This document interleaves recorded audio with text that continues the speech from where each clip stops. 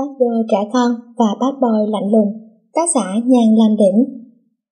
Chương 1 Quá khứ Một ngày thu tại biệt thự Destiny của tập đoàn Lâu Y Hoàng, có rất nhiều người tụ họp lại tại đây với lý do quyết định xem có nên cho cô cháu gái vàng ngọc của dòng họ nổi nghiệp mafia hay không. Và tất nhiên vì an toàn của cô con gái, bà má cô tiểu thư đó đều từ chối, dẫn đến làm cho ông Hoàng Dương Văn Thanh Ông nội của Hoàng Dương Ái Nhi rất là tức giận. Thưa ba, tụi con không muốn cãi lời ba, nhưng mà mà của nó bất lực. Không được cãi, gia tộc chúng ta 14 đời đều theo cái nghề này, đến con bé Ái Nhi cũng vậy. Con bé là con gái mà ba, bà bà nó cũng lên tiếng. Đúng đó ba, Ái Nhi còn quá nhỏ, cô của nó cũng nói sức các người là do tôi nuôi, bây giờ biết cãi lại rồi sao? Ông Hoàng cười mỉa. Nếu không giải quyết được, thì cứ để tôi này. Một người đàn ông bước vào. Tất cả người trong nhà bật dậy, trợn mắt nhìn về người đó. Các anh chị của nó nhanh chóng chạy lên phòng trốn, không quên dẫn theo nó. Bà bà nó ánh mắt sắc lạnh, quét qua đám người bầm trợn. Cả ông Hoàng và mama nó cũng đã chuẩn bị sẵn. Thật ra đám người này chính là đồng nghiệp cũ của bà bà nó thời sinh viên. Chỉ vì ghen tị với gia thế và năng lực của ông mà bọn họ đã hạ thấp danh dự của mình để bắn rẻ bằng bè. Đến giờ, mọi thù của họ với ông vẫn còn, cho nên đành làm liều, nhân lúc nội bộ gia đình lục đục mà tấn công. Cậu vẫn còn hiểm khích với tôi à? Bà bà của nó mở miệng. Đúng vậy, chưa bao giờ tôi xem trọng cậu cả. Anh là kẻ lúc nào cũng cướp đi những người của tôi. Từ tiền tài, danh vọng và cả người con gái mà tôi yêu thương nhất. Nói đoạn ông ta chỉ vào mama của nó. Đó chỉ là do cậu nghĩ, những người thật sự có tiềm năng thì sẽ thành công, còn những người chỉ dựa vào quan hệ xã hội là những người không có đầu óc, luôn nghĩ cho bản thân mình. Về phần Ria, là hai chúng tôi yêu nhau thật sự, không phải là tôi cướp. Bà bà của nó điềm đạm nói.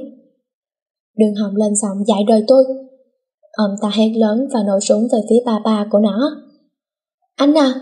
Mama của nó hoảng hốt kêu. Tôi không dạy đời, chỉ muốn cậu hiểu thôi. Bà bà của nó ôm vết thương, khó khăn nói. Đừng nói nhiều, bắt đầu đi. Ông Hoàng hất mặt. Hai bên lao vào nhau như là hậu đói. Người của bà bà nó chỉ khoảng 100 người, nhưng cũng năng sức ngang tài với ông bạn kia. Lúc này, nó đang sợ hãi, nép trong chiếc tủ nhìn về phía đám hỗn loạn đó. Trong lòng lo lắng không nguôi. Bỗng, tròn, một phát súng nổ vang lên, và bà ba nó lại là mục tiêu của tên đàn ông đó. Nhưng người hứng chịu viên đạn đó không phải là ba ba nó, mà là bà Ria, người mẹ nó yêu thương nhất cuộc đời. Ngã quỵ xuống trong tay chồng. Anh, hãy cố gắng chăm sóc Hillary. Bà nói rồi ngất đi. Bà bà của nó hốt hoảng, bế lấy bà, ánh mắt đỏ lên, không thương tiếc tặng cho tên kia vài viên kẹo. Những tên đàn em cũng từ từ được giết sạch. Một tiếng la vang vọng cả bệnh viện. Là nó, Hoàng Dương Ái Nhi. Nó bật dậy sau giấc mơ khủng khiếp đó. Giấc mơ theo nó biết bao nhiêu năm qua. Sau chuyện đó, ông nó cũng không còn bắt ép nó phải làm công việc đầy nguy hiểm. Khẽ nhìn sang mẹ, nước mắt của nó lại rơi, Tại sao, tại sao người hứng chịu những việc này là nó mà không phải là ai khác? Tại sao chứ? Mẹ ơi, mẹ có nghe con nói không? Bao lâu rồi mẹ nhỉ? Mẹ nằm ở đây bao lâu rồi, sao mẹ không dậy để nói chuyện với con? Sao mẹ không như những người khác mà hàng ngày âu yếm cưng chiều con? Sao mẹ chưa bao giờ nói một lời yêu với con? Mười năm qua, mười năm, tại sao hả mẹ? Một khoảng không im lặng, chỉ có tiếng nót của nó vang lên. Sau khi tên cầm thú đó bắn, mẹ nó đã được chuyển đến bệnh viện, nhưng vì vết thương khá gần tim nên ca phẫu thuật có vẻ khó khăn. Tạm thời bác sĩ đã giữ lại được tính mạng của bà, nhưng có lẽ phải sống quãng đời thực vật. Tất cả dựa vào ý chí của bệnh nhân mà thôi. Chương 2 Ngôi biệt thự bí ẩn các biệt thự vang lên bài hát Nico Tattoo của Garen. Bên trong, bốn cô gái với vẻ đẹp khác nhau đang nhảy mối loạn xạ như là bốn con trống trại. Người hầu trong nhà cũng vì không chịu nổi mà biến đi hết. Chỉ còn ông quản gia toàn nghiệp ở lại với lý do bị tụi nó bắt hát cùng. Phù, cuối cùng là cũng xả được một chút ít. Nó mệt mỏi dựa lưng vào sofa. Tự xả một mình đi, bắt tao theo làm chi hả? Sư quen bất bình. Ta có bắt buộc đâu, tự đi mà còn... Nó liếc nhỏ. ôi thì... Chắc đợi hoài đợi mãi mà anh ấy chưa về nhở? Vì vì anh. Có lý. Elena tán thành. Tụi bay. Cô tức giận bỏ lên phòng. Thưa tiểu thư. Sao? Tuần sau các tiểu thư phải đi học à? Ông quản gia mồ hôi mồ kê gọi nó. Hử? Cả bà nhăn mặt. Cũng tốt, trong đó sẽ có trai mà. E hèn, hai người còn lại mặt hầm hầm. Sorry, tôi không phải nữa mà. Tốt, cả hai và ông quản gia gật đầu đồng thanh. Buổi sáng, khi những giọt sương mai còn động lại, ngoài vườn biệt thự Destiny, có một cô gái đang vui vẻ tập những động tác thể dục đơn giản để thân hình săn chắc hơn. Dù chỉ nhìn từ phía sau, nhưng cũng có thể nhận thấy đây là một cô gái rất đẹp. Cô gái này chính là nó. Thói quen dậy sớm thể dục của nó bắt đầu từ lúc lên 10 rồi. Khả nhìn sang ngôi biệt thự bên cạnh được ngăn bởi một khoảng tường mỏng. Đến giờ thắc mắc của nó về ngôi biệt thự vẫn chưa có lời giải đáp. Sợ hai tài lên và bật người nhìn sang vườn của nơi này. Nó thấy thật u ám, khác hẳn với sân vườn đầy hoa của nó. Nhưng bên trong vẫn vang vọng tiếng cười vui vẻ. Nó nhả mắt ngẫm nghĩ thì phát hiện một bóng người dựa vào cái cây gần đó. Theo nó thấy thì rất là đẹp à nha. Một quà làm quen mới được. Này, làm gì đu như là khỉ sang nhà người ta thế? Vivian từ đâu xa chạy lại xỉa sói. Không phải, thấy lạ thôi. Qua đây đi, mở tiệc. Nhỏ vẫy vẫy tay. Ai lại mở tiệc vào sáng sớm? Nhưng kệ, đi thôi.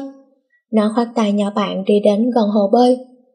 Bên ngoài biệt thự màu đen kia, bóng người bí ẩn ấy khẽ bước vào nhà cùng nụ cười thú vị. Bên này tụi nó đang vô tư ăn uống, nhưng thực chất chỉ có sư quyên ăn, còn ba chị kia lại bắt đầu cho miệng hoạt động hết công suất. Không biết ai ở nhà bên kia nhỉ? Elena thắc mắc. Phải, biệt thự thì màu đen, bên ngoài cũng có vẻ là rùng rợn bí ẩn, nhưng bên trong lại tràn ngập tiếng cười. Nhiều lúc tôi còn nghe tiếng đùa nhau của mấy cô giúp việc nữa đấy. Vivian kể. Hay nhỉ? Nó nghi ngờ. Ơ, nghe sao nói vậy thôi mà. Hình như họ chuyển tới đây sau khi các cậu đi á. Sao tôi không biết? Ai biết, nghe quan xa nói khi các cậu ấy đi, có bốn người nào đó dọn đến, nhìn qua chắc là con trai á. Sư Quyên giải thích. Nói mới nhớ, hôm qua tôi thấy có một người mặc áo phông đen, quần jean đen, clip on đen, áo khoác dài đen, mắt kính đen, khẩu trang đen, nón đen và mái tóc màu đỏ. Chỉ kỳ vậy, đen toàn bộ mà tóc màu đỏ Thấy sao nói vậy mà... Ừ, để xem, biết đâu mấy người đó là ma cà rồng. Nhảm nhí. Không phải thì thôi, làm dữ vào. Tập trung suy nghĩ đi. Sư Quyên nhắc nhở. Tụi nó đã chìm đắm trong suy nghĩ, lâu lâu lại phát biểu linh tinh về ma quỷ gì đó. Bên kia bốn chàng trai, bốn sắc thái khác nhau, cũng đang suy nghĩ, nghĩ về các cô gái biệt thự bên này.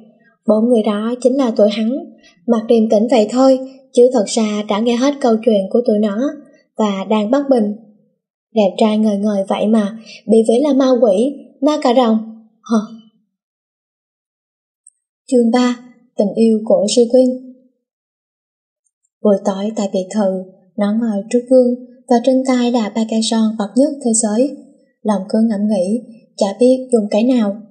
Hồng ba bi, đỏ cam hay là đỏ tươi? Chọn đại đi, Vivian bật mình.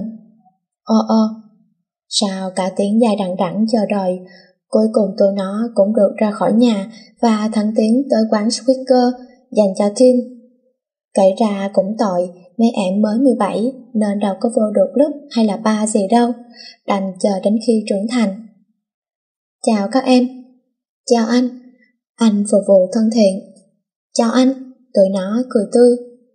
Các em là người vừa mới đặt phòng VIP đúng không? Xin mời. Anh phục vụ lễ phép. Tụi nó gật đầu cảm ơn rồi bước vào. Tạm mặt nó nhìn xung quanh và dừng lại trên người một tên con trai. Hàng khí tỏ ra áp bức nhưng vẫn thu hút người nhìn. Môi mỏng, đậm chất trai. Bỗng tên đó quay sang nhìn nó. Hai ánh mắt chạm nhau. Cảm tình khi nãy biến mất mà thay vào đó là lửa tung tóe. Hai người cứ nhìn nhau làm cho không khí trong quán nóng hơn cả phòng sông hơi, nhưng vẫn chưa chịu dứt. Biết đẹp rồi, khỏi nhìn. Nó nhếch mép. Tôi nói giống cô, hắn cũng không vừa. Sau khi rời khỏi cái phòng sông hơi kia, tôi nó đang tụ tập tại một quán ăn vỉa hè. Bốn cô gái với phong cách ăn mặc tuy đơn giản, nhưng cả người vẫn toát ra khí chất cao sang. Ê, nãy thấy Alex, nó mở miệng. Hả? Vivian khó hiểu. Đi cùng với tên bà trọn kia, còn hai thằng khác nữa. Đẹp. À, sao đã về rồi, chắc là muốn vui chơi vài hôm đây mà. Elena mắt đã sáng. Nhưng anh ấy đang ở bên anh mà. Ruben nhíu mày. Thật ngây thơ, biết đâu có cô nào xúi sụp thì sao? Không phải. Vậy thì gọi thử xem. Nó nhớ mày. Cô gật đầu, móc giấy, lướt qua hàng số dài trong danh bạ và dừng lại tại một số có tên là ông xã. Không chần chừ, cô liền nhón gọi trong ánh mắt thích thú của ba nhỏ bạn. Bản nhạc chờ của review Suzu vang lên bên tai, nhưng chưa kịp thưởng thức hết bài đã có người nhấc máy. Sao thế? Nhớ anh hay sao mà gọi? Alex, anh đang làm gì thế? Anh hả? anh đang nói chuyện với em nè. Trong lòng thầm nghĩ, chắc chắn ba cô gái kia đã khiêu khích Suy để cô ấy gọi chứ gì. Biết tổng rồi nha, nhất là cái con bé Vivian ấy. Tác giả quên nói, Sư và Alex là thanh mai trúc mã, yêu nhau lâu rồi. Nói yêu chứ hai bên không biết đối phương ở nơi phương trời nào luôn, tại vì chị Quyên cùng với tụi nó suốt ngày vi vô khắp trái đất mà. Suy cho cùng, hai người là yêu xa đó. Vậy sao? Anh sẽ không lén phán với cô nào đó chứ? Đương nhiên, làm thành Đức Huy này chỉ có một mình em. Thật à? Chứ sao nữa, mà em đang ở nơi nào? Về với anh đi. Em đang ở Việt Nam. Hả? Anh hét làm cô phải đưa điện thoại ra xa. Sao? Phải chăng... Anh... anh vừa mới về. Cô giận run người. Bà xã, anh muốn cho em bất ngờ nên mới là không nói. Thật xin lỗi. Anh tỏ vẻ áy náy. Lúc khác nói tiếp, cô tắt máy, cơn giận vẫn chưa tan nên tụi nó nào dám hó hé lại gần. Cuối cùng đành biết thân biết phận mà bỏ đi. Chương 4 Đi học Năm tháng 9, ngày khai sản chung của tất cả các trường, ngày mà các thanh niên nghiêm túc, háo hức đón chờ để được gặp bạn bè thầy cô. Tụi nó thì cũng có gì được gọi là háo hức, nhưng các chị không háo hức vì được gặp bạn bè, mà vì được gặp trai. Mau đi. Rồi nè, ba đứa bạn bước chân xuống cằn nhằn. Tụi nó mau chóng ra xa và thẳng tiến tới Matida. Chẳng mấy chốc, trung trường Matida, một chiếc Audi 9 R8 sang trọng đổ lại. Từ bên trong, bốn cô gái với vẻ đẹp nghiêng nước nghiêng thành, bước xuống và nhanh chóng chiếm hết trái tim của mấy chàng ngây thơ ở đây. Nó không quan tâm mấy, bỏ luôn mấy đứa bạn và sải bước đi tìm nơi tổ chức lễ khai giảng. Vừa đi, nó vừa ngắm nhìn xung quanh với ánh mắt đầy thích thú. Mãi mê chạy nhảy mà nó không để ý phía trước, nên là rầm. Chị ấy đã va phải một người, sự đau đớn từ cánh tay truyền tới, làm cho nó nhíu mày, nhưng có lẽ người va phải nó không chút gì xót thương. Tài cho vô túi, nhướng mày nhìn, khỏi nói cũng biết ai rồi. Ôi, còn đầu cánh tay xinh đẹp mỹ miều của ta nữa. Con người kia nhếch mép. Này, anh không biết lịch sự hả? Va phải người ta còn không biết xin lỗi. Ê, biết à? Xin lỗi. Hắn phùng ra hai từ rồi ung dung bước đi. Nó đừng cho chân, nhếch mép một cái. Cái trường này ngộ à nha. Cái gì mà quý sợ tộc chứ? Bừa, toàn là bừa, người gì đâu mà thiếu phép lịch sự. Dù vẫn rất là ấm ức đó, nhưng nó vẫn nhịn mà tiếp tục tìm nơi phương trời ấy. Sau một hồi tìm với trả kiếm, nó đã thấy nơi ấy. Mở cửa lớn bằng tay, làm cho nó khó chịu đôi chút bởi vì đau. Tùy tiện ngồi vào một chỗ trống và ngủ suốt buổi, chả thèm để ý đến bài diễn văn dài dòng của ông hiệu trưởng. Khi kết thúc buổi lễ, nó mệt mỏi lê bước trên hành lang, tìm lớp 12-1. Chả là chị này nhảy dù ấy mà. Nhưng nó không chọn lớp 1 mà dừng lại tại lớp 10. Bên trong, anh Felix, hội trưởng học sinh đang phổ biến gì gì đó, khẽ liếc hắn một cái sắc lẹm, rồi nó bước vào. Mọi hoạt động của lớp hoàn toàn dừng lại khi thấy nó. Xinh quá, bọn con trai thốt. hai chào các bạn, cho mình hỏi... Bạn cứ hỏi đi. Một đứa chen ngang. Ừ, cho mình hỏi... Hỏi đi, hỏi đi. Tự nhiên bạn, có gì thắc mắc nè? Ừ, toàn lỗ chằn họng. Cho hỏi... Hỏi đi, hỏi. Giờ có cho tôi hỏi không? À, bạn xinh đẹp, hỏi đi. Tốt, lớp 12-10 ở đâu vậy hả? Ở đây nè, lớp 10 đây nè, một đứa con trai hấn hở. Ủa vậy hả? Mình học 12-1 cơ. Bye bye. Rồi sau đó nói chuồn đi. Bọn con trai ngơ ngác, mặt đen một cục khi bị nó lừa. Còn hắn khẽ nhếch mép nhìn theo. Thú vị thật. Quay lại với chị Hillary. Chị đã phá lớp này, đến lớp khác và giờ tới lớp 12 năm khi chuẩn bị bước vào. Ehem, em học 12-1, đúng không? Đừng phá bạn nữa, mau về lớp đi. Cô giáo nhìn nó. Dạ, sorry cô. Nó yếu xìu đi về lớp. 12-1 là lớp giỏi nhất của trường. Lớp này toàn tập trung đầy đủ các cậu ấm cô chiêu của những nhà kinh doanh nổi tiếng, nhưng cũng có vài học sinh học bổng với thành tích xuất sắc được đưa vào trường. Ba con bạn của nó đứng đợi sẵn, khi thấy nó, không ai chào hỏi gì cả, làm nó thấy lạ. Các em là học sinh mới à? Cô giáo hiện hòa hỏi.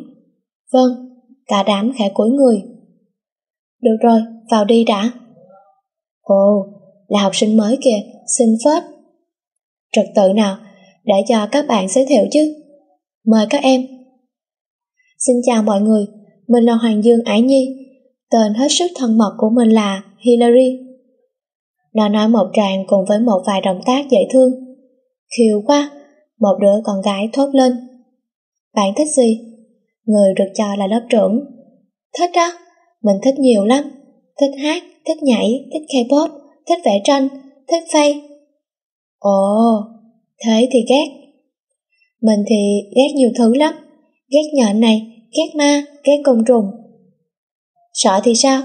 Một giọng nói vang lên phía cuối lớp là Alex. Ghét chính là sợ. Ồ, còn ba bạn kia thì sao? Xin chào, mình là Minh Châu, gọi mình là Swin êm đềm. Mình là Vivian, một chút nhí nhảnh. Tú Linh là mình, tĩnh mịch. Xa thế thì sao? Lớp trưởng vừa hỏi lập tức bị ném đá cho tội vô duyên. Không sao, tụi mình là học sinh học bổng. Siêu Quyên cười hiền, nở há hốc. Bốn cậu là bạn với nhau à? Một bạn nữ hỏi. Đâu có, bạn ấy sao vậy, sao chơi với tụi mình được? Vì vì anh chói. Nó đứng như là tượng gỗ, đưa ánh mắt khó hiểu nhìn Alex, nhưng nhận lại là một cái nhún vai. À, Nhi ngồi cạnh Duy, Châu và Huy, Tú và Long, Linh và Khôi nhé. Cô giáo phân phát. Duy ở nơi phương trời nào? Nó bỏ luôn ba con bạn và hỏi. Là tôi, hẳn sờ tay. Hôm nay ra đường bước chân nào mà xui thế, về tắm lá bưởi mới được. Cả lớp che miệng cười. Đi về phía hắn, anh này đang gác chân lên bàn nghe phone. Này bạn Duy thân mến, cho mình ngồi ở trong. Nó mệt mỏi lên tiếng. Ngoài. Hả? À, không ngồi ngoài được. Nó hiểu lời hắn và nói. Quay. Không thích. Quay. Không thích. Quay. Không thích. Hai người cứ lặp đi lặp lại đến phát chán. Làm ơn cho tôi vô đi mà, sao các anh ác quá vậy? Ác thế sao nổi làm thế? Mặt của nó miêu máu, hắn nhìn chăm chăm vào gương mặt khiêu của nó, làm nó có chút ngượng, nhưng nhanh chóng gạt phát đi. Nhân lúc hắn không chú ý, nó bay vào chỗ ngồi và úp mặt xuống bàn. Hắn không nói gì, lặng lẽ nhìn nó, một cảm giác quen thuộc dâng lên trong lòng. Hôm qua sau khi đối mặt với nó xong, hắn cứ suy nghĩ quẩn quơ cho đến khi về nhà và tai nạn là mất ngủ cả đêm. Giờ thì ngủ bù thôi. Duy bị bệnh, quà đồ thất thần. Hờ, sự quyên rũ của con bé không bao giờ nguôi. Alex cười. Mày quen à? Ừ, bạn vợ tao. Anh quay sang sư quyên nháy mắt. Vợ? Sư quyên nguồn chính cả mặt. Hàng loạt dấu chấm hỏi xuất hiện trong đầu cả hai, quay qua nhìn hai cô gái thắc mắc. Khỏi nhìn, Vivian liếc. Tội này ngu lắm. Elena chép miệng. Chương 5, đi học, tiếp theo. Sau màn giới thiệu làm quen, cả lớp đã chính thức bước vào buổi học. Tiết đầu tiên là mỹ thuật. Nghe nói bà cô dạy môn này rất dữ, nhưng đồ cái, vẻ đẹp, nên ông hiệu trưởng mới cho ở lại. Chào cô, cả lớp đứng dậy. Ừ, các em ngồi. Đề bài hôm nay là vẽ lại nhóm bạn thân của em, trong khi cả lớp hí hoái vẽ, chỉ có nó và hắn là ngồi chơi.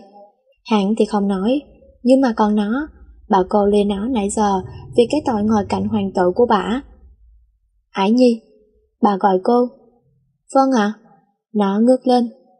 Sao em không vẽ? Em không biết vẽ. Cứ làm bài đi, rồi sẽ biết. Cô nhẹ nhàng nói.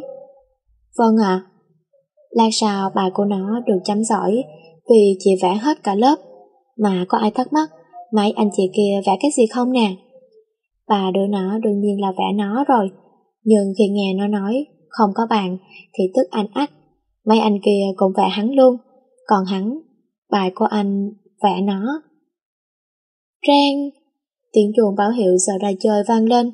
Cả lớp ù ra như là ông vỡ tổ. Cô giáo chỉ biết lắc đầu trước đám học trò này. Lớn rồi mà như là con nít á. Nè, đi ăn không? Vivian hớn hở đứng trước mặt nó. Gì? Nói với ai vậy? Nó quay mặt xung quanh. Mày, nhỏ chỉ vào mặt của nó. Ủa? Tôi nhớ tôi nhà giàu mà, mấy bạn nghèo, không thể chơi với tôi mà. Sao rủ đi ăn chi vậy? Nó nói bóng gió. Ừ thì... Cả ba ấp úng. Ừ, nếu mình nhớ không lầm, thì cậu tên Long và cậu tên Khôi, đúng không? Nó quay sang qua đô và đa. Ừ. Đi ăn với mình nha. Tất nhiên, hai anh sướng rơn, bởi vì gái đẹp mời mà. Chương 6 Ăn nhờ ở đầu Nó mệt mỏi bước xuống xe, nhìn thấy hắn đang ung dung đứng đó. tỉnh lên giọng trách móc, thì thấy một người phụ nữ trung niên quét dọn sân vườn. Quản gia hông thì vừa bước vào. Hai người nhìn nhau cười cười, ánh mắt nhau lại rồi chút rồi hỏi. Này, bà đó là ai thế? Quản gia. Trời trảng, nó vùng ra hai từ rồi xách ba lô vào nhà. Cô có quyền gì mà nói như vậy? Quyền được nói, quyền của con người. Nó cười nhạt. Dù gì thì bà ấy cũng lớn hơn cô, sao cô có thể ăn nói như vậy? Hả? Lạnh lùng như anh, mà lại nói nhiều vì một bà quản gia sao? Bà ta là gì của anh? Im lặng. Không còn gì để nói. Xin lỗi chị đi. Tôi chỉ vì lo cho bản thân mình khi ông ấy có vợ thôi. Nó nhún vai và đi vào nhà. Hằng đứng đó nhìn theo bóng của nó, suy nghĩ về câu nói vừa rồi. Bà quản gia ấy là gì của hắn? Từ khi mẹ hắn mất, ba hắn lại bận chuyện công ty, không thường về nhà, nên đã thuê một bảo mẫu chăm nom hắn. Chính là bà quản gia đó. Bà có một cái tên hay là Olivia. Hắn xem bà như là một người mẹ thứ hai của mình, cho nên ai có hành vi xúc phạm đến bà ấy, hắn nhất định không tha. Nhưng sao hắn không làm được điều đó khi người đó lại là nó? Mệt mỏi bước vào nhà, ông quản gia của nó đã được Alex mời sơi nước. Tụi hắn quả thật rất là lễ phép với người lớn. Hắn cũng được sự gật đầu và ngồi xuống tiếp chuyện. Bỗng. Quản gia Hồng, ông phải ra cho tôi. Nó hét lớn. À, tôi xin phép. Ông cúi chào. Khải lắc đầu trước tính tình của nó. Thiệt là không phải thân thiện dễ gần là tốt. Cô chủ nhà ông quả thật đã mắc phải cái bệnh tiểu thư rồi. Thưa tiểu thư gọi tôi. Ông vừa đi đâu? Tôi có chút việc ở nhà bên cạnh nè. Tôi đói. Nó trừng mắt. 7 giờ, thứ bảy tại căn phòng màu trắng hồng xinh xắn của biệt thự. Trên chiếc giường to tổ bố có một cô gái với vẻ đẹp ngây thơ trong trắng đang ngủ ngon lành. Bỗng, cọc cọc cọc, tiếng gõ cửa vang lên làm cô gái cửa mình thức giấc. Ai? Nó nói vọng ra. Là tôi thưa tiểu thư, có người gửi bưu phẩm cho tiểu thư. Cô hầu gái cẩn thận nói. Để đó đi, tôi ra liền. Biện nha rời khỏi giường, nó mở cửa và nhặt lai gói bưu phẩm rồi mở ra. Bên trong là một quần áo xinh xắn, đúng style của nó. Áo sơ mi màu vàng, bên trong có lan, cả hai đều là thương hiệu Thursday Iceland Quần skinny jean trắng và túi sách đeo chéo màu lam, cộng thêm chiếc nơ chấm bi cài tóc. Nó hí hửng chạy vào phòng tắm thay đồ, mang giày vào rồi tung tăng xuống nhà. Đồ mới à? Hứ, nó liếc cô rồi ra khỏi nhà. Hờ, chết chắc. Cô ủ rũ. Nó đóng cửa cổng và nhìn sang nhà hắn như là một thói quen. Trong đầu nghĩ ra cái gì đó, thông thả bước đến và nhấn chuông. Kinh con. À, xin chào, cô là... Một cô giúp việc mở cổng. Bạn của Alex. Xin mời vào, thiếu gia Alex ở phòng khách ạ. Cô giúp việc mỉm cười. Nó cúi đầu cảm ơn, rồi chạy ù vào trong, ngõ đầu vào phòng khách với gương mặt tươi hơn hoa. Nó làm bốn chàng trai ở đó suốt sặc, cười khì khì, rồi từ tiện thả mình xuống ghế sofa êm dịu. Nó nhanh chóng sọc đầy trà của Wando và tu ưng ực. Sao, sao cậu? Nhà tôi bên kia. Nói rồi nó đi vòng qua. Đi đâu thế? quán xa của các anh, bãi đâu rồi? Em hỏi làm gì? Tìm hiểu. Tạo lên phòng. Hắn đứng dậy. Ờ. Nó liên hắn sắc làm, rồi quay mặt sang chỗ khác, bàn chân không chịu yên. Đi khắp nhà, nhìn hết thứ này đến thứ khác, là mấy cô hầu trong nhà choáng váng cả lên. Vào lúc này, Thưa, tôi về rồi à? Quản gia Olivia từ ngoài đi vào. Bà là quản gia sao? Nó chắn trước mặt bà hỏi. Vâng, còn cô là...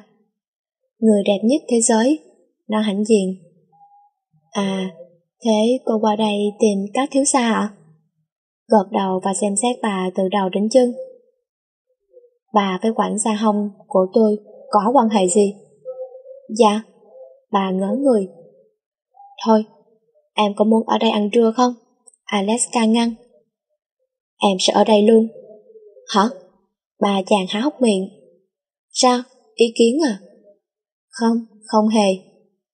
Nó hự lạnh rồi tự nhiên bỏ lên lầu, tìm kiếm hoài, tìm kiếm mãi, mà nó chả thấy căn phòng như là miêu tả của Wando.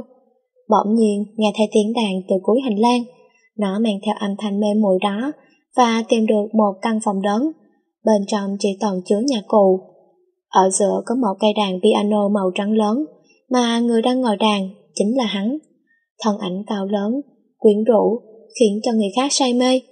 Nhưng có lẽ vì bị điều gì đó tác động mà hắn đã đánh trật nhịp đoạn cuối. Khi đoạn này sai thì cá bài rất là khó có thể giữ vững. Nó khẽ bước đến ngồi cạnh hắn, ngón tay thon dài lướt qua từng phím đàn, cố gắng giúp hắn chỉnh đốn lại bài nhạc. Hắn có chút ngạc nhiên, nhưng khi nhìn thấy gương mặt chìm đắm trong âm nhạc của nó, thì khẽ cười cùng nó, hoàn thành bản nhạc.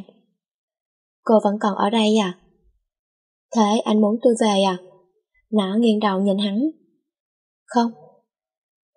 Đứng dậy và đi dạo quanh phòng, nó tò mò cầm chiếc càng Vuvuzela màu đỏ, cho lên miệng thổi một hơi quét. Hắn bịch tay lại để tránh ảnh hưởng. Còn dưới nhà, mọi người đang kinh thiên đồng địa, cô hầu rửa chán, chán vỡ, bảo vệ tưới cây, bình nước rớt. Stop! Cô định giết tôi à? Hắn quát. Đáng ghét, anh dám phỉ bán tôi. Này Hillary, em dẹp ngay cái càng cho anh. Đừng có mà dở cái giọng vịt được ra uy hiếp người khác nữa, dẹp ngay. Alex dưới nhà chịu hết nổi, liền cầm lo hét. Hứ, em không thèm. Nó bực tức, đặt cây càng lại và dậm chân bỏ đi. Hắn chán nản bước theo. Nó ngồi phịch xuống bãi cỏ sau nhà, miệng chu lên với có vẻ rất là khó chịu. Hứ, nói giọng mình là vịt được sao? Nó ngắt cái đám cỏ gần đó. Này, hắn giờ chỉ càng harmonica trước mặt của nó. Gì đây? Cô chơi đi. Anh không sợ à? Không. Hắn nhún vai bình thản, nhưng thật sự là hắn đang lo trong lòng đó. Nó nhắm mắt lại và bắt đầu chơi. Tiếng nhạc của bài See You Again vàng khắp vườn. Đâu phải nó không biết chơi nhạc cụ, chỉ là chiếc kèn vu vu zila kia không hợp với nó thôi. Hắn ngã lưng xuống bài cỏ và cất tiếng hát. Giọng hát được trời phú của hắn, hòa quyện vào tiếng kèn của nó, tạo nên một âm thanh đặc sắc mà bất kỳ người nào nghe cũng phải ngất ngay. Cũng được đó. Ừ, phải cảm ơn tôi đó. Nó hết mũi. Hai đứa tính ở đó tình tứ đến bao giờ? Mau vào ăn trưa. Hoành đồ cười điểu. Đồ sẽ mắt mẹ. À à, đừng mà. Anh máng mặt. Mọi người hầu trong nhà trốn mắt nhìn thiếu gia của họ. Ba anh luôn cười đùa, nhưng tuyệt nhiên chưa bao giờ đối xử tốt với người hầu trong nhà, ngoại trừ bà Olivia. Nay lại vì một cô gái không quen biết mà sợ sệt, quả là kỳ lạ. Cô gái này là ai mà lại có sức hút lớn đến thế? Đến nỗi bốn thứ xa nhà họ như vậy. Chương 7, First Love và Second Love Tối 7 giờ tại nhà hắn, một ngày vui vẻ đối với nó là được ăn ngủ thoải mái, cho nên chị ấy đang cùng tròn trong trăng nghe nhạc. Trên bàn là để trái cây mới chôm. Lúc này... Nghe, nó lạnh giọng. Hay, em yêu đang ở đâu vậy? Ở nhà. Rào quán phật lớp đi. Elena nói rồi cúp máy. Nó nhìn điện thoại đến ngơ. Tụi hắn đã đứng trước mặt mà không biết. Đến khi dài cứu nó một cái, nó mới thức tỉnh mà đi vào phòng tắm. Lao xạo nó bước ra với áo lưới dài tay và chân váy xếp ly của hãng Vanes. Nó mang đôi giày lười. Mấy người qua đây làm gì? Nó vừa chải tóc vừa hỏi. Đưa cậu đi đấy. Vậy thì nhanh lên giùm. Nó mở cửa ra ngoài. Chiếc Lamborghini Raventon của hắn dừng lại tại quán karaoke Phết Lớp. Nó nhanh chóng xuống xe và tìm ngay phòng VIP 1 mà bọn kia đang tụ tập. Dù là từ cách âm hiện đại, nhưng nó vẫn nghe được tiếng gào rú của đám bạn, nhất định là đang quậy tương bần trong kia. Nhíu mày, khi cánh cửa mở ra, ba anh kia đã tới nơi và đang chờ tới bến. Nữ chính đây rồi, qua đây cưng. Vì vì anh ngoắt tay. Ăn chơi trác tán. Ok, quay về bình thường ra. Sư quyền ngà ngà say hỏi. Thì sao? Quậy hết mình đi anh em. Elena cầm cái khăn xoay xoay. Chơi luôn. Nó cười. Thế là cả đám nhào vô nhảy múa lòn xà. Hắn không kém. Riêu quên say tới nỗi ngủ như chết. Alex hết cách đành ngủ cùng cô nàng luôn. Còn rồi thì luôn tìm cách cười chị Vivian. Bản thân chị này hám trai đẹp, nên đương nhiên là vui vẻ cười nói rồi. Tự sướng chung nữa chứ. Người ta nhìn vô tưởng đôi này yêu nhau. Nhưng có cái gì đó ở góc phòng What the fuck? Elena và Dai đang hôn nhau sao? Chuyện gì đang xảy ra? Cùng tua lại 10 phút trước. Này, cô có muốn chơi một trò chơi không? Dai hỏi. Tưởng tôi sợ à? Trò gì? Quẳng tù tì, ai thua phải uống và hôn người kia. Hử? Sao? Không dám à? Ai nói, chơi thì chơi. Cô hơi ngại nhưng mà vẫn cứng miệng. Phản một bắt đầu, cô thua, nên phải hôn má của anh. Phản hai cô lại thua, phản ba thôi luôn. Anh dù vui vì được cô hôn, nhưng vẫn muốn thua ai. Hai, ai biểu trời sinh ra giờ quá làm chi, giờ ẩn tù tì, thắng hoài không thua. Trời không phụ lòng người, cuối cùng anh cũng thua. Đến lúc này cô đã sai đến nỗi, lên trời cũng được rồi, nên chẳng biết gì đâu. Cười cười nhìn anh uống rượu, Lời nói chưa trôi ra khỏi miệng đã bị anh nuốt lấy, bờ môi căng mọng không chút ngại ngần, đáp lại nụ hôn đầy mãnh liệt kia. Đại vừa như là bắt được vàng, anh luồn tay vào mớ tóc mềm mại của cô và thật sự chìm vào trong nụ hôn. Quay lại thời điểm này, hai đôi môi vẫn còn đang quấn lấy nhau. Đi Lan, đừng bỏ em, đừng bỏ em. Cô bỗng bật khóc. Anh sững người. Trê Lan, là ai? Tâm trạng đang vui vẻ trên mai của anh, sợ như là trôi tuột xuống 19 tầng địa ngục. Rực cười, Hồng anh mà nghĩ về người con trai khác sao? Cô xem anh là cái gì? Cố gắng đè nén tâm trạng, anh ôm cô vào lòng vỗ về.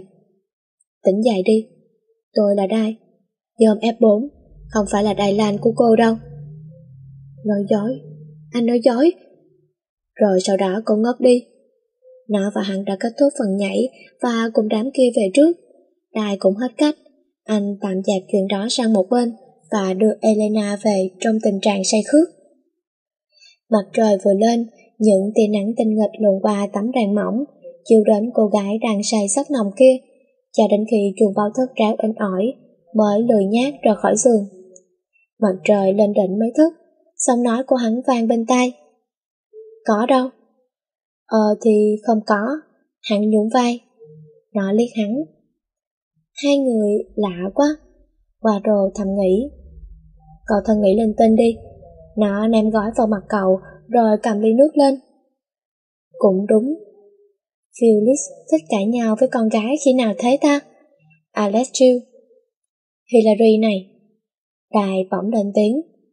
Sao? Đây lành là ai? Lì nước trên tay của nó rơi xuống, vẻ mặt nhợt nhạt, thần thái vui tươi không còn, mà thay vào đó là một sắc thái âm u đến dễ sợ. Bọn hắn nhận thấy có điều gì đó lạ, nhưng mà không dám hỏi.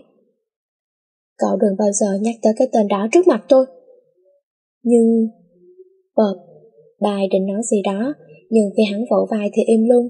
Nó đã tóc hành, thay ra trang phục đi học và hầm hầm ra gara, lấy xe phóng thẳng đến trường. Và qua bao ngày như bao ngày, nó luôn luôn là tâm điểm chú ý của cả trường. Điều đó khiến cho tụi con gái ghét cay ghét đắng nó. Thường ngày nó sẽ vui vẻ vẫy tay hay là cười thân thiện, nhưng hôm nay thì không. Đi một mạch, làm bọn con trai ngơ như là cây cơ.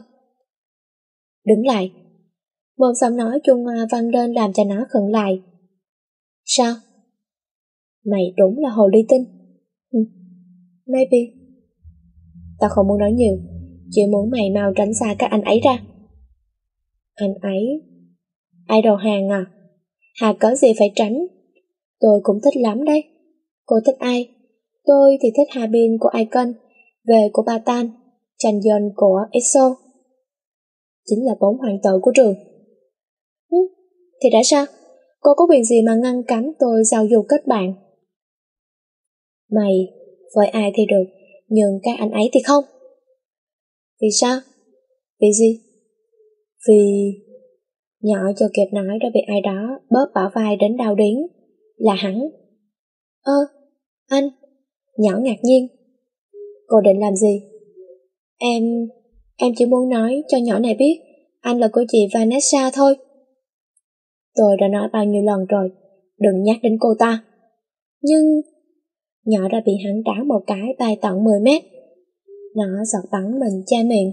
Hắn có phải là con trai không vậy? Chẳng biết thương hoa tiếc ngọt gì cả. Cơ mà, Vanessa là ai? Mà khi nghe tên, hắn lại kích động như vậy. Phải chăng là người yêu cũ?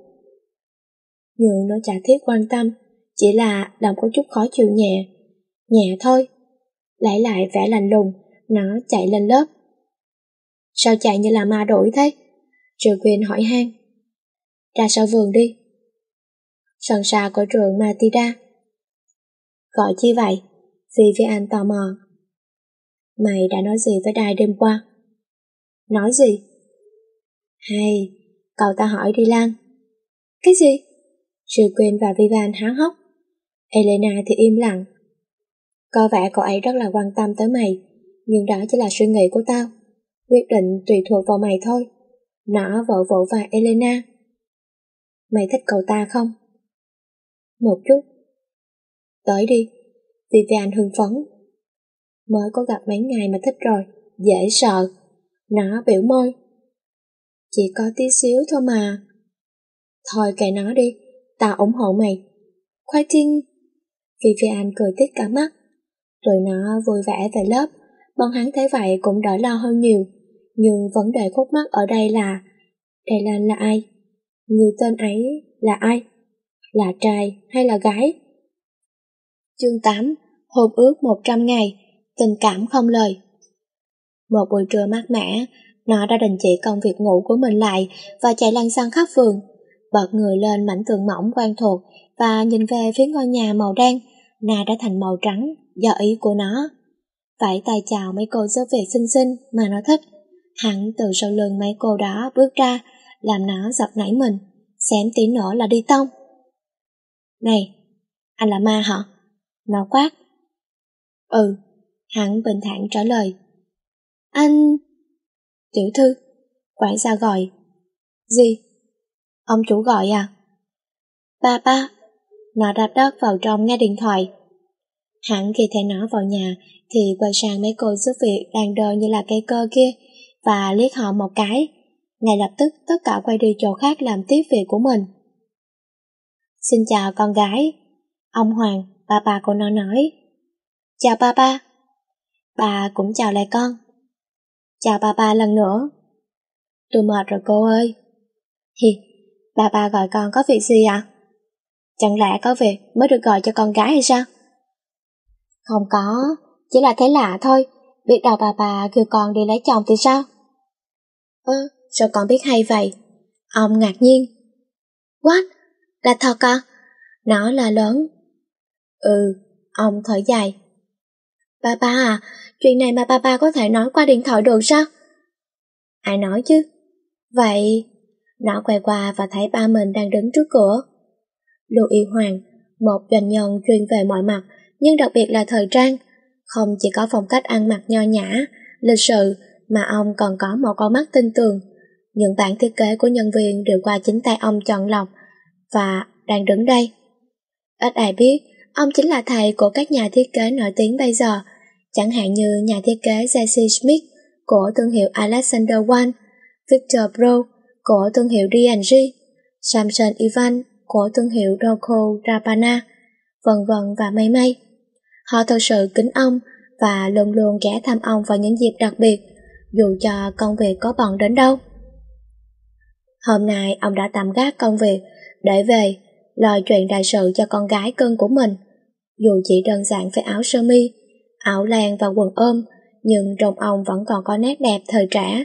Mái tóc chấm một vài sợi bạc, chứng tỏ dấu hiệu của sự già đi. Nhưng người khác nhìn vào thì không thấy vậy, người ta tưởng ông là móc lại chứ. Chương 9 Đổi thủ Một buổi sáng trong lành, chuông báo thức của nó reo in ỏi, làm chị Hillary phải miễn cưỡng, lê bước xuống giường và chuẩn bị cho một ngày đi học mệt mỏi. Hài lòng ngắm nhìn mình trong gương và xuống nhà, bên dưới tất cả đã có mặt, tụi hắn cũng tham gia luôn. Nó phải vẫy tay rồi cùng mấy con bạn ra xe. Lớp 12-1 Nó bước chân vào lớp với nụ cười không thể tươi hơn nữa, làm cho bọn con trai ngất trên cành quất. Trong đó có cả hắn. Anh Felix đã bị chị mê hoặc. Các em yên lặng nào. Cô giáo vào khi nghe tiếng chuông vang lên. Vâng ạ. Cả lớp đồng thanh. Hôm nay lớp ta có học sinh mới. Cô giáo cười. Im lặng. Chẳng phải lúc tụi nó tới hào hứng lắm sao? Sao giờ im ra vậy? Cô chủ nhiệm cũng ngạc nhiên không kém. Chỉ là cả lớp không muốn thêm ai vào thôi. Đang yên đang lành, nhỏ mấy đứa đầu trâu mặt ngựa vào thì sao? Eo ôi, cả lớp chỉ cần tụi nó và tụi hắn là đủ rồi. Cô giáo khi ổn định lại tinh thần thì cho học sinh mới vào.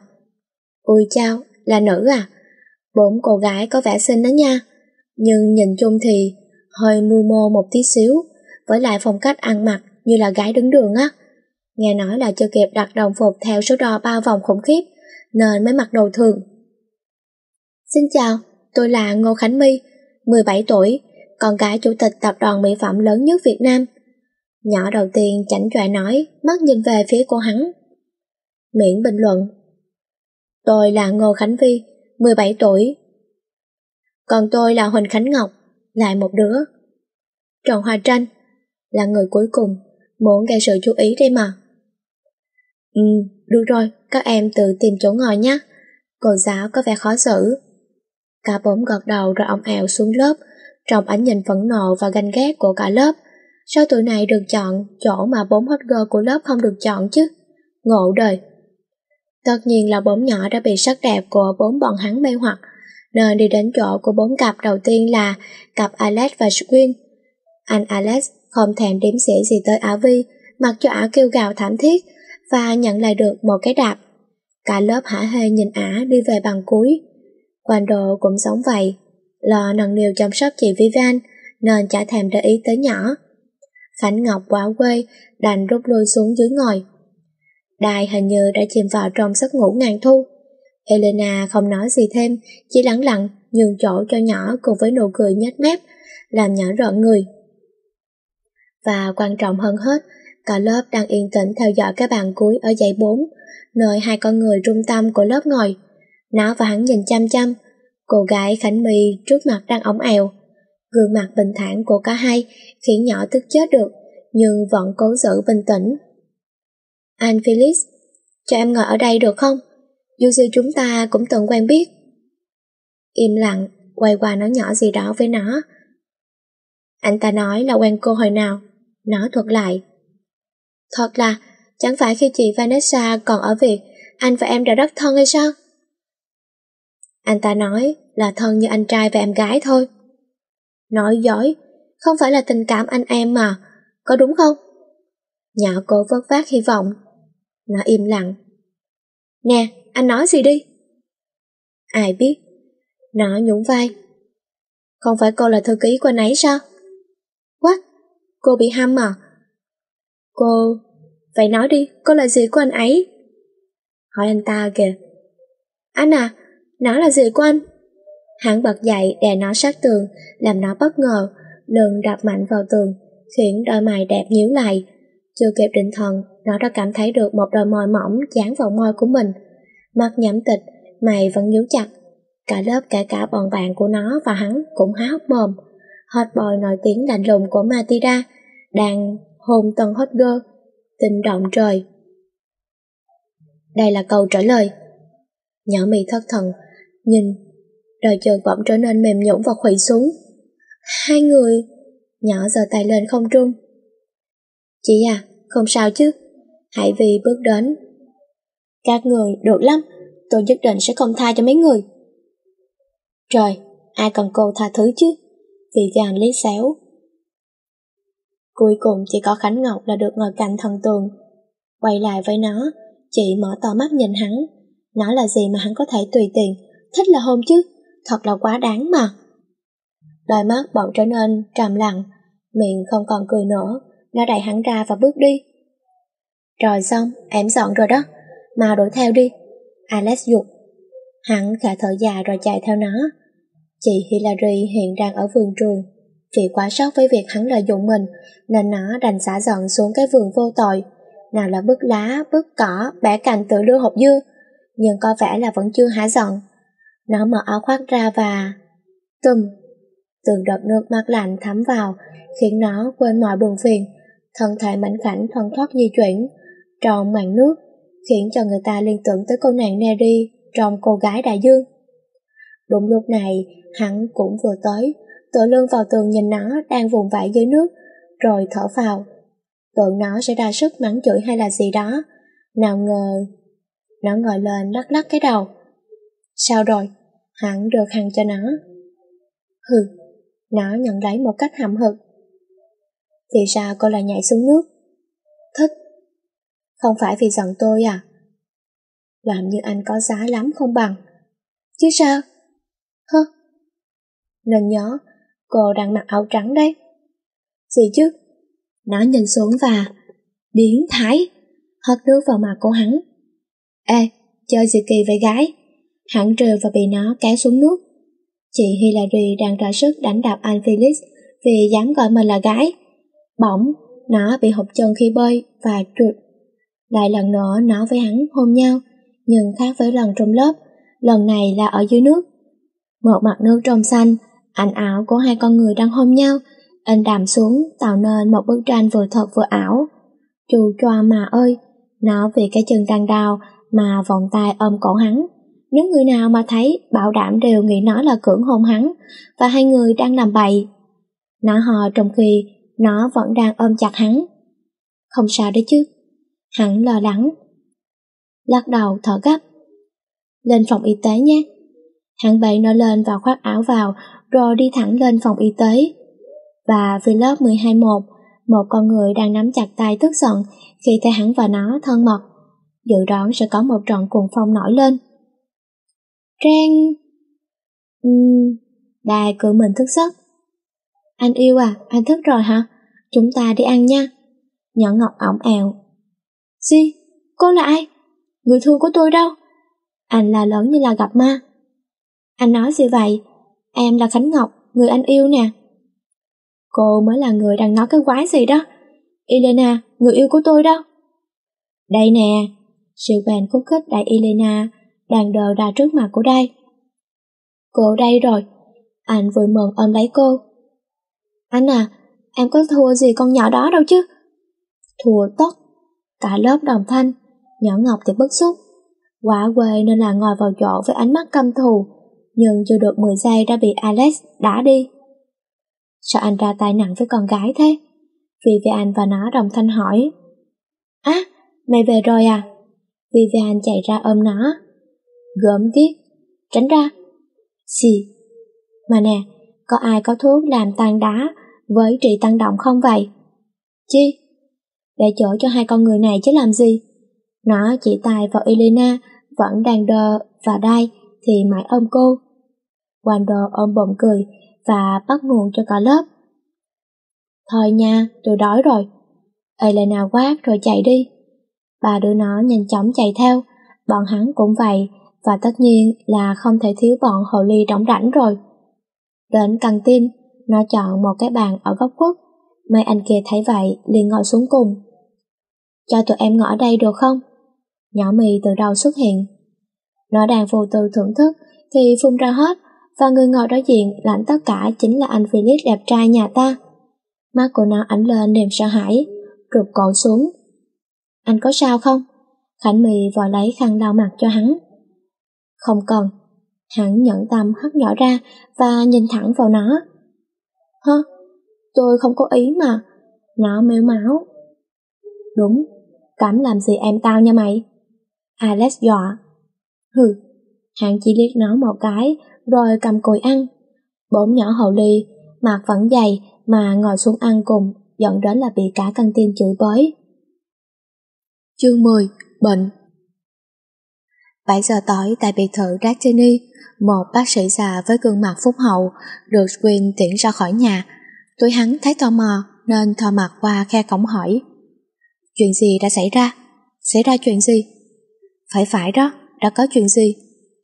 Nhiều chuyện. Quinn liếc mắt rồi quay người vào nhà. Ấy, Quinn xinh đẹp à, dễ thương à, nói nghe đi mà. Phải đó, Quinn nhà ta lúc nào cũng xinh đẹp, mà nếu nói ra thì càng xinh đẹp hơn. Đại chen vào. Tại sao nói nhiều là xinh hơn? Alex thắc mắc. mày không hiểu gì cả, nói nhiều thì cơ miệng sẽ hoạt động, mà cơ miệng hoạt động thì mặt sẽ thon gọn, mà mặt thon gọn thì sẽ có người thích, mà có người thích thì sẽ hết FA, quá hay. Ý mấy người là tụi ế hả? Đâu đâu có, Win sao mà ế được? Hừ, muốn biết chứ gì, vào đi. Cô thở dài rồi mở cửa cho ba chàng nhiều chuyện vào, và anh Felix thì đứng im xem kịch. Năm người tiến vào nhà, bên trong quản gia đang tất bật dọn dò người hầu, nấu ăn cẩn thận. Nhưng Vivian và Elena thì mỗi người một việc, nhưng có điểm chung là đều cầm điện thoại và laptop trên tay.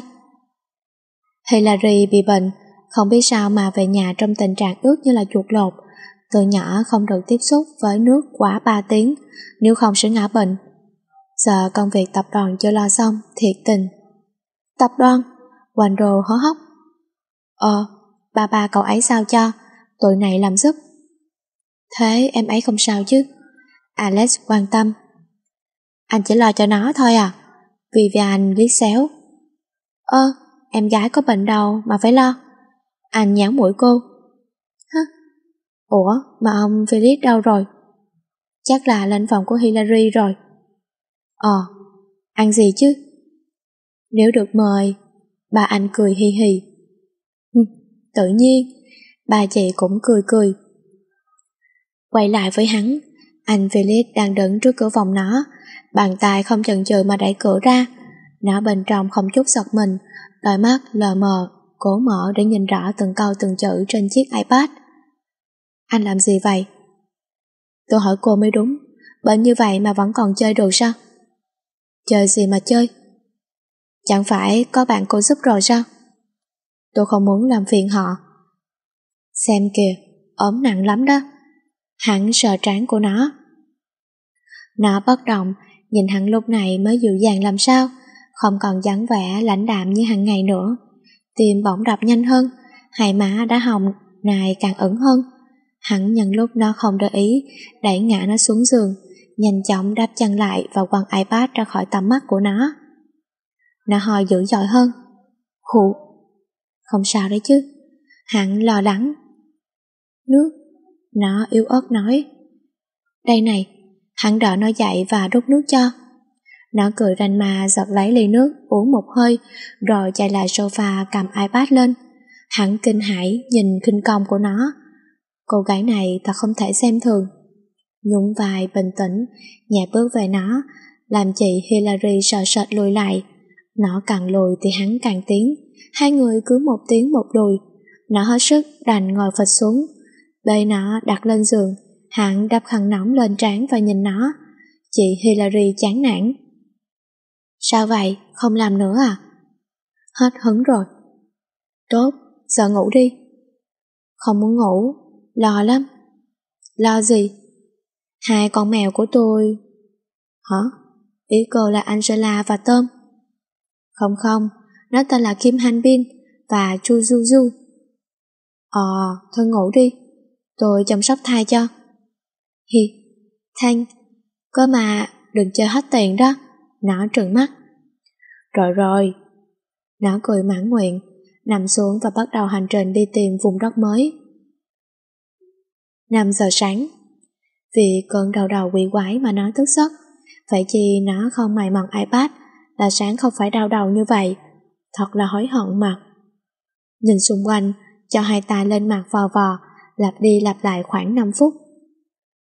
Động tác của nó bị đứng khi thấy hắn đang ngủ mê man. Thở đều, thở đều, nó đứng hình nhìn nam nhân đang say sưa kia. Nhìn đủ chưa? Hắn bỗng mở mắt. Hả? Chưa? À, nó vội bịt miệng.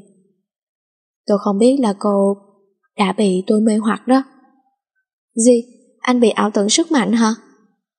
Hứ, tốt bụng giúp cô chăm sóc mèo, còn ở lại trong cô cả đêm, đúng là làm ơn mắc oán.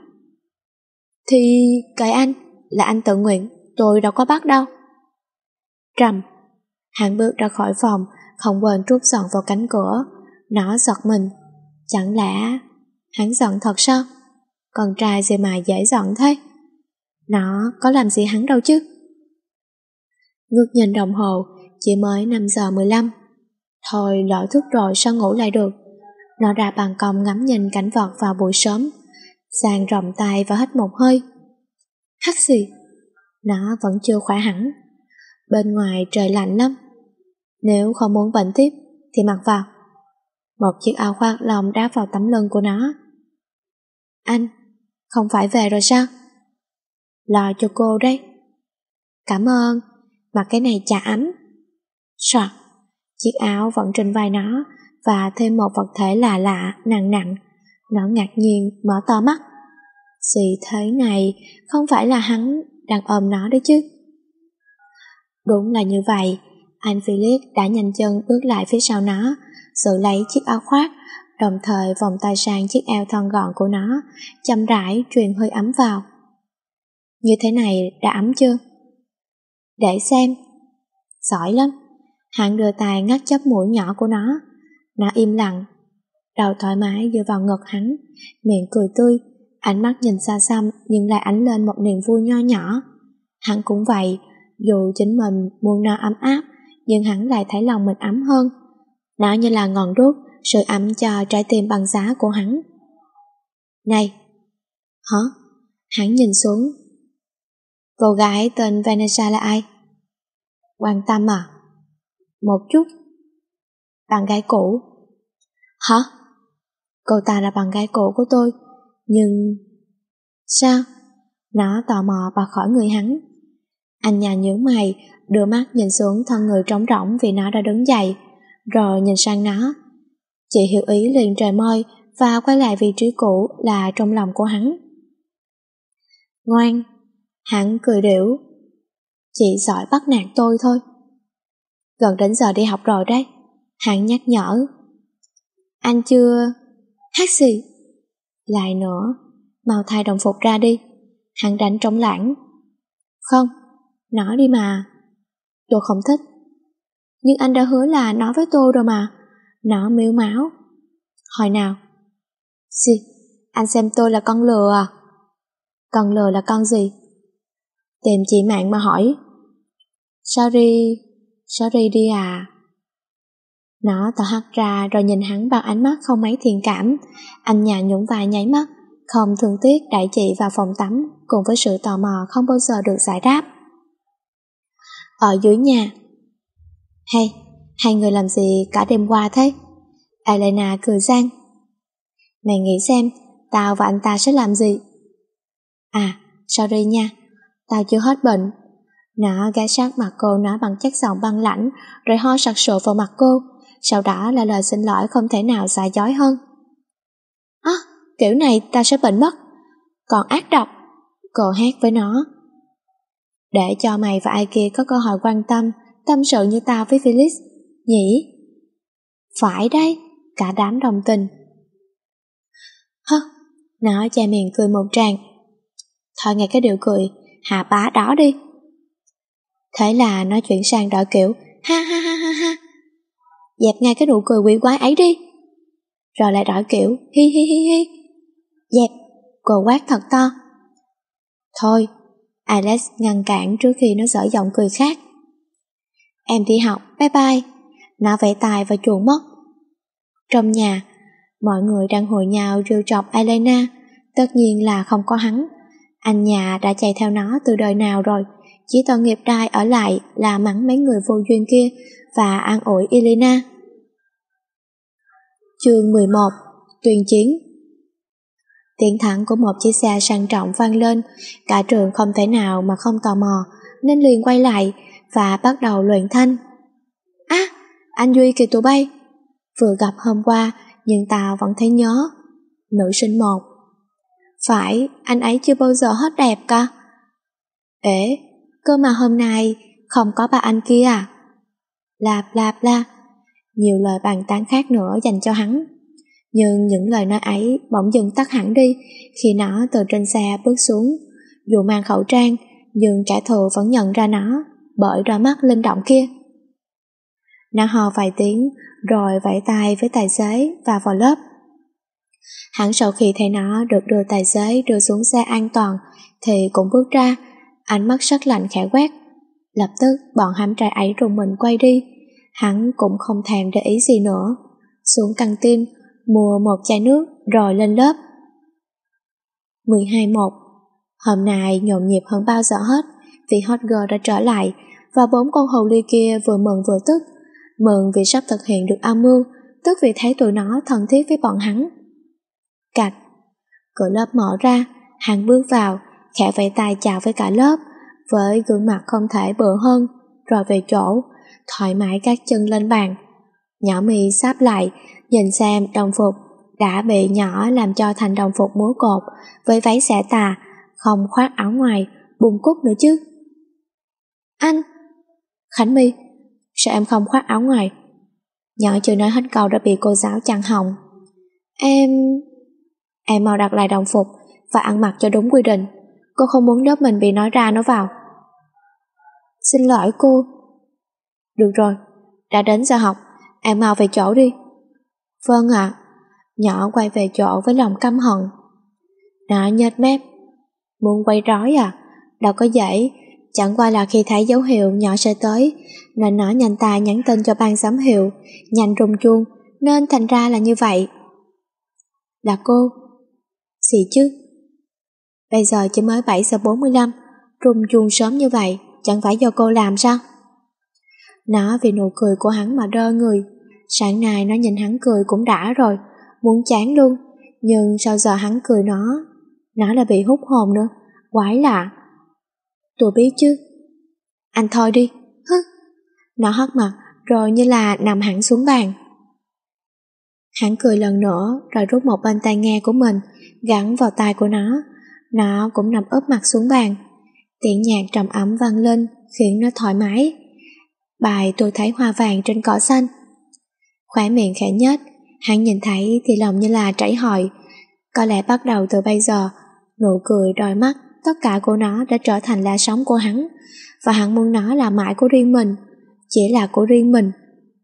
Nói chung là của riêng mình. Nhỏ mì thấy hắn đối xử với nó như vậy thì tức ra mặt. Cả lớp cũng có chút siêu lòng với couple đẹp như mơ này nên hả hê nhìn nhỏ. Còn ra hiệu cho hắn và nó tiếp tục hoặc là thân mật hơn nữa. Thật là... Chị à, bình tĩnh đi. Thời gian còn dài mà.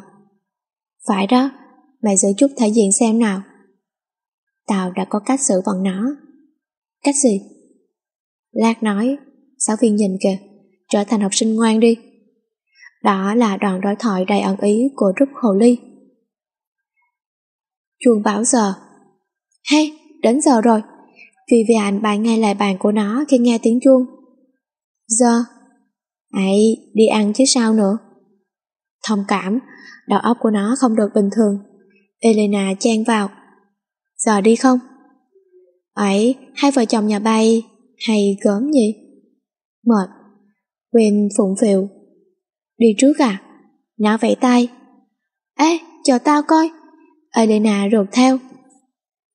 Nó quay lại, thấy ba đứa bạn với bộ mặt ghê rợn thì rùng mình, nhanh như gió bay ra khỏi lớp, để lại 20 con người trong kia, đời như là cây cơ. Lòng thầm nghĩ, người Hillary có gắn tên lửa à? Tụi nó vượt nhau khắp trường, miệng đứa nào cũng tươi cười, Trưa nắng có bốn con điên đùa giỡn đấm đá nhau, làm các bạn học viên há hốc mồm mà nhìn.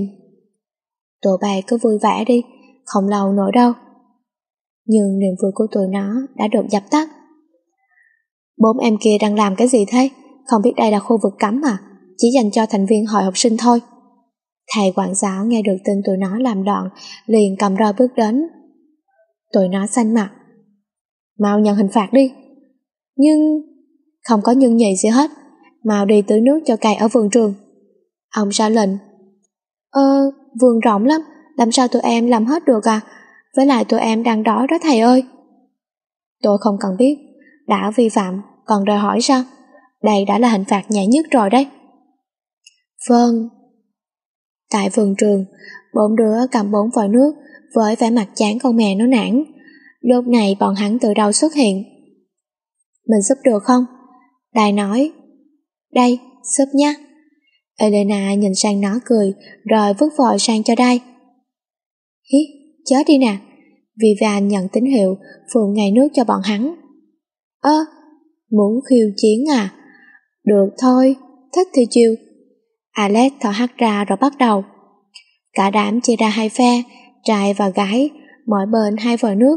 Hắn cầm đầu tiên bên con trai, nó thì bên con gái.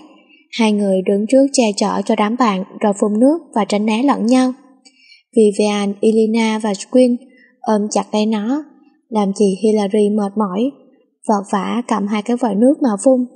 Bọn hắn cũng không thua kém gì, vì là con trai nên mạnh hơn hắn hẳn. Với lại ba anh kia không nhát gan mà ôm lấy hắn. Bốn anh sẵn sàng hợp sức đánh bại bọn nó mà không tốn sức. Còn mấy chị thua rồi mà vẫn chưa chịu chấp nhận ngồi phịch xuống đất mè nheo. Bỗng nhiên, khụ, nó lấy tài che miệng và ho mấy hơi. Hillary, mày không sao chứ? À, mày còn chưa, mày còn chưa hết hả? Đi thay đồ đi. Elena lo lắng.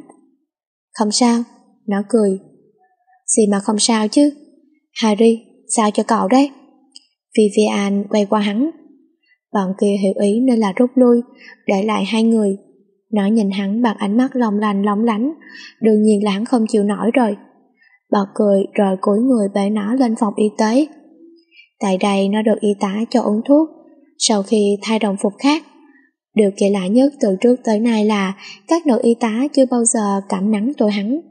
Mấy anh có lên đây thì cũng không quan tâm, chỉ đối xử như là một học sinh bình thường. Bọn hắn cũng lấy làm lạ. Đối với người sĩ diện cao như đây thì anh đã liên tục tìm cách khiến cho các cô y tá say mê mình nhưng vẫn thất bại. Bọn họ chỉ nhìn một cái rồi cười chứ chưa có dấu hiệu gì gọi là say nắng cả. Này, nó gọi kết thúc hồi tưởng của hắn. Hắn ngồi cạnh nó tựa lưng vào tường, mệt mỏi trả lời. Sao tôi thấy mấy cô y tá có vẻ là không để ý đến anh vậy?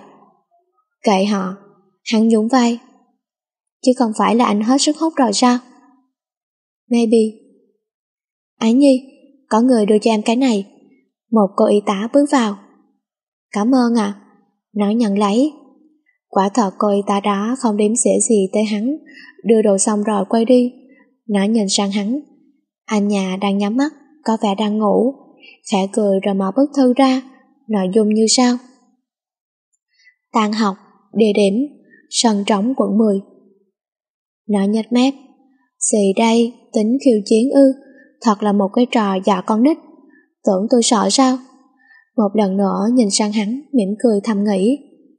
Xem ra anh đem đến cho tôi nhiều rắc rối nhỉ? Nhưng mà ai biết được, tôi lại thích ba cái vụ nhảm nhi đó. Philip, đi thôi, nó lại hắn. Ừ, anh mệt à? Một chút. Cho tôi hỏi một câu. Hỏi đi. Uống coca nha. Nó lấy từ sau lưng ra một lon coca. Hắn cười và nhận lấy. Nó cũng cười. Cả hai vui vẻ về lớp, hoàn thành nốt ngày học. Chuông báo giờ. Tất cả học sinh vương vai mệt mỏi khi đã chào xong giáo viên bộ môn. Nó cũng như bao người, dù trong lòng vội vã, nhưng động tác lại rất là từ tốn. Thanh thản cho sách vở vào bằng một tay, tay còn lại thì thoăn thoắt, nhắn cho ba con bạn. Tụi em có việc phải đi trước. Vivian nói với bọn hắn khi cả đám tụ tập ngoài cổng. vì gì? Để bọn anh đưa đi. Alex nhíu mày. Nhiều chuyện. Elena quát rồi vội làm cái mặt cuốn xin lỗi. Phải, con gái tụi em anh quan tâm làm gì? Sự quyền cũng lên tiếng. Lo cho mà. Đài và quanh đồ đồng thanh rồi tình cảm đập tay. Éo cần, đi à? Nó hất tóc bước đi. Trước khi đi khuất còn quay lại mi gió với bọn hắn nữa chứ. Mấy anh khẽ rùng mình, nhưng cũng phải công nhận là nó dễ thương thật. Khu đất trống quận 10 Tụi nó và bọn hậu ly đang đứng đối mặt với nhau. Mặt hầm hầm, mọi chuyện sẽ diễn ra như thế nào đây? Chương 12 Sức mạnh của Swin Gặp gỡ ông nội. Xào xạc xào xạc. Tiếng la rời cứ vang mãi chẳng dứt. Một cơn gió thu vừa thổi qua Đã làm cho hai hàng cây quanh khu đất lay động Và những chiếc lá vàng đến tuổi lìa cành, ao ạt bay xuống, Tạo nên khung cảnh ảm đạm. Tám người con gái, Tám vẻ đẹp khác nhau cứ nhìn nhau chằm chằm. Sao nào? Có gì thì nói lẹ đi chứ. Vivian mất kiên nhẫn, Nhưng giọng điệu vẫn uy hiếp người. Ngon lắm. Tội này muốn cảnh cáo các cô. Nhỏ Vi hùng hồn. Cảnh cáo cái chi? Elena vờ ngạc nhiên. Tụi mày không được đến gần các anh ấy. Hả? Ý các cô là F4 à? Đúng vậy. Các Nhỏ mi búng tay một cái, Từ đám cây phía sau một đám người bầm tròn bước ra trong hình dáng thì chắc là đầu gấu của một trường trung học. Không phép tắc nào đó, Nhưng nhìn vẻ mặt thì có chút hiền lành. Nói không lại thì chơi bẩn. Nó có chút sợ nhưng vẫn mạnh miệng. Không cần nói nhiều, Xông lên. Nhỏ vì phất tay. Nó Vivian và Elena giọt bắn mình, vẻ mặt thoáng chút kinh ngạc và sợ hãi. Đội trường không tự chủ lùi về sau. Chỉ còn Quyên Đối mặt với gần 10 tên con trai. Nhưng có một điều kỳ lạ là cô không hề sợ hãi Đôi mắt tự tin nhìn về phía đám người kia Hai tay dang rộng che chở cho ba đứa bạn một mình cô chống chọi lại với 10 tên. Nhìn cách ra đòn, còn có vẻ là vụng về nhưng vẫn đủ diệt sạch mấy tên đáng chết đó. Nó mở to mắt, tay che miệng kinh hãi, trong khi hai chị kia đã hồn bài phách tán. Swin đang đánh mà nhìn biểu cảm của tụi bạn nên là khẽ cười, nhưng nhanh chóng lấy lại tinh thần, dùng chân đá thẳng vào mặt một tên, khiến ẻm hùng đất luôn. Đó có phải là Swin không? Vivi ngơ ngác. Không phải, sao Quyên mạnh vậy? Không phải đâu. Nó mêu máu, không chấp nhận sự thật. Tụi bay khùng à? Tao nè. Swin quay lại khi đã xử xong đám côn đồ. Thiệt, Elena dùi dùi mắt. Ừ, cô cười khổ. Bốn nhỏ hậu ly thì tức ảnh ách về việc này, bọn họ thật không ngờ được một con nhỏ yếu đuối thường ngày lại có sức mạnh như vậy, thật là sơ suất. Tại một thân cây đà lớn, có bốn chàng trai, đôi mắt nhìn về khu đất, nơi có bốn người con gái đang móc túi kiếm tiền của 10 chàng trai kia. Đó chính là F4 xinh đẹp của chúng ta. Alex bàng hoàng với sức mạnh của vợ, Quando và Đai thì tá hỏa. Chết rồi, sau này làm sao mà gặp Queen để nhờ vả đây?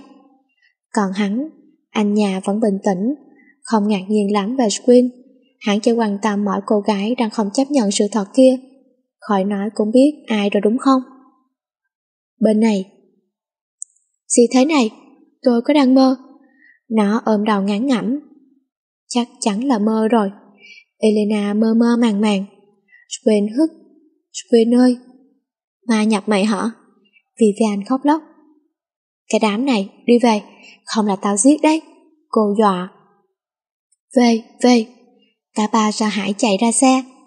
Nhưng chạy chưa được ba bước, đã bắt gặp bọn hắn. Nó há hốc.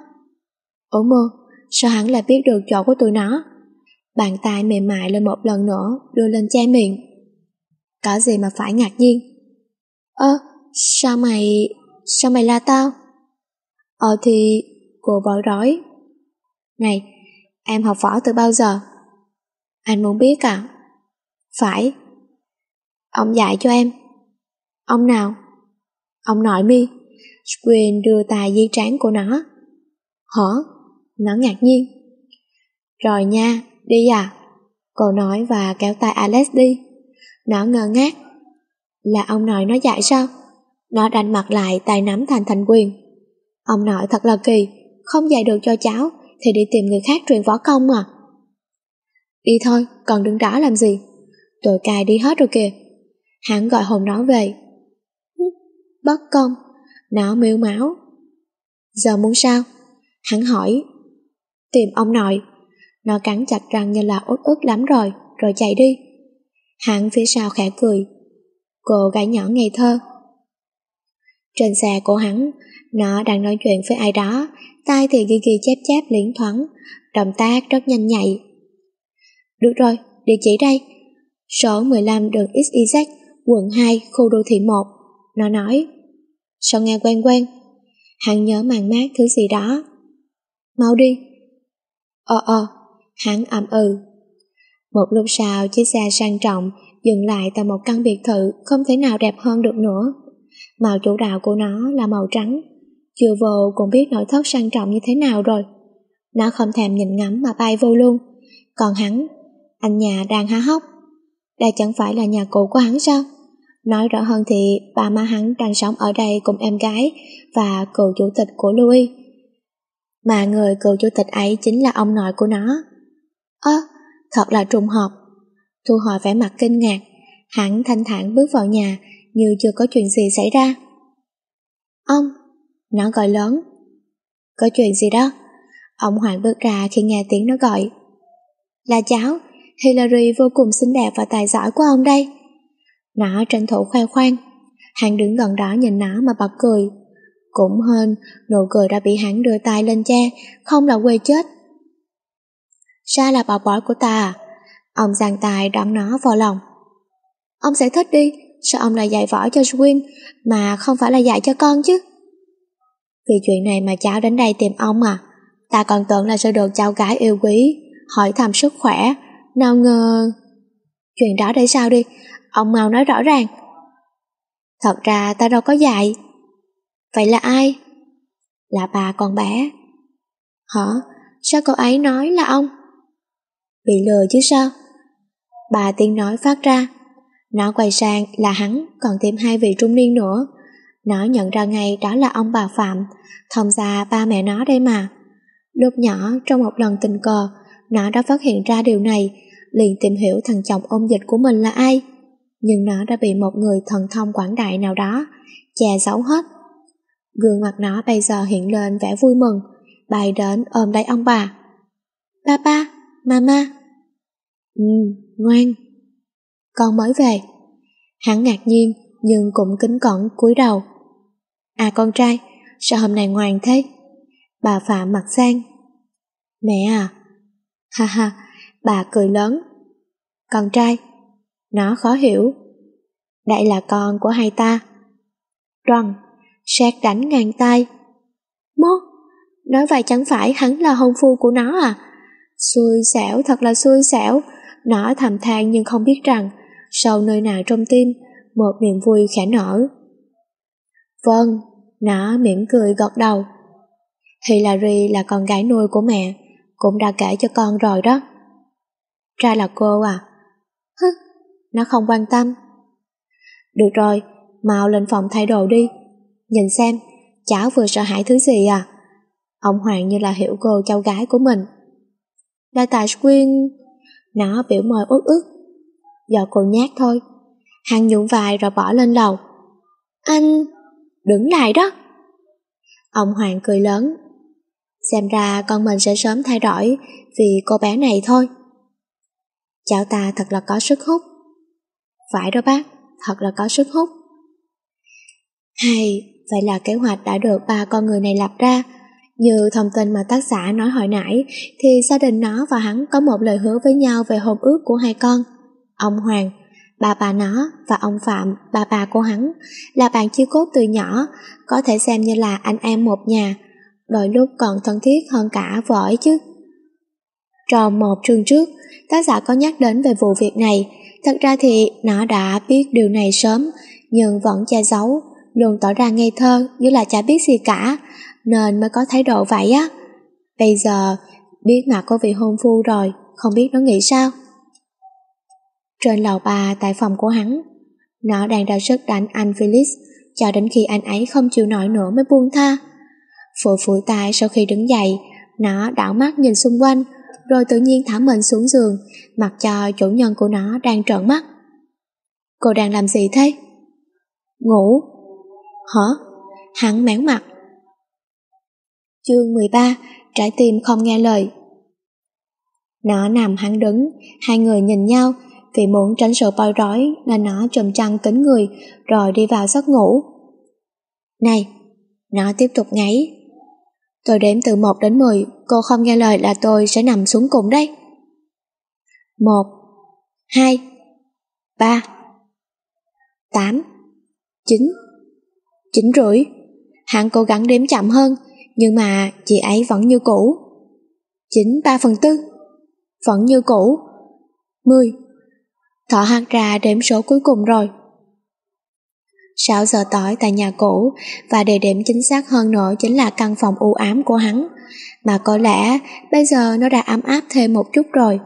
Trên chiếc giường màu đen rộng lớn, đôi trẻ đang ôm nhau ngủ ngon lành mà kệ chuyện gì xảy ra. Chàng trai với vẻ mặt đẹp, được lai tạo từ ác quỷ và thiên thần, đang say sưa ngủ, đòi mọi mộng quyến rũ khả há. Dù ngủ nhưng hắn vẫn như là cảnh sát được điều gì đó mà nhớ mày lại. Còn cô gái kia thì sao? Không biết mơ thấy gì mà miệng thì cứ cười suốt.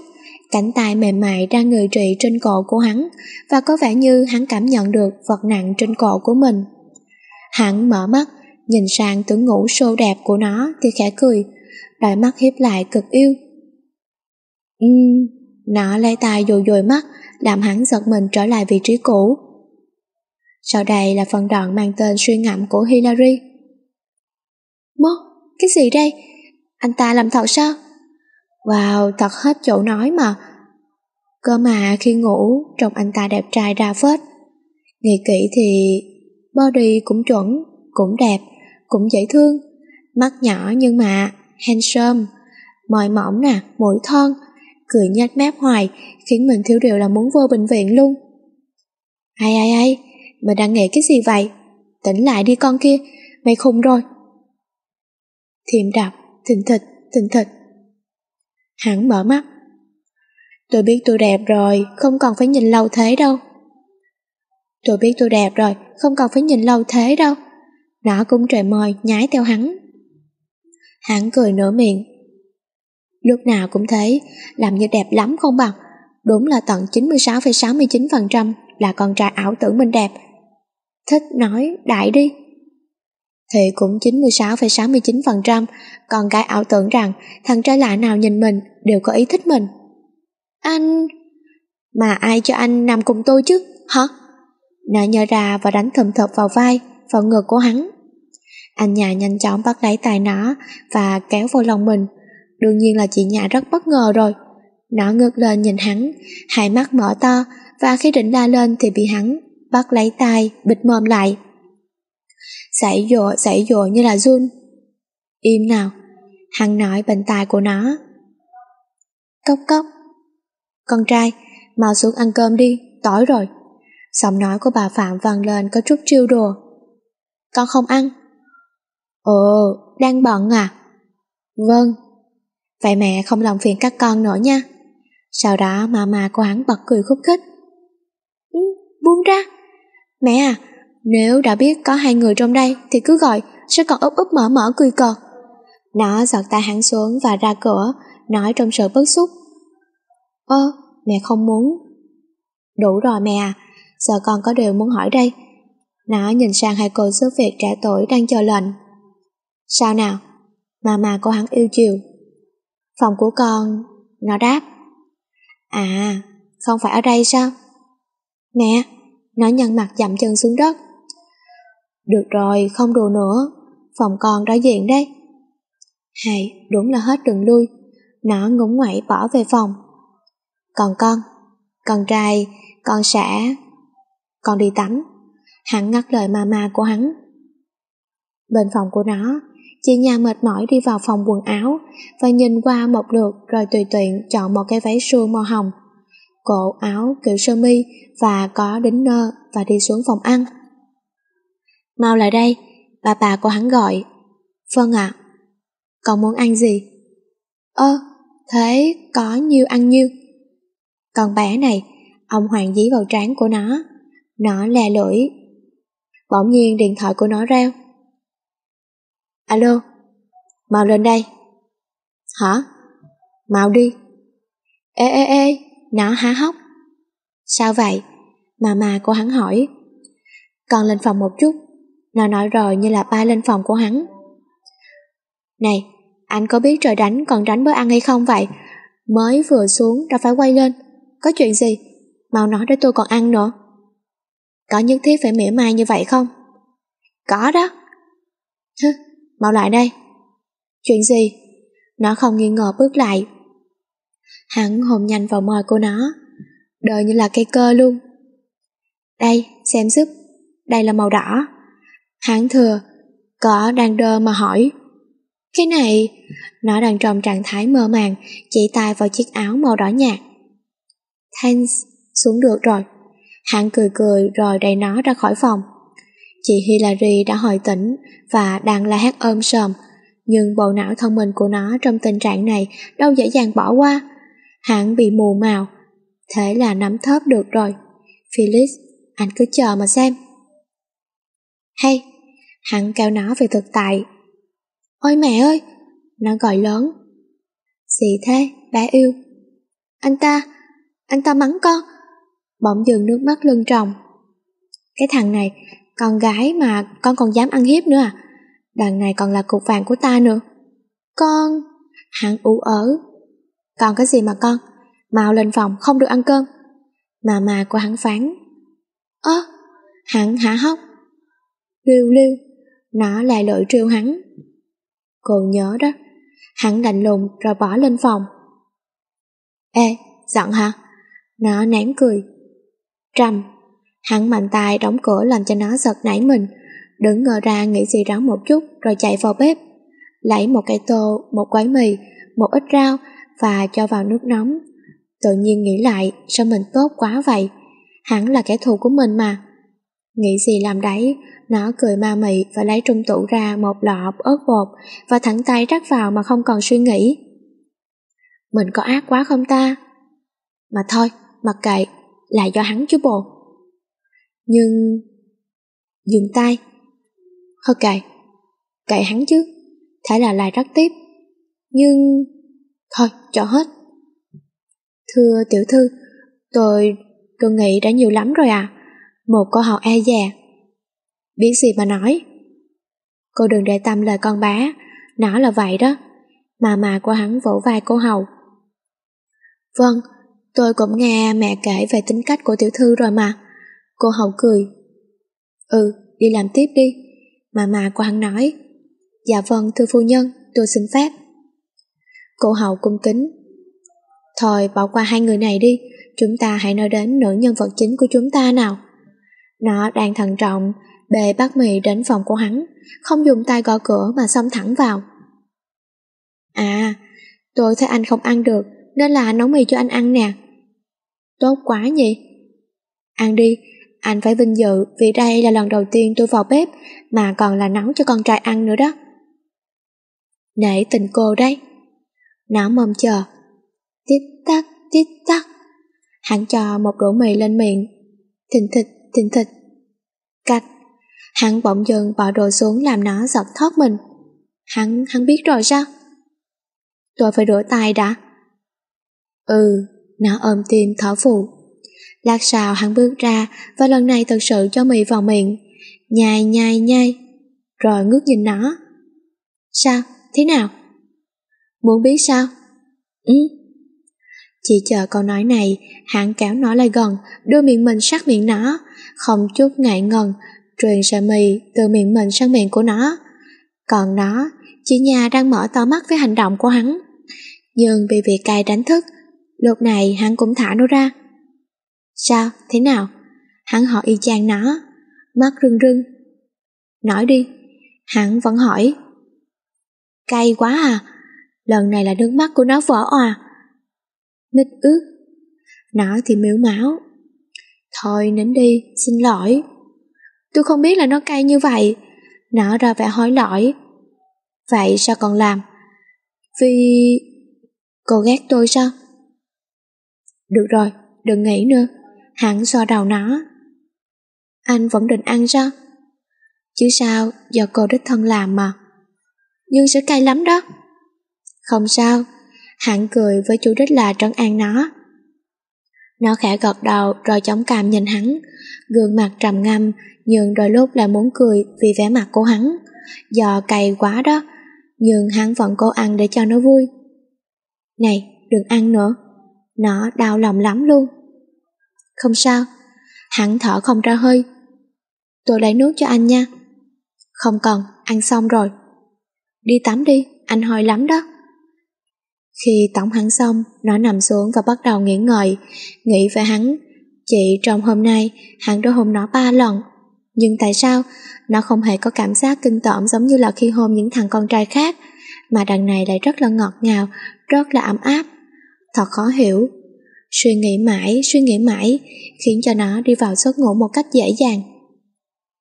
Khoảng một tiếng sau hắn bước ra, bước lại cạnh giường và khẽ cười.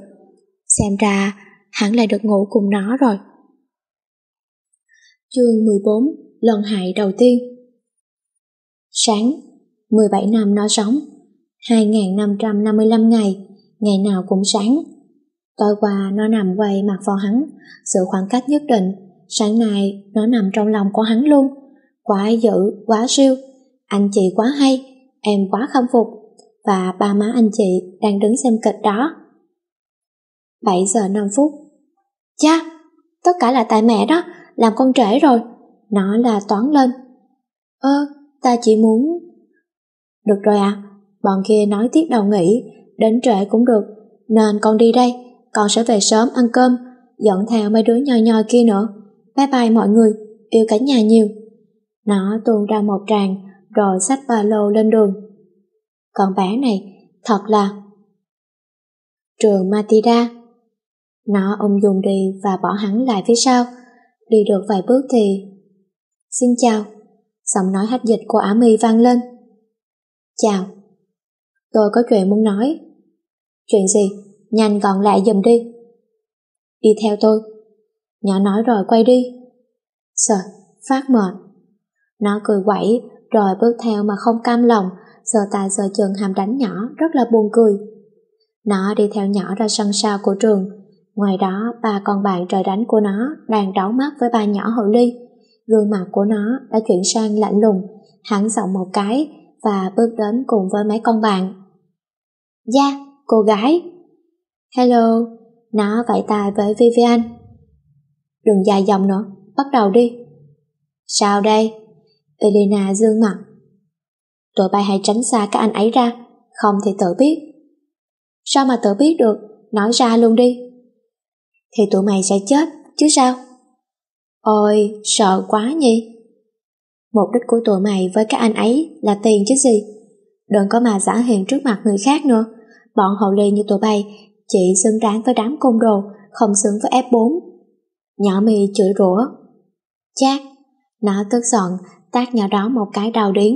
Vì bất ngờ nên nhỏ ngã ra sao, tài ở má, nhưng ánh mắt lại tràn đầy căm hận, như muốn dùng ánh mắt mà hủy diệt nó vậy. Mày muốn gì hả? Im lặng.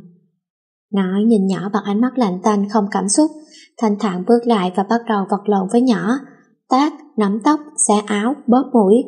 bà con bạn nhìn nó với nhỏ thì hứng thú dân trào, rồi nhào vô tìm kẻ thù của mình và đánh cho tới bến.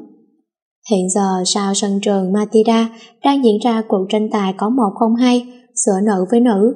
Thật đúng là con gái đánh nhau, toàn vỏ mèo cào, đau như con trai, đám đá loạn xạ, tét đầu chảy máu. 15 phút sau, tụi nó và bọn hậu lì buông nhau ra.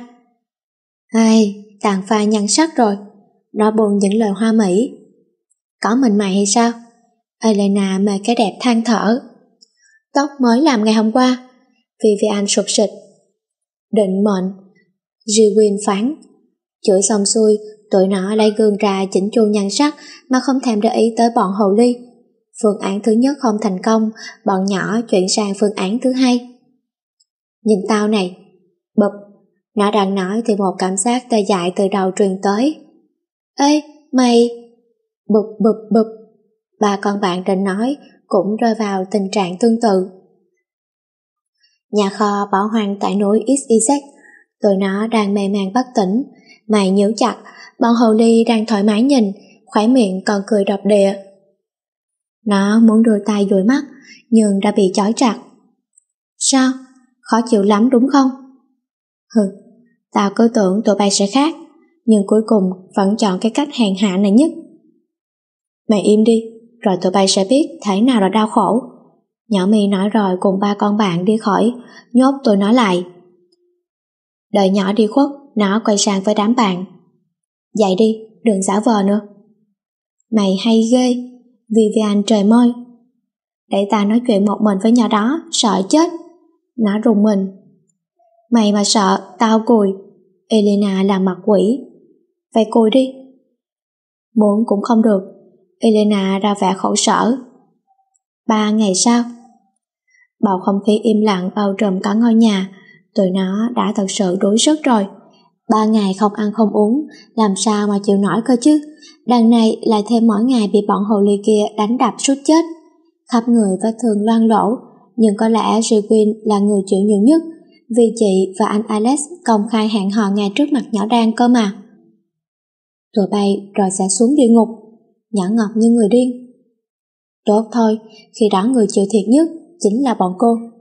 Vivian tức giận quát. Cô gái, mạnh miệng như vậy thì được gì? Nhỏ tranh giễu cợt. Đừng nói nhiều với bọn chúng nữa, bắt đầu đi. Nhỏ mi hót mặt. Nghe lời nhỏ mi, bà ả lấy trong túi ra ba cây súng, không chần chừ chĩa thẳng vào tụi nó. Ngón tay chuẩn bị bóp cò, mắt tụi nó nhắm chặt, lần lượt lần lượt từng ký ức hiện ra. Với Jewin, hình ảnh bà bà mama của nó chăm lo cho cô từng chút hiện về, nỗi buồn khi bị la mắng, cho đến khi gặp được Alex, người giúp cô vừa qua, và hai người đã bắt đầu yêu xa cho đến bây giờ. Còn Vivian, cô là người nghịch ngợm nên đang nhớ về những trò đùa của mình với mọi người và hình ảnh cô bị qua đô, chọc lại, khiến cho nụ cười nhạt xuất hiện. Elena thì sao? Cô lại thấy hối hận. Trước đây vì sao mình lại không làm xã hội đen nhỉ? Như vậy chẳng phải oai lắm sao? Còn được tự do đi đây đi đó thoải mái. Cuộc sống tiểu thư chỉ cho cô đi ra thế giới, chứ ít khi đi phượt. Thật hối hận. Đối với nó, không có gì làm nó phải hối tiếc cả, nhưng nó có một ước muốn là được gặp lại thằng bé mất dịch đã cưỡng đi nụ hôn đầu tiên của nó ngay trong hồ bơi. Ước muốn chỉ là ước muốn, nhưng có lẽ nó không còn nữa. Bây giờ là về người thường hôn nó. Quay về hiện tại, mạng sống của tụi nó đang bị nguy ngập, ranh giới giữa sự sống và cái chết hiện rất rõ. Bây giờ tụi nó là nhớ đến bốn chàng trai, bỗng nhiên bước vào cuộc đời của tụi nó và cho tụi nó một cuộc sống vui vẻ, thanh thản. Nhưng giờ chắc là không gặp được nữa rồi. Nếu có duyên thì kiếp sau sẽ gặp lại. Tròn, phát súng đầu tiên vang lên, không trúng. Là do nhỏ Ngọc còn non tay, người run rẩy không dám bắn. Có ai biết phát súng đó là một người thoát tim. Tròn tròn liên tiếp, nhiều viên đạn được giải thoát, nhưng tụi nó vẫn bình thường. Còn vô dụng, nhỏ mì quát, bước đến giọt lấy cây súng. Trầm, cửa kho bật mở. Cô mới là người vô dụng, hắn lạnh lùng bước đến, đã văng cây súng trên tay của nhỏ. Anh... Nhỏ sợ xanh mặt. Đưa họ đến bệnh viện đi. Hắn nói với ba thằng bạn. Anh à, em... Không cần giải thích, hôm nay cô phải chết. Nhưng tại sao chứ?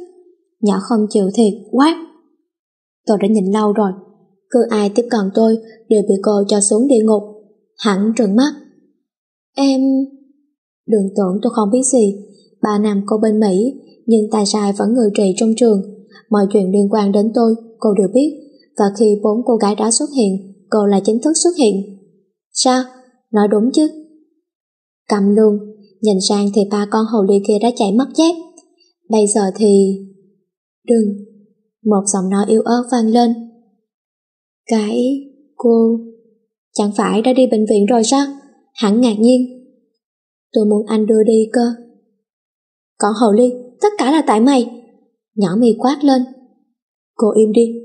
Hắn quát lại rồi bế nó lên, cùng nhau đi về phía chân trời xa xôi. Nhỏ chỉ biết nhìn hắn và nó đi khỏi mà chả biết làm gì. Ánh mắt trùng xuống và từ từ nước mắt tuôn rơi. Nhỏ không cam tâm, sao hắn lại đối xử với nhỏ như vậy? Nhỏ không cam tâm và những kế hoạch dạy cho tụi nó một bài học lại xuất hiện. Lần này, nhỏ nhất định sẽ khiến nó phải xa hắn, để hắn chỉ thuộc quyền sở hữu của nhỏ. Chương 15 Bệnh viện Nguyên khôi vỡ mộng Buổi tối Bệnh viện, sau khi được đưa đến, bác sĩ đang tiến hành phẫu thuật cho tụi nó. Trên đường đến, bỗng chị đã ngất về kỳ sức. Đương nhiên là bốn anh nhà chúng ta rất là lo lắng rồi. Trước phòng cấp cứu, bốn chàng trai với vẻ phong trần khiến bao người mơ ước, đang ngóng chờ điều gì đó. Không khó để nhận ra đây là bốn thiếu gia có tiếng trên thương trường, thân thái luôn khiến cho người khác sợ sệt, giờ lại thảm hại như vậy, thật đúng là sông có khúc, người có lúc mà. Tinh... Sau bao nhiêu thời gian chờ đợi, bác sĩ bước ra, bọn hắn lập tức bọt dậy, ánh mắt thụ hằng nhìn ông. Sao? Thưa các tiểu thư không sao, chỉ vì đói mà ngất, vết thương trên người không nhiều nên không còn phải ở lại lâu, chỉ còn nghỉ ngơi vài ngày và bổ sung chất dinh dưỡng đầy đủ. Bác sĩ dằn dò, nhưng quay ra thì tụi hắn đã bốc hơi. Phòng 111 Nơi nó nghỉ dưỡng Chị đã thức và đang mơ màng ngắm trăng. Dự đoán một lát nữa sẽ có bài tỉnh dạ tứ hay còn gọi là cảm nghĩ đêm trăng thanh tĩnh, phiên bản 2. Hắn bước vào khẽ nhướng mày, sức khỏe còn yếu mà ra ngoài trời lạnh như vậy sao? Cẩn thận tiến lại, vòng tay ôm lấy thân hình mảnh khảnh, trước cái lạnh và đặt nụ hôn nhẹ lên cổ, làm nó run rẩy. Trái tim rung lên từng hồi, hai má đỏ bừng trong chốc lát. Mau về giường đi.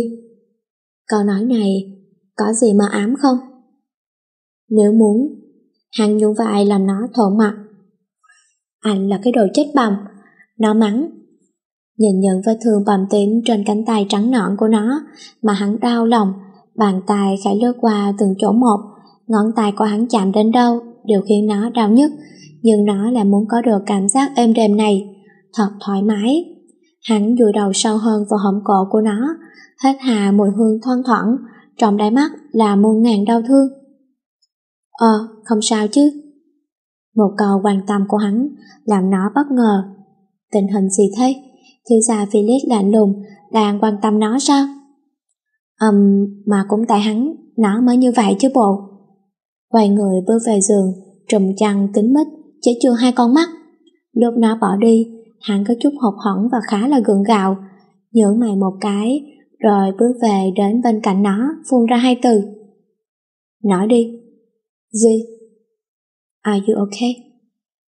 Tạm, muốn ngủ. Phải nghỉ đi, tôi không làm phiền. Hắn đắp chăn lại cho nó.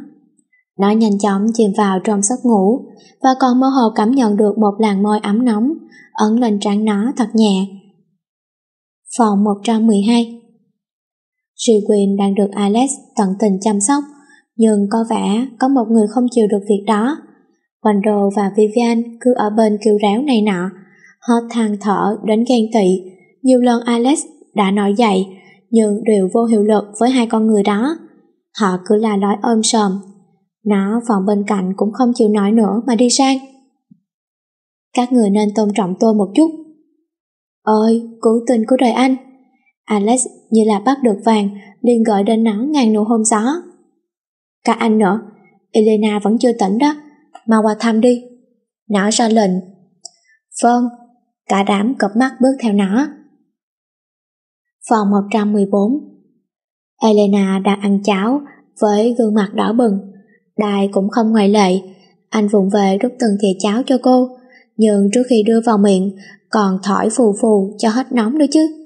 Những cử chỉ yêu thương đó làm cho Elena ấm lòng, Tụi nó chưa vào vội mà đứng bên ngoài nghe lén. Ba chàng kia thì kéo nhau đi cà phê cà pháo rồi. Linh này. Sạc. Một cơn tê rần truyền vào người Elena. Cô sững người. Đai, anh ta vừa gọi mình là Linh sao? Mô Phật, lại chúa. Không nghe làm đấy chứ. Cô trố mắt. Làm gì mà phản ứng thái quá thế? Anh phì cười. Kêu, kêu làm gì? Cô lắp bắp. Mình có chuyện muốn nói. Nói đi. Mình thích bạn. Anh đỏ mặt nói. Mốt. Cô lần nữa lại mở to mắt, mọi hoạt động đều dừng lại, não bộ từ từ nhận thông tin, rồi các cơ mặt thì giật giật, hai má thì nóng bừng, đỏ tận mang tay. Chúa ơi, cô thật thích với câu nói này, nhưng lý trí khuyên cô nên im lặng thì hơn. Nói gì đi, xin em. Anh chuyển ngày xưng hô vì tin mình sẽ thành công. Mình... mình xin lỗi. Cô cúi gằm mặt. Đùng. Một tiếng sát soạt ngang đầu anh, cảm nhận trái tim mình từ từ nứt nã, rồi vỡ thành từng mảnh. Anh đau khổ và muốn hét lên rằng anh yêu cô, nhưng không được. Những lời nói ngọt ngào đó như bị ngạn lại. Cố kìm, anh cười nhẹ. Ừ, tôi hiểu, nhưng em cũng nên cho tôi một lý do. Vì... Không vì gì cả. Cô nghiêng đầu cho anh một câu trả lời. Em tin tôi chứ? Maybe. Được rồi, em còn nghỉ ngơi. Anh cười buồn, đáp chặn cho cô và bước đi. Vào giây phút anh quay đi, cô khẽ nắm lấy cánh tay rắn chắc của anh. Ánh mắt có chút tiếc nuối, có chút đau thương. Mình làm bạn thôi nhé. Cô cười gượng. Tất nhiên, Lời nói ra mà anh như là rơi xuống vực thẳm không đáy. Cô nới lỏng tay, lòng tràn đầy hối hận, nhưng cũng cố cười nhìn anh bước đi. Bên ngoài Vivian tức muốn trào máu, chỉ có nó và Jewin là yên lặng bởi vì hai người hiểu rõ cảm xúc của Elena bây giờ hơn ai hết, nhưng không dám nói nhiều, lặng lẽ cáo Vivian đi để lại không gian yên tĩnh cho Elena. Nhà hàng Nhật đối diện bệnh viện nó mệt nhọc lê bước vào chỗ ngồi, mồ hôi nhảy nhảy. Nước nè. Wando tốt bụng đưa cho nó ly nước. Cảm ơn nha. Nó nhận lấy và tu một hơi. Ai quan tâm tôi chút đi. Đại khóc lóc. Nó quay sang và thất hồn kinh vía. Hot boy ngày nào đâu rồi, giờ chỉ thấy một thằng điên với hai hàng nước mắt, làm bằng giấy trên mi mắt, cái mồm thì miếu máu thấy thương. Oppa, đừng buồn, cười lên đi. Sao anh có thể vui được chứ? Ừm, mình nghĩ cậu sẽ đỡ hơn một chút nếu nếu như nghe quá khứ của Elena. Nó và Vi Anh ngay lập tức quay sang cô bạn với gương mặt khó chịu, sàn chút giận dữ. Bọn hắn thì khó hiểu, các cô gái này có điều gì đó muốn xấu họ chắc. Có chuyện gì sao? Alex nghi ngờ. Thật ra là Elena đã từng đau khổ trong tình yêu. Sylvie nói. Ta xin lỗi, tao nghĩ tao phải nói. Đài là người bất ngờ nhất, anh ngợt mặt ra, từ từ thấu hiểu mọi việc. Ngay sau đó nét mặt lạnh lùng trong chốc lát, anh hỏi thúc ba cô gái kể chuyện. Sự quyền khẽ rùng mình và bắt đầu kể. Tụi nó vốn được sinh ra ở bên Anh, từ nhỏ đã sinh sống trên đất nước hoa lệ đó và được nghe rất nhiều điều về quê hương Việt Nam. Và tất nhiên, với bản tính tò mò của một đứa trẻ 5 tuổi, tụi nó đã xin ba ba, mama cho về việc sinh sống. Lúc đầu vì gia đình phản đối nên đành ngậm ngùi ở bên này chờ đến khi lớn. Và Elena là người vui nhất khi được ở lại. Chả là cô đang quen một cậu bé rất là điển trai và không muốn rời xa cậu. Hai người cứ chơi đùa với nhau, trải qua những tháng ngày rất là hạnh phúc. Dần dần tình cảm cả trong hai mãnh liệt hơn. Cậu bé đã nói thích cô. Cô vui mừng hơn bao giờ hết, lập tức đồng ý. Năm cô 6 tuổi, cô quyết định cho ba ba và mama gặp mặt cậu trai, làm cô vui vẻ này. Nhưng khi cậu chàng nhìn thấy ngôi biệt thự to lớn, mỹ lệ của nhà cô, cậu đã cụp đôi mắt to long lanh xuống và từ chối vào nhà. Elena rất là ngạc nhiên, cô chạy theo hỏi cậu lý do và nhận được câu trả lời là không mong muốn. Cậu và mình không thích hợp với nhau. Cô ngơ ngác, đôi mắt to đã lấp lánh sương, lại lại tài cậu hỏi lý do, nhưng cậu, nhưng đã bị cậu cười tuyệt. Từ ngày bị cậu bé đó từ chối, Elena gần như là suy sụp, nụ cười tươi tắn đã biến mất, suốt ngày cứ chui rút ở trong phòng, không ăn không uống. Với một đứa trẻ 6 tuổi, việc như vậy thật là khó qua nổi. Cô đã nhiều lần ngót xỉu, rồi lại nhốt mình trong phòng. Cứ như vậy 3 tháng trôi qua, vào một ngày mưa, cô lấy hết can đảm, có bước ra ngoài, trở lại cuộc sống bình thường đầy màu hồng của mình. Ngày ngày cùng ba đứa bạn đi học rồi hát rồi múa, làm đủ trò và cô quyết định cùng với tụi nó về Việt Nam. Với sắc đẹp nghiêng nước nghiêng thành, khi mới về Việt Nam, tụi nó đã được nhiều chàng trai chú ý. Trong khi Vivian và nó xả láng, thì cô và Jewin lại khép nép, chẳng chịu mở lời. Các bà bà và mama mua cho tụi nó một ngôi biệt thự gần trường Matida. Dù không đi học, nhưng hàng ngày đều có gia sư đến kèm cho, và kiến thức thì tụi nó hơn người khác tận mấy bậc, và tụi nó đã quen biết bốn cậu bé. Đó là bốn cậu bé biệt thự bên cạnh. Nó và Vivian cũng như trên, thoải mái, cởi mở và hơn hết, Vivian vui mừng khi gặp lại anh trai của mình. Sewin cũng vậy, nhưng đã phải lòng Alex ngay cái nhìn đầu tiên, rồi hai anh chị này quen nhau. Elena, nhân vật chính của hội tưởng này thì sao? Cô khá nhạt, nói chuyện cũng bình thường, chỉ là ánh mắt có chút chán ghét. Bà đôi kia nhận ra điều đó, nên nhiều lần khuyên giải, và cô cuối cùng cũng mở lòng với họ. Dần dần cả đám trở nên hòa nhập, tạo nên một liên minh vững chắc đánh bại mấy cô tiểu thư ẻo lả, mấy công tử bột kia. Thật ra, lúc vào trường, gặp gỡ F4 bọn hắn, nó, Siwin và Vivan đã biết bọn hắn chính là bốn cậu bé ngày xưa. Chỉ là im lặng, riết rồi tôi thấy nó đói tung lên, chả hiểu mô tê gì.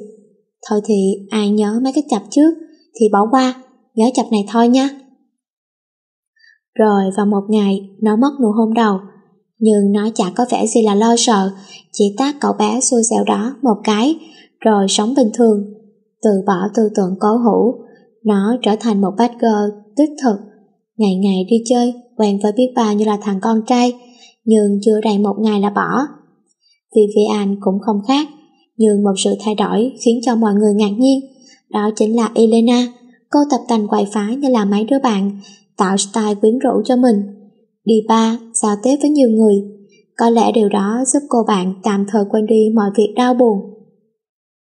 Là vậy đó, Sư Quyên nhún vai. Vậy, các cô gái đó là mấy cô? Phải. Thế... Đúng đấy, anh chính là người cứu phát kiết của tôi ngay dưới hồ bơi.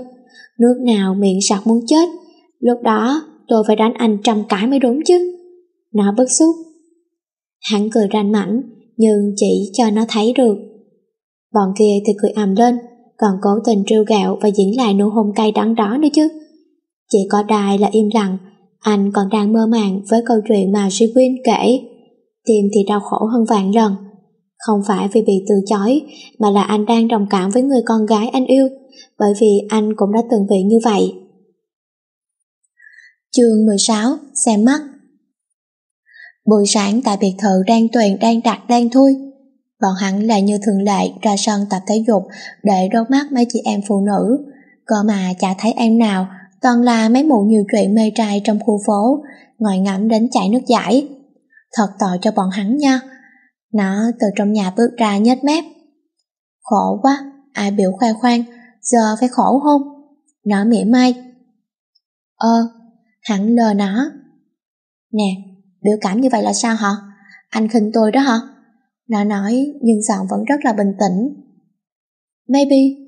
Anh nhà nhún vai. Anh. Mà thôi, nói nhiều với anh làm gì? Cứ ở đây cho gái ngắm mòn mắt đi. Wander vì vì anh cho chiều hỏi cậu. Thiệt tình đó, tôi phải lết thân và Ngọc ra đây chị đã gọi cậu. Đền ơn đi. Nó không điểm xỉa hắn mà quay sang Wander đòi nợ. Anh sững rờ khi được người đẹp gọi, lập tức móc trong túi ra thẻ phụ của mình, mới làm, đưa cho nó, rồi vào nhà. Chắc mấy bạn đang nghĩ vậy là xem thường nó, nhưng không, nó còn khoái nổi là vừa tiết kiệm lại vừa được mua sắm thỏa thích. Hắn thì thức điên người khi nó không để ý đến mình, liền quay bước vào nhà. Alex và đài thì ôm bụng cười khi thấy bản mặt đang sề quanh nhà. Nó khẽ cười, Ánh mắt lóe lên vài tia ấm áp, ngày nào cũng cãi nhau với hắn thì vui thật nhỉ? Ý khoan, sao nó lại có cái suy nghĩ như vậy? Đúng là điên mà. Hắn không là gì của nó cả, chỉ là một tên bệnh hoạn thích kiếm chuyện thôi. Ừ, là vậy đó, không gì cả, đừng suy nghĩ nhiều, nó tự nhủ như vậy. Biệt thự Destiny. Các cậu gái đang rối loạn cãi lên với sự xuất hiện của hắn, cả đám tranh nhau về nước mang thức ăn cho hắn mà anh nào quan tâm? Chỉ gật đầu nhận lấy rồi tiếp tục lơ. Chẳng những không ghét mà bọn họ còn la lói ôm sòm. Nào là nói hắn cool handsome đẹp trai ngầu. Ôi thôi quá trời quá đất từ trên lầu một thân ảnh mảnh mai bước xuống mang theo gương mặt khó chịu ánh mắt giết người im đi bộ muốn tôi chết vì âm thanh điếc tai đó sao nó mắng bọn họ lập tức im bặt, trào hắn ánh nhìn luyến tiếc rồi tiếp tục công việc. Còn hắn, anh có vẻ bị giật mình với tiếng nói của nó, ngược lên và sững người. Hôm nay nó lung linh như là một nàng công chúa, với chiếc váy ren màu hồng phấn, có nơ ở eo, mái tóc nâu bồng bềnh, được buộc cẩn thận, trên tay là túi sách Burberry đắt tiền. Trần mang giày cao gót hai tầng, đến nơ cùng màu váy, nó thật sự khiến hắn chết ngất khẽ cười, bước lại vả mặt hắn một cái, rồi ra khỏi nhà. 15 phút sau. Dạ, yeah, anh có định đi không vậy? Trễ rồi. Nó bước vào réo. Đi đâu? Hắn ngơ ngác. Hả? Chẳng phải hôm qua anh nói sẽ đưa tôi đến công ty sao? Nó nhào mắt. Quên, đi thôi. Hắn khoác vai nó ra xe, làm nó ngượng chính cả mặt. Công ty The One một trong những chi nhánh tại Việt Nam của ba ba nó, không những là trùm về thời trang, ông còn kinh doanh về mọi mặt, trong đó có thể kể đến là đá quý, nội thất, vân vân và may may. Từ cửa chính, đôi nam nữ bước vào, lập tức thu hút ánh nhìn. Cô gái với gương mặt baby và thân hình chuẩn sánh bước cùng chàng trai lạnh lùng. Dù mặt như tiền là thế, nhưng anh là hội tụ tất cả các điểm mà đàn ông hoàn hảo cần có đẹp trai, da vừa trắng vừa rám, bờ đì sáu múi, đôi mắt con gái. Nó khẽ liếc bọn người đó bằng ánh mắt kinh thường, rồi bước tiếp về phía tiếp tân, và một lần nữa khiến cho người có mặt ở đây lát mắt. Cô tiếp tân đôi người khi nhìn nó còn mặt. Xin hỏi, phòng chủ tịch ở đâu vậy? Cô cười.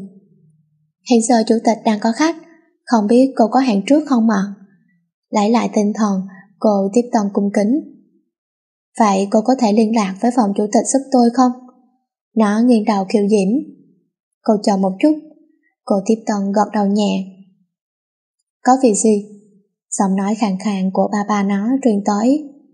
Dạ, ba ba, là con. Nó reo lên. Được rồi, mau lên đây. Nó cười với cậu tiếp viên rồi cùng hắn lên tầng 22 trong ánh mắt ngưỡng mộ của mọi người.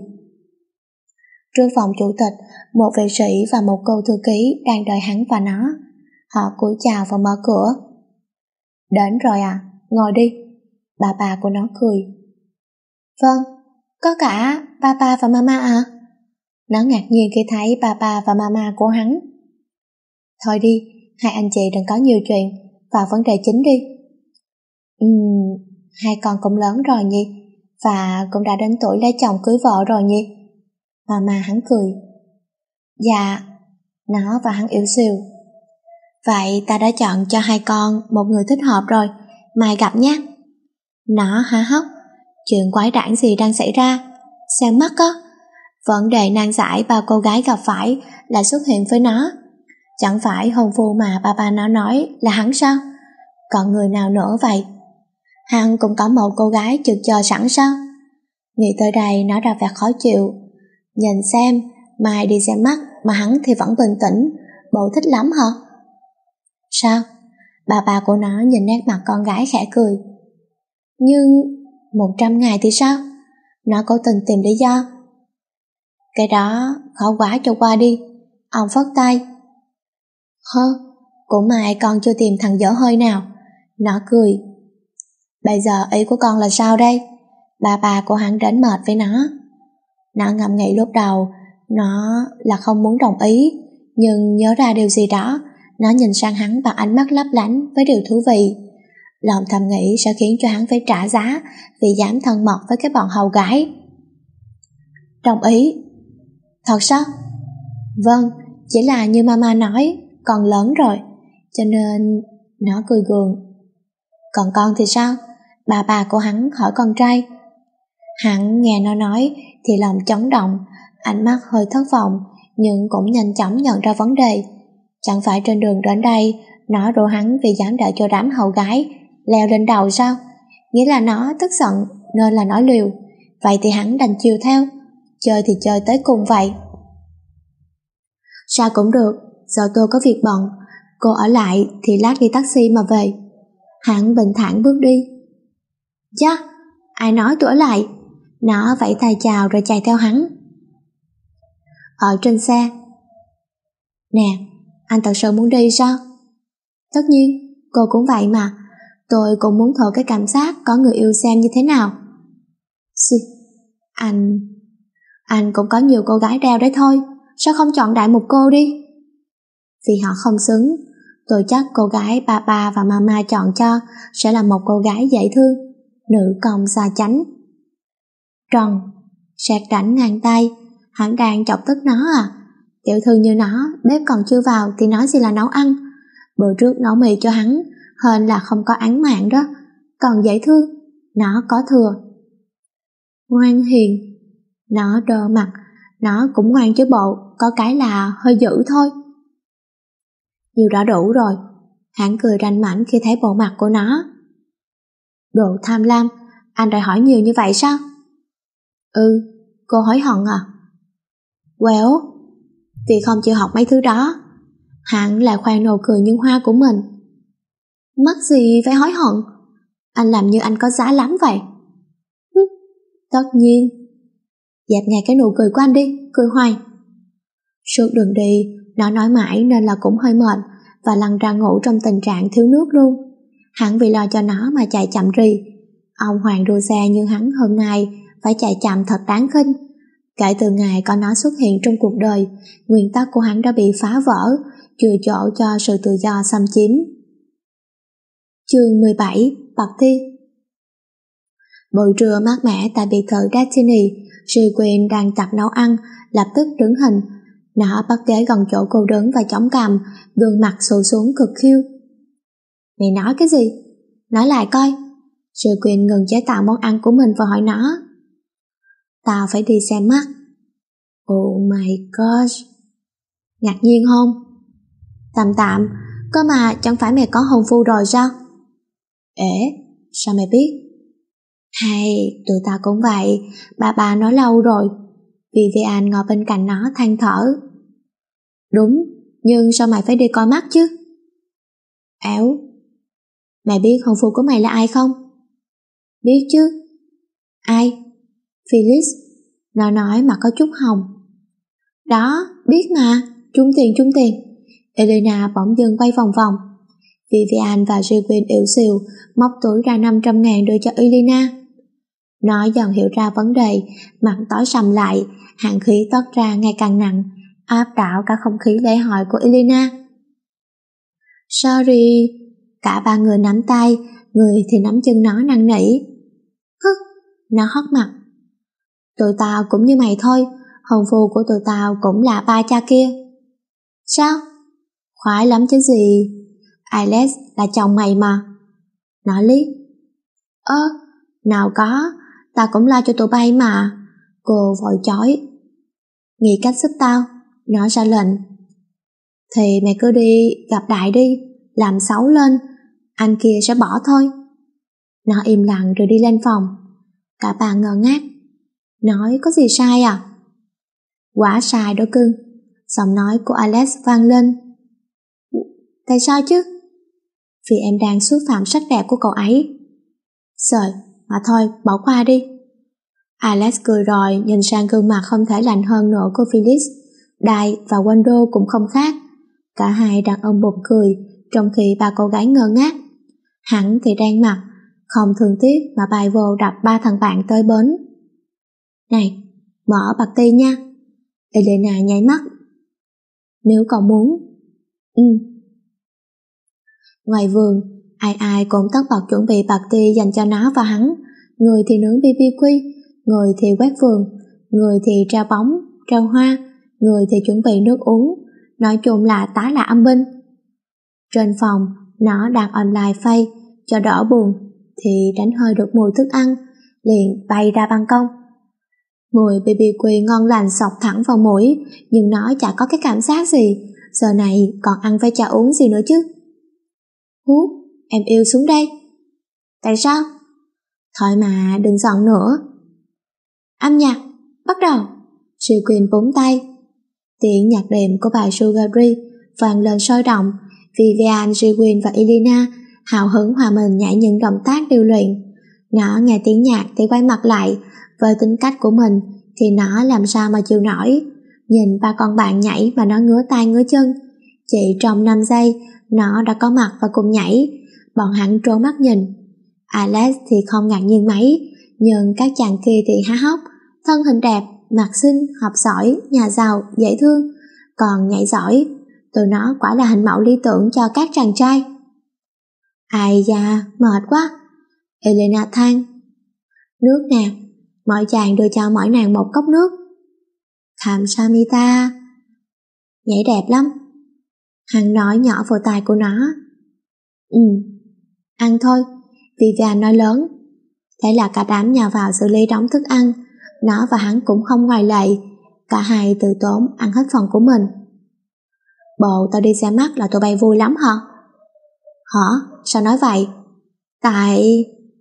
Cưng à, nghĩ sao vui vậy? Đừng đồ oan nhá. Vivian ôm cổ nó nũng nịu. Phải đó, sự quyền thêm vào. Nhưng... Thôi nào, cứ đi gặp đi, chịu hay không rồi tính sao? Ba mày thương mày lắm mà. Chả nhẽ, mày không chịu cũng bắt cưới. Elena an ủi bằng cả tấm lòng. Hờ, vậy yên tâm rồi. Ăn tiếp đi. Thôi, no rồi. Vivian quay vào ăn tiếp. Nó khẽ liếc mắt rọc hành tay bước đi, dáng vẻ kiêu ngạo nhưng lại có chút cô đơn. Ánh mắt cụp xuống nhìn hắn. Từ bên ngoài, bà bà và mama của hắn và ba ba của nó bước vào. Nó nhìn thấy họ thì quay đi, xem như là không quen biết, vẻ mặt rất chi là bình thản. Còn các ba ba và mama, họ cũng nhìn cục cưng vàng của mình bước đi. Phường thượng Uyển Nó ngồi trên bể bơi, hai chân vụn vãi dưới nước, mắt nhìn lên trời nghỉ ngợi vẫn vơ. Thật nhìn rất là yên tĩnh, nhưng không, ngay lúc này đây nó thực sự còn một vòng tay ôm lấy nó, cùng nó chia sẻ những buồn vui trong cuộc sống. Thật may mắn khi luôn có bạn bè bên cạnh, nhưng chỉ có bạn bè thì không thể nào bù đắp hết những khoảng trống trong lòng của nó được. Từ những lần vấp ngã trong cuộc đời rồi đến chuyện tình cảm trai gái khó nói, phải làm sao để chia sẻ hết. Nó còn có mẹ. Hay, tiếng nói vang lên cắt đứt nguồn cảm xúc của nó, lao vội giọt nước mắt. Sa là hắn. Có chuyện gì à? Sao lại khóc? Hắn hơi nhói khi nhìn nó như vậy. Bụi bay vào mắt thôi. Tại tôi à? Hả? Vì quá thân thiết với mấy cô hầu gái mà làm cô ra nông nổi này. Chấp nhận đi xem mắt để chọc tức tôi. Nào ngờ tôi cũng đồng ý. Vì đau buồn quá mà cô khóc. Hắn hơi miêu mạo nói ra một cách chậm rãi. Mặt của nó đỏ lên. Cái thằng cha này chuyện gì cũng nói được. Mà nói đúng mới chết chứ. Ngay lập tức nó đỏ bừng mặt, bước chân nhanh hơn khi đi vào nhà, đợi lại hắn đứng đó mà không thể điểu hơn được. Trong nhà các bà bà và mama của nó đang đau đầu, cũng chỉ vì quyết định non dại mà con gái yêu của họ giận rồi. Cũng tại ông, tự nhiên kêu hai đứa đi xem mắt, tình cảm phát triển đâu không thấy, chỉ thấy con cái nó giận rồi kìa. Ơ hay, chẳng phải bà cũng đồng tình hay sao? Hừ, Mama của hắn quay đi mặt giận giỏi. Thôi, hai người có như trẻ con ấy, tình cảm bọn nhỏ đâu thể nào ép buộc. Làm như ông khoái con trai tôi với con gái ông thành đôi vậy. À à, khoái chứ, nhưng chúng ta đâu thể làm khác hơn. Lần đi này nếu con bé và Phyllis có tình cảm với hai người kia thì cũng đành chịu. Sao là thế, các bạn hiểu chứ? Chỉ vì mong muốn con trai và con dâu thêm tình sâu nghĩa nặng mà hai ông bà đó đã đưa ra kế hoạch đi xem mắt. Bây giờ ngẫm lại thấy hối hận, nhưng đã muộn rồi. Thật đáng tiếc khi họ không được nhìn thấy nụ hôn của nó dành cho hắn ngoài vườn thường uyển kia. Chương 18 Nam Asami, hắn và nó Buổi sáng tại biệt thự Ratini, nó mệt mỏi ngồi dậy, đầu tóc bù xù, nhưng vẫn giữ được nét dễ thương, là một vài động tác giãn cơ rồi đi vào vệ sinh cá nhân. Sau khi đầu tóc, trang phục đã gọn gàng, nó tự tin xuống nhà. Hey, em yêu, đi à? Ừ, nó gật đầu. Có vẻ trễ giờ, hay là anh đưa em đi? Rồi, nó còn có thời gian up status nữa kìa. Elena Trill. Đâu đâu, Sư Quyền đọc status của nó kèm theo một bức ảnh. Cà rúp gì không? Hi hi, comment đi, tối trả. Nó nháy mắt rồi đi. Con này hút like thật, cái hình thấy ghê mà lại quá trời like. Vì Vivian chép miệng. Em ấy được nhiều người biết đến mà. Alex cười. Quay lại với nó, chị đang nhảy nhà nhảy nhảnh ra cổng, bộ dạng vậy thôi chứ tìm bài thối à. Vừa đóng cổng lập tức đụng phải bản mặt của hắn. Thật là trùng hợp, hôm nay hai người ăn mặc hợp ghê, đỏ, đen, mà kiểu mix thì cũng tựa tựa. Nó thì áo phong cách dời đen, đi cùng với quần jean và giày cao cổ, quấn quanh hồng là sơ mi cado đỏ đen, mái tóc bóp vừa nữ tính vừa cá tính, làm nó ghi điểm tuyệt đối. Hắn thì nói chung là y chang, áo phồng đen ngắn tay, mix jean và giày cao cổ, cũng quấn quanh hông, áo sơ mi cado đỏ đen. Mái tóc bạch kim hất ngược khiến hắn trông như là một idol Hàn Quốc mà bao cô gái mơ ước, rũ bỏ hình tượng lạnh lùng hàng ngày. Hôm nay hắn thật là ngầu và phá cách. Chà, anh đẹp trai, đang định đi đâu đây? Tôi á hả? Chả là mẫu hậu của tôi sắp xếp một cuộc hẹn dành cho tôi với một cô gái. Ác hẳn cô gái ấy phải xinh đẹp và ngoan hiền lắm đây. Hờ, tôi mong đó là một cô gái xấu xí với tính cách phù thủy đó. Nó trợn mắt với hắn rồi bực bội lên xe. Vì đang tức giận nên nó không kiên nể mà phóng thật nhanh làm hắn ngửi khói. Anh nhà có chút bất ngờ, nó có phải là con gái không vậy? Nhà hàng lao ra. Nó xuống xe, mệt mỏi vuốt tóc rồi bước vào, ngay lập tức mọi ánh mắt đều dồn vào nó, phải chăng là sư mẫu xuất hiện, gương mặt chỉ trang điểm nhẹ nhưng vẫn nổi bật, theo sau là hắn, anh này thì khỏi nói, các cô gái mê mẩn nhìn hắn đến nỗi chảy cả nước giải, vì cách ăn mặc cô có hay nên ai cũng nghĩ họ là một đôi. Nó ra dấu là không quen anh ta, rồi đi đến cái bàn có một chàng trai tuấn tú ngồi ở đó. Xin chào, nó nói. Ơ, anh chàng nhanh chóng bị nó hốc hồn. Nó nghiêng đầu. Cậu là Ái Nhi đúng chứ? Phải, gọi là Hillary được rồi. Được, mình là Nam, rất vui được gặp cậu. Anh đưa tay ra trước mặt của nó. Hân hạnh, nó lên sợ bắt tay với anh, rồi chống cằm nhìn xung quanh. Im lặng, Nam có vẻ ngại, một chàng trai trầm tính thú vị nhỉ. Cậu cứ tự nhiên, không sao đâu, mình đâu có ăn thịt người. Ừ, mình cứ tưởng cậu không đến. Tại sao? Vì... À mà thôi, cậu muốn ăn gì? Tùy cậu. Vậy... Rồi Nam nói một hơi. Nó vui vẻ ăn hết phần ăn của mình, thỉnh thoảng cũng nói vài câu, rồi nhìn sang cái bàn bên cạnh bằng ánh mắt thách thức. Vì sao nhở? Vì hắn và bạn gái ngồi bên đó chứ sao? Giờ tạm dẹp chuyện của nó và Nam, ta qua bàn của hắn nhé. Hắn sau khi giải quyết đám con gái thì bước lại bàn, khẽ gật đầu chào với cô gái, làm cô mê mẩn. Người đâu mà đẹp trai vậy? Nhưng cô không được phép sống mấy người con gái kia, cô là người con gái có văn hóa. Xin chào, anh là Phyllis đúng không ạ? Em là Azami. Chào. Ờ, em đã xem hình của anh, rất đẹp. Cảm ơn. Lý do vì sao anh chấp nhận cuộc hẹn này?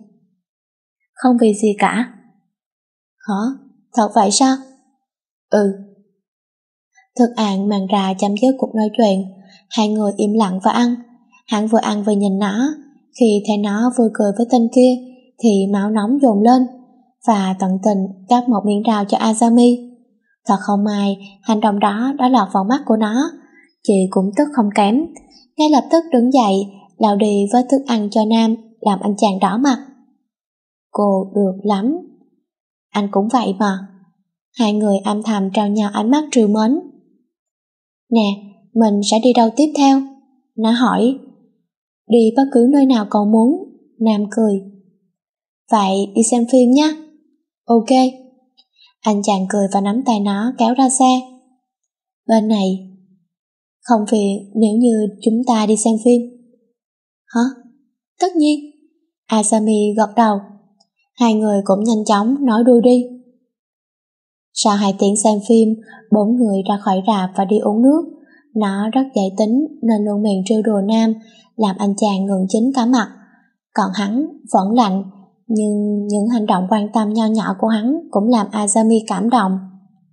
Hillary nè, cậu thích gì? Uhm, trai đẹp. Vậy mình có đẹp không?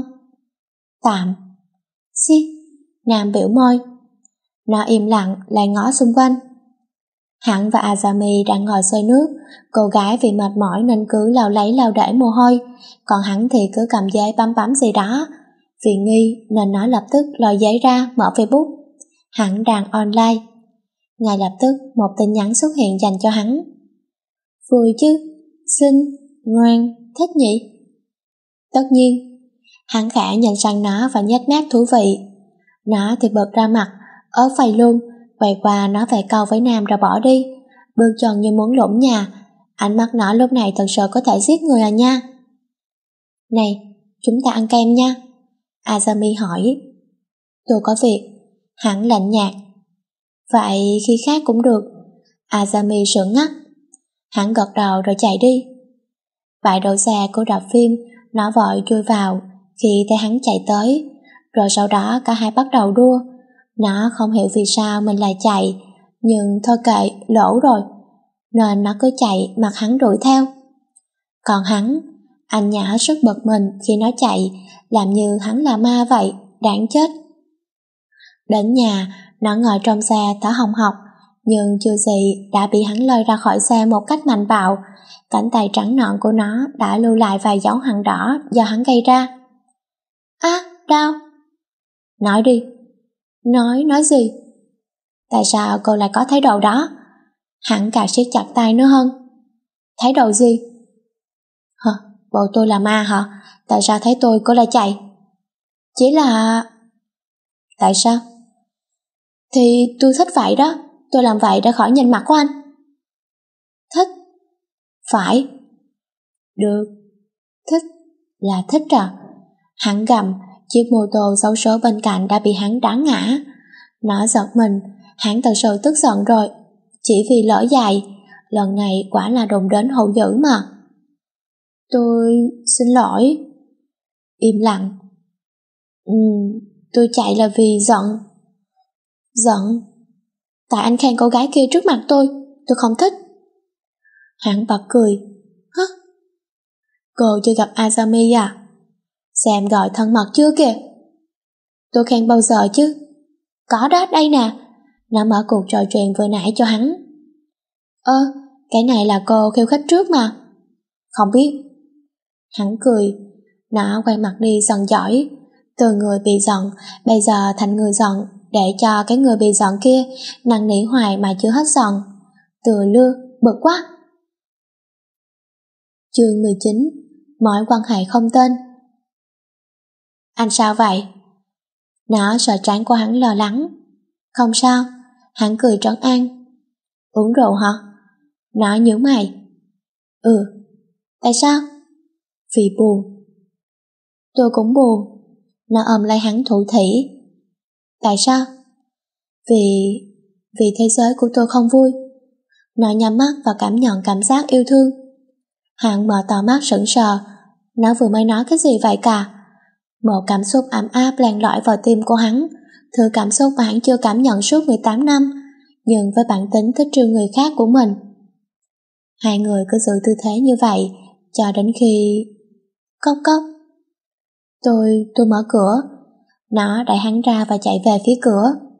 Là Elena. Nè, nghe tao nói, mày sẽ không thể nào biết chuyện này, động trời tới cỡ nào đâu. Phyllis ấy, cậu ta... Elena không ngần ngại chạy như bay vào phòng, vừa đi vừa nói với dáng vẻ hùng hồn, nhưng những lời nói đã bài đi hết khi thấy hắn ngồi trình ình trên sofa. Ớ, tôi thế nào? Không, không có gì. Cô vội quay sang nó vẻ mặt hết sức là thảm. Nó nhún vai. Mà thôi, tao đi đây. Còn Phyllis, quản gia gọi cậu, nói là có người tìm. Elena nhanh chóng chuồn đi. Không gian yên tĩnh chỉ riêng hai người, hắn khẽ cười rồi tạm biệt nó. Chi Nha cũng cười lại rồi tiếp tục công việc on fire của mình. Nhưng nó chả còn tâm trạng, cứ nghĩ về nụ hôn bất ngờ vừa nãy, rồi bất giác cười. Cảm giác của nó dành cho hắn lúc này là gì? Là yêu? Là thương? Là thích? Hay có gì đó khác? Nó chả thể giải thích nổi. Má ơi, có ai giải thích cho tôi không? Thật ra cái mối quan hệ này là gì vậy? Bật cảm mình hả? À, mà có ai quên nhân vật nào không? Đó chính là cô bạn tội nghiệp đang chat trên phay. Nãy giờ nhắn tin muốn sập máy mà chả trả lời. Thật là tội à nha. Chương 20 Thành viên mới Chuông điện thoại reo lên. Ừ, nghe. Nó mệt mỏi nhấc máy. Con gái, mau xuống nhà. Mà mà của hắn nhanh chóng nói rồi cụp máy. Nó ngẩn ngơ một chút rồi vào thay đồ, vệ sinh túi lưa và đi xuống dưới. Tiểu thư, buổi sáng vui vẻ. Quản gia hồng cúi đầu. Không dám, nó biểu môi. Đám bạn ngồi trên sofa rồi xem tivi cũng chả bằng tâm chỉ có mấy người ở kia kia là hơi ngạc nhiên một tí xíu đó là bà má của hắn Asami Nam và mama của hai người thiệt tình trời lạnh mà ăn mặc như vậy đó à mama của hắn khẽ mắng khi thấy nó chỉ mong manh với cái váy ngắn. Eo, đã là sở thích. Chào hai bác. Chào con.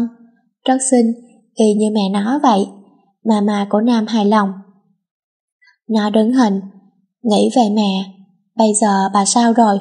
Cũng đã lâu nó chưa đến thăm bà, tình hình của bà đã phát triển tốt chứ?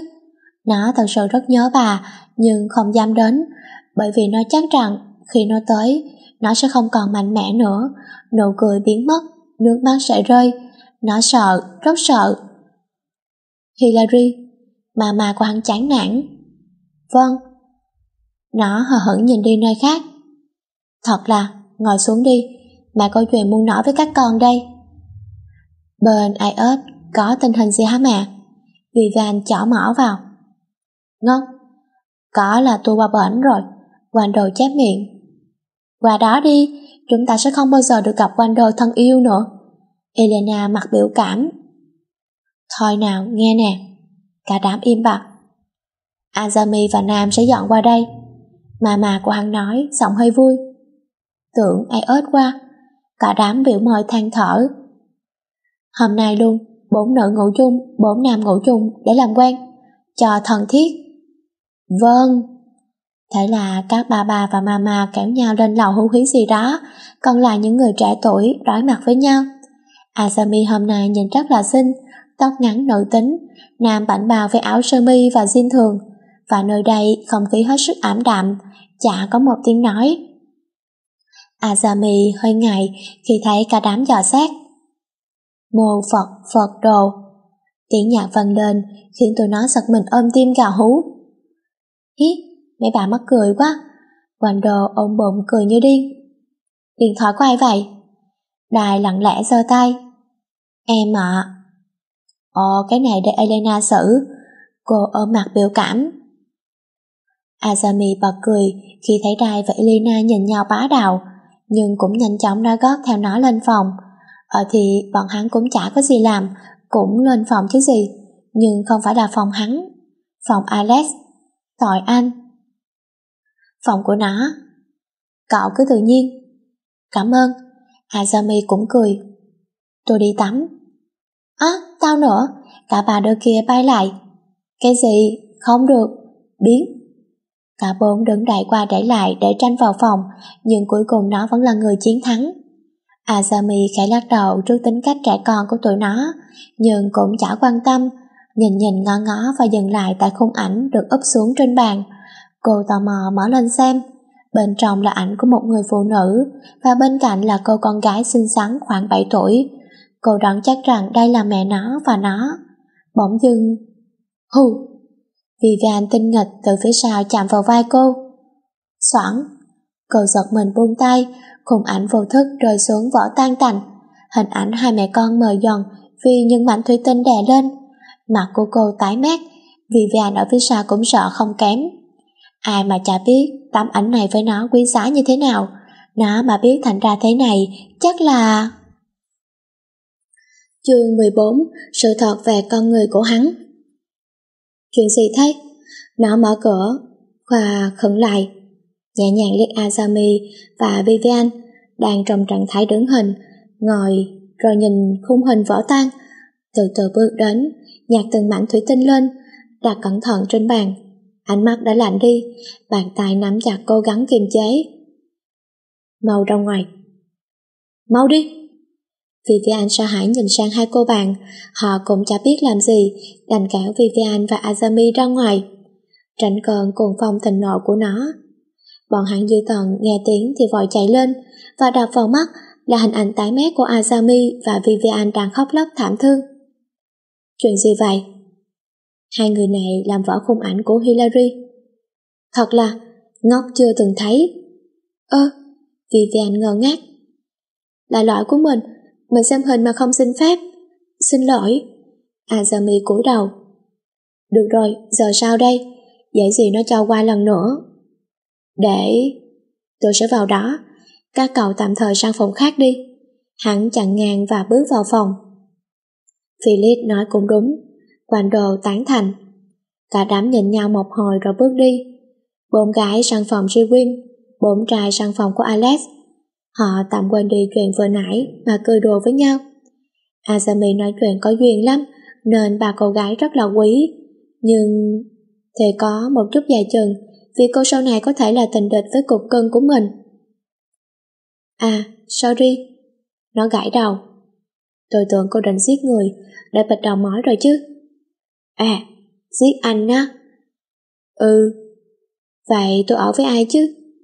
Hè, hôm nay cô dễ thương nhỉ? Khi nào chả vậy? Khác, hắn không quan tâm nó đang tự sướng mà bước lại rót nước uống, để lại nó bộ mặt không thể ngố hơn được nữa. Nhận ra vấn đề rằng hắn đang trư mình, nó lập tức lấy gói ném vào hắn. Mã thì phòng lên giận giỏi, hắn nhìn vào thì mê mẩn bởi bầu đồ dễ thương của nó. Cô cứ làm tôi chịu không nổi. Hả? Đáng két. Thôi, bây giờ cho họ vào ngủ được chưa? Ừ. Ngủ ngon. Hắn đập chăn cho nó và thì thầm. Anh cũng vậy. Hắn khẽ ra ngoài, bọn kia đã thu sẵn ngoài đó và ít nhiều nghe được quá khứ của hắn. Lòng cũng có chút xót thương, gật đầu với hắn rồi vào trong. Vivian tinh nghịch nằm cạnh nó năn nỉ ỉ ôi. Nó cười khúc khích rồi ôm lấy cô. Một vì buồn cười cô bạn, một vì hạnh phúc. Azami thở phào yên tâm rồi cũng nằm xuống cạnh mấy người khác. Cả năm người nhanh chóng chìm vào trong giấc ngủ ngon lành mà không vướng bận. Hắn đã cho nó biết con người lúc trước của mình, nó đã hiểu hắn thêm, cả hai đang rất là êm đềm. Azami và Nam thì cũng có gì đó gọi là say nắng hai người, Vậy họ có là người thứ ba cản trở tình cảm của người khác, và nó có thể dùng nụ cười của mình để khiến hắn trở lại với tính cách thật của mình. Còn rất rất nhiều thú vị ở phía sau. Hãy đón xem nha! Lẽ bây giờ nó đã ấm áp thêm một chút rồi. Trên chiếc giường màu đen rộng lớn, đôi trẻ đang ôm nhau ngủ ngon lành, mà kệ chuyện gì xảy ra. Chàng trai với vẻ mặt đẹp, được lai tạo từ ác quỷ và thiên thần, đang say sưa ngủ, đòi mọi mộng quyến rũ khả há. Dù ngủ nhưng hắn vẫn như là cảnh sát được điều gì đó mà nhớ mày lại. Còn cô gái kia thì sao?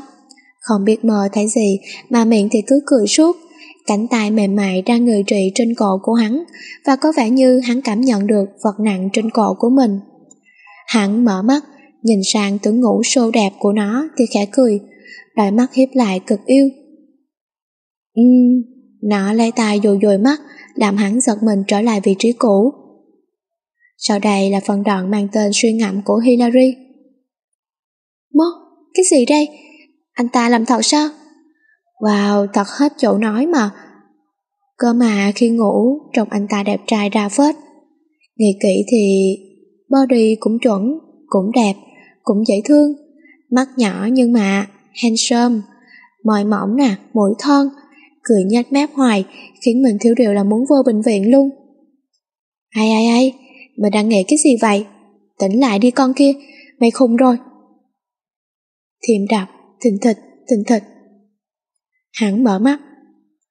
Tôi biết tôi đẹp rồi, không còn phải nhìn lâu thế đâu.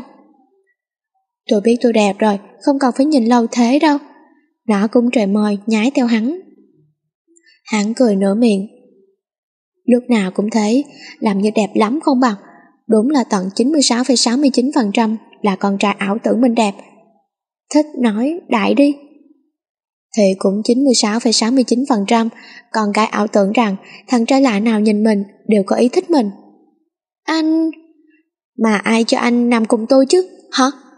Nó nhờ ra và đánh thầm thập vào vai, vào ngực của hắn. Anh nhà nhanh chóng bắt lấy tay nó và kéo vào lòng mình.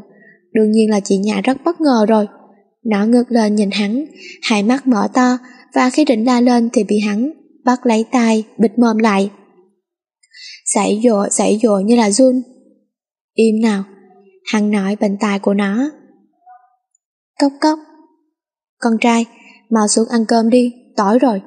Giọng nói của bà Phạm vang lên có chút trêu đùa. Con không ăn.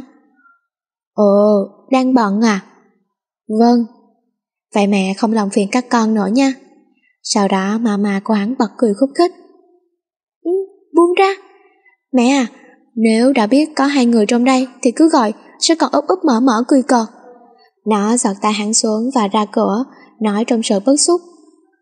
Ơ, mẹ không muốn. Đủ rồi mẹ à, giờ con có điều muốn hỏi đây.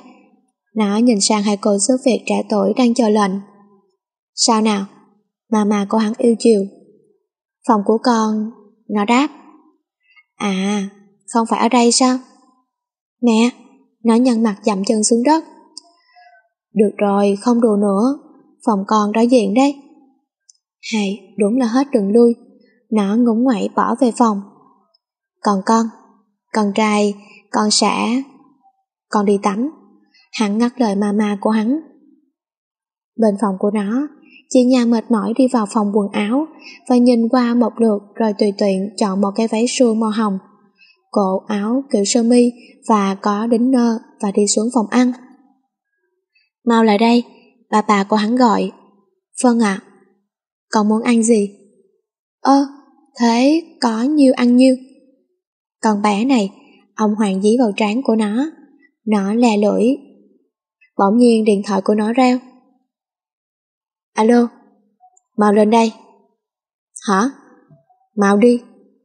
Ê ê ê, nó há hốc. Sao vậy? Mà mà của hắn hỏi. Con lên phòng một chút. Nó nói rồi như là bay lên phòng của hắn. Này, anh có biết trời đánh còn đánh bữa ăn hay không vậy? Mới vừa xuống đã phải quay lên. Có chuyện gì? Mau nói để tôi còn ăn nữa. Có nhất thiết phải mỉa mai như vậy không? Có đó. Hứ, mau lại đây. Chuyện gì? Nó không nghi ngờ bước lại. Hắn hồn nhanh vào môi của nó. Đời như là cây cơ luôn. Đây, xem giúp. Đây là màu đỏ. Hắn thừa, có đang đơ mà hỏi. Cái này, nó đang trong trạng thái mơ màng, chỉ tay vào chiếc áo màu đỏ nhạt. Thanks, xuống được rồi. Hắn cười cười rồi đẩy nó ra khỏi phòng.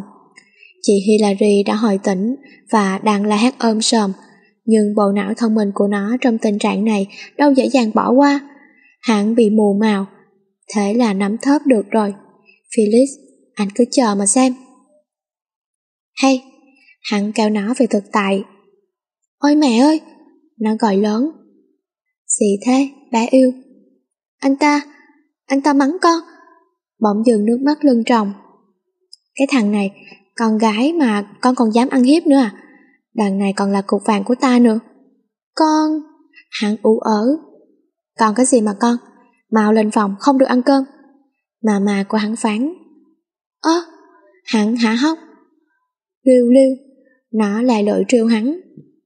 Cô nhớ đó, hắn lạnh lùng rồi bỏ lên phòng. Ê, giận hả? Nó nén cười. Trầm, hắn mạnh tay đóng cửa làm cho nó giật nảy mình, đứng ngờ ra nghĩ gì đó một chút rồi chạy vào bếp. Lấy một cái tô, một gói mì, một ít rau và cho vào nước nóng. Tự nhiên nghĩ lại sao mình tốt quá vậy? Hắn là kẻ thù của mình mà. Nghĩ gì làm đấy, nó cười ma mị và lấy trong tủ ra một lọ ớt bột và thẳng tay rắc vào mà không còn suy nghĩ. Mình có ác quá không ta? Mà thôi, mặc kệ, là do hắn chứ bồ. Nhưng... Dừng tay. Thôi kệ, kệ hắn chứ. Thế là lại rắc tiếp. Nhưng... Thôi, cho hết. Thưa tiểu thư, tôi... tôi nghĩ đã nhiều lắm rồi à. Một câu hỏi e dè. Biết gì mà nói? Cô đừng để tâm lời con bá Nó là vậy đó. Mà mà của hắn vỗ vai cô hầu. Vâng Tôi cũng nghe mẹ kể về tính cách của tiểu thư rồi mà. Cô hầu cười. Ừ đi làm tiếp đi. Mà mà của hắn nói. Dạ vâng thưa phu nhân tôi xin phép. Cô hầu cung kính Thôi bỏ qua hai người này đi Chúng ta hãy nói đến nữ nhân vật chính của chúng ta nào Nó đang thận trọng Bề bát mì đến phòng của hắn, không dùng tay gõ cửa mà xông thẳng vào. À, tôi thấy anh không ăn được, nên là nấu mì cho anh ăn nè. Tốt quá nhỉ? Ăn đi, anh phải vinh dự vì đây là lần đầu tiên tôi vào bếp mà còn là nấu cho con trai ăn nữa đó. Nể tình cô đấy. Nó mong chờ. Tít tắc, tít tắc. Hắn cho một đũa mì lên miệng. Thình thịch thình thịch Cạch. Hắn bỗng dừng bỏ đồ xuống làm nó giật thoát mình. Hắn, hắn biết rồi sao? Tôi phải rửa tay đã. Ừ, nó ôm tim thở phụ Lát sau hắn bước ra và lần này thật sự cho mì vào miệng. Nhai nhai nhai. Rồi ngước nhìn nó. Sao? Thế nào? Muốn biết sao? Ừ. Chỉ chờ câu nói này, hắn kéo nó lại gần, đưa miệng mình sát miệng nó, không chút ngại ngần, truyền sợi mì từ miệng mình sang miệng của nó. Còn nó, chị nhà đang mở to mắt với hành động của hắn. Nhưng bị vị cay đánh thức, lúc này hắn cũng thả nó ra. Sao, thế nào? Hắn hỏi y chang nó, mắt rưng rưng. Nói đi, hắn vẫn hỏi. Cay quá à, lần này là nước mắt của nó vỡ à. Mít ướt, nó thì miếu máu. Thôi nín đi, xin lỗi. Tôi không biết là nó cay như vậy. Nó ra vẻ hối lỗi. Vậy sao còn làm? Vì... Cô ghét tôi sao? Được rồi, đừng nghĩ nữa. Hắn xoa đầu nó. Anh vẫn định ăn sao? Chứ sao, do cô đích thân làm mà. Nhưng sẽ cay lắm đó. Không sao, hắn cười với chủ đích là trấn an nó. Nó khẽ gật đầu rồi chống cằm nhìn hắn, gương mặt trầm ngâm nhưng đôi lúc lại muốn cười vì vẻ mặt của hắn. Do cay quá đó, nhưng hắn vẫn cố ăn để cho nó vui. Này, đừng ăn nữa, nó đau lòng lắm luôn. Không sao, hắn thở không ra hơi. Tôi lấy nước cho anh nha. Không cần, ăn xong rồi. Đi tắm đi, anh hôi lắm đó. Khi tắm hắn xong, nó nằm xuống và bắt đầu nghỉ ngợi, nghĩ về hắn. Chỉ trong hôm nay, hắn đã hôn nó ba lần. Nhưng tại sao nó không hề có cảm giác kinh tởm giống như là khi hôn những thằng con trai khác, mà đằng này lại rất là ngọt ngào, rất là ấm áp. Thật khó hiểu. Suy nghĩ mãi, suy nghĩ mãi, khiến cho nó đi vào giấc ngủ một cách dễ dàng. Khoảng một tiếng sau hắn bước ra, bước lại cạnh giường và khẽ cười. Xem ra hẳn lại được ngủ cùng nó rồi. Chương 14 Lần hại đầu tiên. Sáng 17 năm nó sống 2.555 ngày Ngày nào cũng sáng. Tối qua nó nằm quay mặt vào hắn Sự khoảng cách nhất định. Sáng nay nó nằm trong lòng của hắn luôn. Quá dữ, quá siêu. Anh chị quá hay Em quá khâm phục. Và ba má anh chị đang đứng xem kịch đó. 7 giờ 5 phút Cha, tất cả là tại mẹ đó, làm con trễ rồi. Nó là toán lên. Ơ, ta chỉ muốn... Được rồi à, bọn kia nói tiếp đầu nghỉ, đến trễ cũng được, nên con đi đây, con sẽ về sớm ăn cơm, dẫn theo mấy đứa nhoi nhoi kia nữa. Bye bye mọi người, yêu cả nhà nhiều. Nó tuôn ra một tràng, rồi xách ba lô lên đường. còn bé này, thật là... Trường Matida nó ung dung đi và bỏ hắn lại phía sau. Đi được vài bước thì... Xin chào. Giọng nói hách dịch của Ả Mi vang lên. Chào. Tôi có chuyện muốn nói. Chuyện gì? Nhanh gọn lại dùm đi. Đi theo tôi. Nhỏ nói rồi quay đi.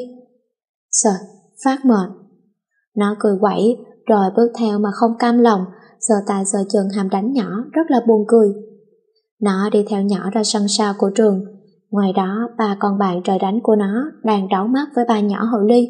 Gương mặt của nó đã chuyển sang lạnh lùng, hắn giọng một cái và bước đến cùng với mấy con bạn. Dạ, yeah, cô gái. Hello, nó vẫy tay với Vivian. Đừng dài dòng nữa, bắt đầu đi. Sao đây? Elena dương mặt. Tụi bay hãy tránh xa các anh ấy ra, không thì tự biết. Sao mà tự biết được, nói ra luôn đi thì tụi mày sẽ chết, chứ sao? Ôi, sợ quá nhỉ? Mục đích của tụi mày với các anh ấy là tiền chứ gì? Đừng có mà giả hiện trước mặt người khác nữa. Bọn hậu ly như tụi bay chỉ xứng đáng với đám côn đồ, không xứng với F4. Nhỏ mì chửi rủa. Chát, nó tức giận, tác nhỏ đó một cái đầu điến. Vì bất ngờ nên nhỏ ngã ra sao, tài ở má, nhưng ánh mắt lại tràn đầy căm hận như muốn dùng ánh mắt mà hủy diệt nó vậy. Mày muốn gì hả? Im lặng. Nó nhìn nhỏ bằng ánh mắt lạnh tanh không cảm xúc, thanh thản bước lại và bắt đầu vật lộn với nhỏ, tát, nắm tóc, xé áo, bóp mũi. Ba con bạn nhìn nó với nhỏ thì hứng thú dân trào, rồi nhào vô tìm kẻ thù của mình và đánh cho tới bến. Hiện giờ sau sân trường Matida đang diễn ra cuộc tranh tài có một không hai, sữa nữ với nữ, thật đúng là con gái đánh nhau, toàn vỏ mèo cào, đau như con trai, đám đá loạn xạ, tét đầu chảy máu. 15 phút sau tụi nó và bọn hậu lì buông nhau ra. Ai, tàn pha nhăn sắc rồi. Nó buông những lời hoa mỹ. Có mình mày hay sao? Elena mê cái đẹp than thở. Tóc mới làm ngày hôm qua. Vivian sụp sịch. Định mệnh. Jiwin phán. Chửi xong xuôi, tụi nó lấy gương ra chỉnh chu nhan sắc mà không thèm để ý tới bọn hầu ly. Phương án thứ nhất không thành công, bọn nhỏ chuyển sang phương án thứ hai. Nhìn tao này, bụp, nó đang nói thì một cảm giác tê dại từ đầu truyền tới. Ê, mày... Bụp bụp bụp, ba con bạn định nói cũng rơi vào tình trạng tương tự. Nhà kho bỏ hoang tại núi XYZ, tụi nó đang mê man bất tỉnh, mày nhíu chặt, bọn hầu ly đang thoải mái nhìn, khỏe miệng còn cười độc địa. Nó muốn đưa tay dụi mắt, nhưng đã bị chói chặt. Sao? Khó chịu lắm đúng không? Hừ, tao cứ tưởng tụi bay sẽ khác, nhưng cuối cùng vẫn chọn cái cách hèn hạ này nhất. Mày im đi, rồi tụi bay sẽ biết thế nào là đau khổ. Nhỏ mi nói rồi cùng ba con bạn đi khỏi, nhốt tụi nó lại. Đợi nhỏ đi khuất, nó quay sang với đám bạn. Dậy đi, đừng giả vờ nữa. Mày hay ghê, Vivian trời môi. Để ta nói chuyện một mình với nhỏ đó, sợ chết. Nó rùng mình. Mày mà sợ, tao cùi. Elena là mặt quỷ. Vậy cùi đi. Muốn cũng không được. Elena ra vẻ khổ sở. Ba ngày sau, bầu không khí im lặng bao trùm cả ngôi nhà, tụi nó đã thật sự đuối sức rồi. Ba ngày không ăn không uống, làm sao mà chịu nổi cơ chứ? Đằng này lại thêm mỗi ngày bị bọn hồ ly kia đánh đập suốt chết. Khắp người vết thương loang lỗ, nhưng có lẽ Rewin là người chịu nhiều nhất, vì chị và anh Alex công khai hẹn hò ngay trước mặt nhỏ Đan cơ mà. Tụi bay rồi sẽ xuống địa ngục, nhỏ ngọc như người điên. Tốt thôi, khi đó người chịu thiệt nhất chính là bọn cô. Vivian tức giận quát. Cô gái, mạnh miệng như vậy thì được gì? Nhỏ tranh giễu cợt. Đừng nói nhiều với bọn chúng nữa, bắt đầu đi. Nhỏ mi hót mặt. Nghe lời nhỏ mi, bà ả lấy trong túi ra ba cây súng, không chần chừ chĩa thẳng vào tụi nó. Ngón tay chuẩn bị bóp cò, mắt tụi nó nhắm chặt, lần lượt lần lượt từng ký ức hiện ra. Với Jewin, hình ảnh bà bà mama của nó chăm lo cho cô từng chút hiện về. Nỗi buồn khi bị la mắng, cho đến khi gặp được Alex, người giúp cô vừa qua, và hai người đã bắt đầu yêu xa cho đến bây giờ. Còn Vivian, cô là người nghịch ngợm nên đang nhớ về những trò đùa của mình với mọi người và hình ảnh cô bị qua đô, chọc lại khiến cho nụ cười nhẹ xuất hiện. Elena thì sao? Cô lại thấy hối hận. Trước đây vì sao mình lại không làm xã hội đen nhỉ? Như vậy chẳng phải oai lắm sao? Còn được tự do đi đây đi đó thoải mái. Cuộc sống tiểu thư chỉ cho cô đi ra thế giới, chứ ít khi đi phượt. Thật hối hận. Đối với nó, không có gì làm nó phải hối tiếc cả, nhưng nó có một ước muốn là được gặp lại thằng bé mất dịch đã cưỡng đi nụ hôn đầu tiên của nó ngay trong hồ bơi. Ước muốn chỉ là ước muốn, nhưng có lẽ nó không còn nữa. Bây giờ là về người thường hôn nó. Quay về hiện tại, mạng sống của tụi nó đang bị nguy ngập, ranh giới giữa sự sống và cái chết hiện rất rõ. Bây giờ tụi nó lại nhớ đến bốn chàng trai, bỗng nhiên bước vào cuộc đời của tụi nó và cho tụi nó một cuộc sống vui vẻ, thanh thản. Nhưng giờ chắc là không gặp được nữa rồi. Nếu có duyên thì kiếp sau sẽ gặp lại. Tròn, phát súng đầu tiên vang lên, không trúng. Là do nhỏ Ngọc còn non tay, người run rẩy không dám bắn. Có ai biết phát súng đó là một người thoát tim. Tròn tròn liên tiếp, nhiều viên đạn được giải thoát, nhưng tụi nó vẫn bình thường. Còn vô dụng, nhỏ mì quát, bước đến giọt lấy cây súng. Trầm, cửa kho bật mở. Cô mới là người vô dụng, hắn lạnh lùng bước đến, đã văng cây súng trên tay của nhỏ. Anh... Nhỏ sợ xanh mặt. Đưa họ đến bệnh viện đi. Hắn nói với ba thằng bạn. Anh à, em... Không cần giải thích, hôm nay cô phải chết. Nhưng tại sao chứ? Nhỏ không chịu thiệt, quát. Tôi đã nhìn lâu rồi, cứ ai tiếp cận tôi đều bị cô cho xuống địa ngục. hẳn trừng mắt. Em... Đừng tưởng tôi không biết gì, Ba năm cô bên Mỹ, nhưng tài sai vẫn người trị trong trường. Mọi chuyện liên quan đến tôi, cô đều biết. Và khi bốn cô gái đó xuất hiện, cô là chính thức xuất hiện. Sao? Nói đúng chứ? Cầm luôn, nhìn sang thì ba con hồ ly kia đã chạy mất dép. Bây giờ thì... Đừng! Một giọng nói yêu ớt vang lên. Cái... cô... Chẳng phải đã đi bệnh viện rồi sao? Hẳn ngạc nhiên. Tôi muốn anh đưa đi cơ. Còn Hầu Ly, tất cả là tại mày. Nhỏ mì quát lên. Cô im đi. Hắn quát lại rồi bế nó lên, cùng nhau đi về phía chân trời xa xôi. Nhỏ chỉ biết nhìn hắn và nó đi khỏi mà chả biết làm gì. Ánh mắt trùng xuống và từ từ nước mắt tuôn rơi. Nhỏ không cam tâm, sao hắn lại đối xử với nhỏ như vậy? Nhỏ không cam tâm và những kế hoạch dạy cho tụi nó một bài học lại xuất hiện. Lần này, nhỏ nhất định sẽ khiến nó phải xa hắn, để hắn chỉ thuộc quyền sở hữu của nhỏ. Chương 15 Bệnh viện Nguyên khôi vỡ mộng Buổi tối Bệnh viện, sau khi được đưa đến, bác sĩ đang tiến hành phẫu thuật cho tụi nó. Trên đường đến, bốn chị đã ngất về kỳ sức. Đương nhiên là bốn anh nhà chúng ta rất là lo lắng rồi. Trước phòng cấp cứu, bốn chàng trai với vẻ phong trần khiến bao người mơ ước, đang ngóng chờ điều gì đó. Không khó để nhận ra đây là bốn thiếu gia có tiếng trên thương trường, thân thái luôn khiến cho người khác sợ sệt, giờ lại thảm hại như vậy, thật đúng là sông có khúc, người có lúc mà. Tinh... Sau bao nhiêu thời gian chờ đợi, bác sĩ bước ra, bọn hắn lập tức bọt dậy, ánh mắt thụ hằn nhìn ông. Sao? Thưa các tiểu thư không sao, chỉ vì đói mà ngất, vết thương trên người không nhiều nên không còn phải ở lại lâu, chỉ còn nghỉ ngơi vài ngày và bổ sung chất dinh dưỡng đầy đủ. Bác sĩ dằn dò, nhưng quay ra thì tụi hắn đã bốc hơi. Phòng 111 Nơi nó nghỉ dưỡng Chị đã thức và đang mơ màng ngắm trăng. Dự đoán một lát nữa sẽ có bài tỉnh dạ tứ hay còn gọi là cảm nghĩ đêm trăng thanh tĩnh, phiên bản hay Hắn bước vào khẽ nhướng mày, sức khỏe còn yếu mà ra ngoài trời lạnh như vậy sao? Cẩn thận tiến lại, vòng tay ôm lấy thân hình mảnh khảnh, trước cái lạnh và đặt nụ hôn nhẹ lên cổ, làm nó run rẩy. Bát vô trả thân và bát boy lạnh lùng, tác giả nhàn làm đỉnh. Chương 1 Quá khứ Một ngày thu tại biệt thự Destiny của tập đoàn Lâu Y Hoàng, có rất nhiều người tụ họp lại tại đây với lý do quyết định xem có nên cho cô cháu gái vàng ngọc của dòng họ nói nghiệp mafia hay không.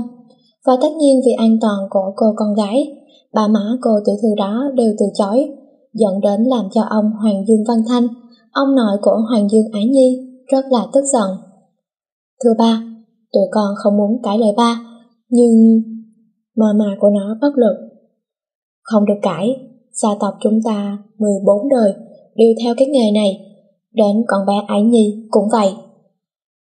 Con bé là con gái mà ba. Bà bà nó cũng lên tiếng. Đúng đó ba, Ái Nhi còn quá nhỏ. Cô của nó cũng nói giúp. Các người là do tôi nuôi, bây giờ biết cãi lại rồi sao? Ông Hoàng cười mỉa. Nếu không giải quyết được, thì cứ để tôi này. Một người đàn ông bước vào. Tất cả người trong nhà bật dậy, trợn mắt nhìn về người đó. Các anh chị của nó nhanh chóng chạy lên phòng trốn, không quên dẫn theo nó. Bà bà nó ánh mắt sắc lạnh, quét qua đám người bầm trợn. Cả ông Hoàng và mama nó cũng đã chuẩn bị sẵn. Thật ra đám người này chính là đồng nghiệp cũ của bà bà nó thời sinh viên. Chỉ vì ghen tị với gia thế và năng lực của ông mà bọn họ đã hạ thấp danh dự của mình để bắn rẻ bằng bè. Đến giờ, mọi thù của họ với ông vẫn còn, cho nên đành làm liều, nhân lúc nội bộ gia đình lục đục mà tấn công. Cậu vẫn còn hiểm khích với tôi à? Bà bà của nó mở miệng. Đúng vậy, chưa bao giờ tôi xem trọng cậu cả. Anh là kẻ lúc nào cũng cướp đi những người của tôi.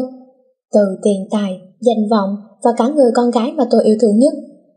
Nói đoạn ông ta chỉ vào mama của nó. Đó chỉ là do cậu nghĩ, những người thật sự có tiềm năng thì sẽ thành công, còn những người chỉ dựa vào quan hệ xã hội là những người không có đầu óc, luôn nghĩ cho bản thân mình. Về phần Ria, là hai chúng tôi yêu nhau thật sự, Không phải là tôi cướp.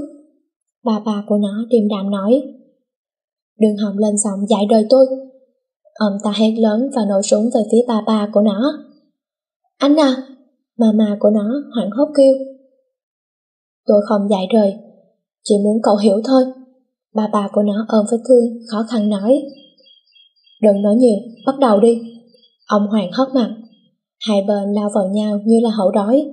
Người của bà bà nó chỉ khoảng 100 người, nhưng cũng ngang sức ngang tài với ông bạn kia. Lúc này, nó đang sợ hãi, nép trong chiếc tủ nhìn về phía đám hỗn loạn đó. Trong lòng lo lắng không nguôi.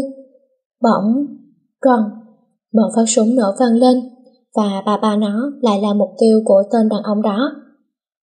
Nhưng người hứng chịu viên đạn đó không phải là ba ba nó, mà là bà Ria, người mẹ nó yêu thương nhất cuộc đời. Ngã quỵ xuống trong tay chồng.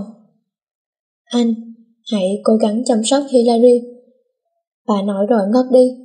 Bà bà của nó hốt hoảng, bế lấy bà, ánh mắt đỏ lên, không thương tiếc tặng cho tên kia vài viên kẹo. Những tên đàn em cũng từ từ được giết sạch. Một tiếng la vang vọng cả bệnh viện. Là nó, Hoàng Dương Ái Nhi. Nó bật dậy sau giấc mơ khủng khiếp đó. Giấc mơ theo nó biết bao nhiêu năm qua. Sau chuyện đó, ông nó cũng không còn bắt ép nó phải làm công việc đầy nguy hiểm. khẽ nhìn sang mẹ, nước mắt của nó lại rơi. Tại sao, tại sao người hứng chịu những việc này là nó mà không phải là ai khác? Tại sao chứ? Mẹ ơi, mẹ có nghe con nói không? Bao lâu rồi mẹ nhỉ? Mẹ nằm ở đây bao lâu rồi, sao mẹ không dậy để nói chuyện với con? Sao mẹ không như những người khác mà hàng ngày âu yếm cưng chiều con? Sao mẹ chưa bao giờ nói một lời yêu với con? Mười năm qua, mười năm, tại sao hả mẹ? Một khoảng không im lặng, chỉ có tiếng nói của nó vang lên. Sau khi tên cầm thú đó bắn, mẹ nó đã được chuyển đến bệnh viện, nhưng vì vết thương khá gần tim nên ca phẫu thuật có vẻ khó khăn. Tạm thời bác sĩ đã giữ lại được tính mạng của bà, nhưng có lẽ phải sống quãng đời thực vật. Tất cả dựa vào ý chí của bệnh nhân mà thôi. Chương 2 Ngôi biệt thự bí ẩn Khắp biệt thự vang lên bài hát Miku Tattoo của Garen. Bên trong, bốn cô gái với vẻ đẹp khác nhau đang nhảy mối loạn xạ như là bốn con trống trại. Người hầu trong nhà cũng vì không chịu nổi mà biến đi hết. Chỉ còn ông quản gia tòa nghiệp ở lại với lý do bị tụi nó bắt hát cùng. Phù, cuối cùng là cũng xả được một chút ít. Nó mệt mỏi dựa lưng vào sofa. Tự xả một mình đi, bắt tao theo làm chi hả? Sư quen bất bình. Ta có bắt buộc đâu, tự đi mà còn... Nó liếc nhỏ. Ơ thì... Chắc đợi hoài đợi mãi mà anh ấy chưa về nhở? Vì anh trêu. Có lý, Elena tán thành. Tụi bay, cô tức giận bỏ lên phòng. Thưa tiểu thư, sao? Tuần sau các tiểu thư phải đi học à? Ông quản gia mồ hôi mồ kê gọi nó. Hử? Cả bà nhăn mặt. Cũng tốt, trong đó sẽ có trai mà. E hèn, hai người còn lại mặt hầm hầm. Sorry, tôi không phải nữa mà. Tốt, Cả hai và ông quản gia gật đầu đồng thanh. Buổi sáng, khi những giọt sương mai còn đọng lại, ngoài vườn biệt thự Destiny, có một cô gái đang vui vẻ tập những động tác thể dục đơn giản để thân hình săn chắc hơn. Dù chỉ nhìn từ phía sau, nhưng cũng có thể nhận thấy đây là một cô gái rất đẹp. Cô gái này chính là nó. Thói quen dậy sớm thể dục của nó bắt đầu từ lúc lên 10 rồi. Khả nhìn sang ngôi biệt thự bên cạnh được ngăn bởi một khoảng tường mỏng, đến giờ thắc mắc của nó về ngôi biệt thự vẫn chưa có lời giải đáp. Sợ hai tay lên và bật người, nhìn sang vườn của nơi này. Nó thấy thật u ám, khác hẳn với sân vườn đầy hoa của nó. Nhưng bên trong vẫn vang vọng tiếng cười vui vẻ. Nó nhả mắt ngẫm nghĩ thì phát hiện một bóng người dựa vào cái cây gần đó. Theo nó thấy thì rất là đẹp à nha. Một qua làm quen mới được. Này, làm gì đu như là khỉ sang nhà người ta thế? Vivian từ đâu xa, chạy lại xỉa sói. Không phải, thấy lạ thôi. Qua đây đi, mở tiệc. Nhỏ vẫy vẫy tay. Ai lại mở tiệc vào sáng sớm? Nhưng kệ, đi thôi. Nó khoác tay nhỏ bạn đi đến gần hồ bơi. Bên ngoài biệt thự màu đen kia, bóng người bí ẩn ấy khẽ bước vào nhà cùng nụ cười thú vị. Bên này tụi nó đang vô tư ăn uống, nhưng thực chất chỉ có sư quyên ăn, còn ba chị kia lại bắt đầu cho miệng hoạt động hết công suất. Không biết ai ở nhà bên kia nhỉ? Elena thắc mắc. Phải, biệt thự thì màu đen, bên ngoài cũng có vẻ là rùng rợn bí ẩn, nhưng bên trong lại tràn ngập tiếng cười. Nhiều lúc tôi còn nghe tiếng đùa nhau của mấy cô giúp việc nữa đấy. Vivian kể. Hay nhỉ? Nó nghi ngờ. Ơ, nghe sao nói vậy thôi mà. Hình như họ chuyển tới đây sau khi các cậu đi á. Sao tôi không biết? Ai biết, nghe quan xa nói khi các cậu ấy đi, có bốn người nào đó dọn đến, nhìn qua chắc là con trai á. Sư Quyên giải thích. Nói mới nhớ, hôm qua tôi thấy có một người mặc áo phông đen, quần jean đen, clip on đen, áo khoác dài đen, mắt kính đen, khẩu trang đen, nón đen và mái tóc màu đỏ. Chỉ kỳ vậy, đen toàn bộ mà tóc màu đỏ. Thấy sao nói vậy mà... Ừ, để xem, biết đâu mấy người đó là ma cà rồng. Nhảm nhí. Không phải thì thôi, làm dữ vào. Tập trung suy nghĩ đi. Sư Quyên nhắc nhở. Tụi nó đã chìm đắm trong suy nghĩ, lâu lâu lại phát biểu linh tinh về ma quỷ gì đó.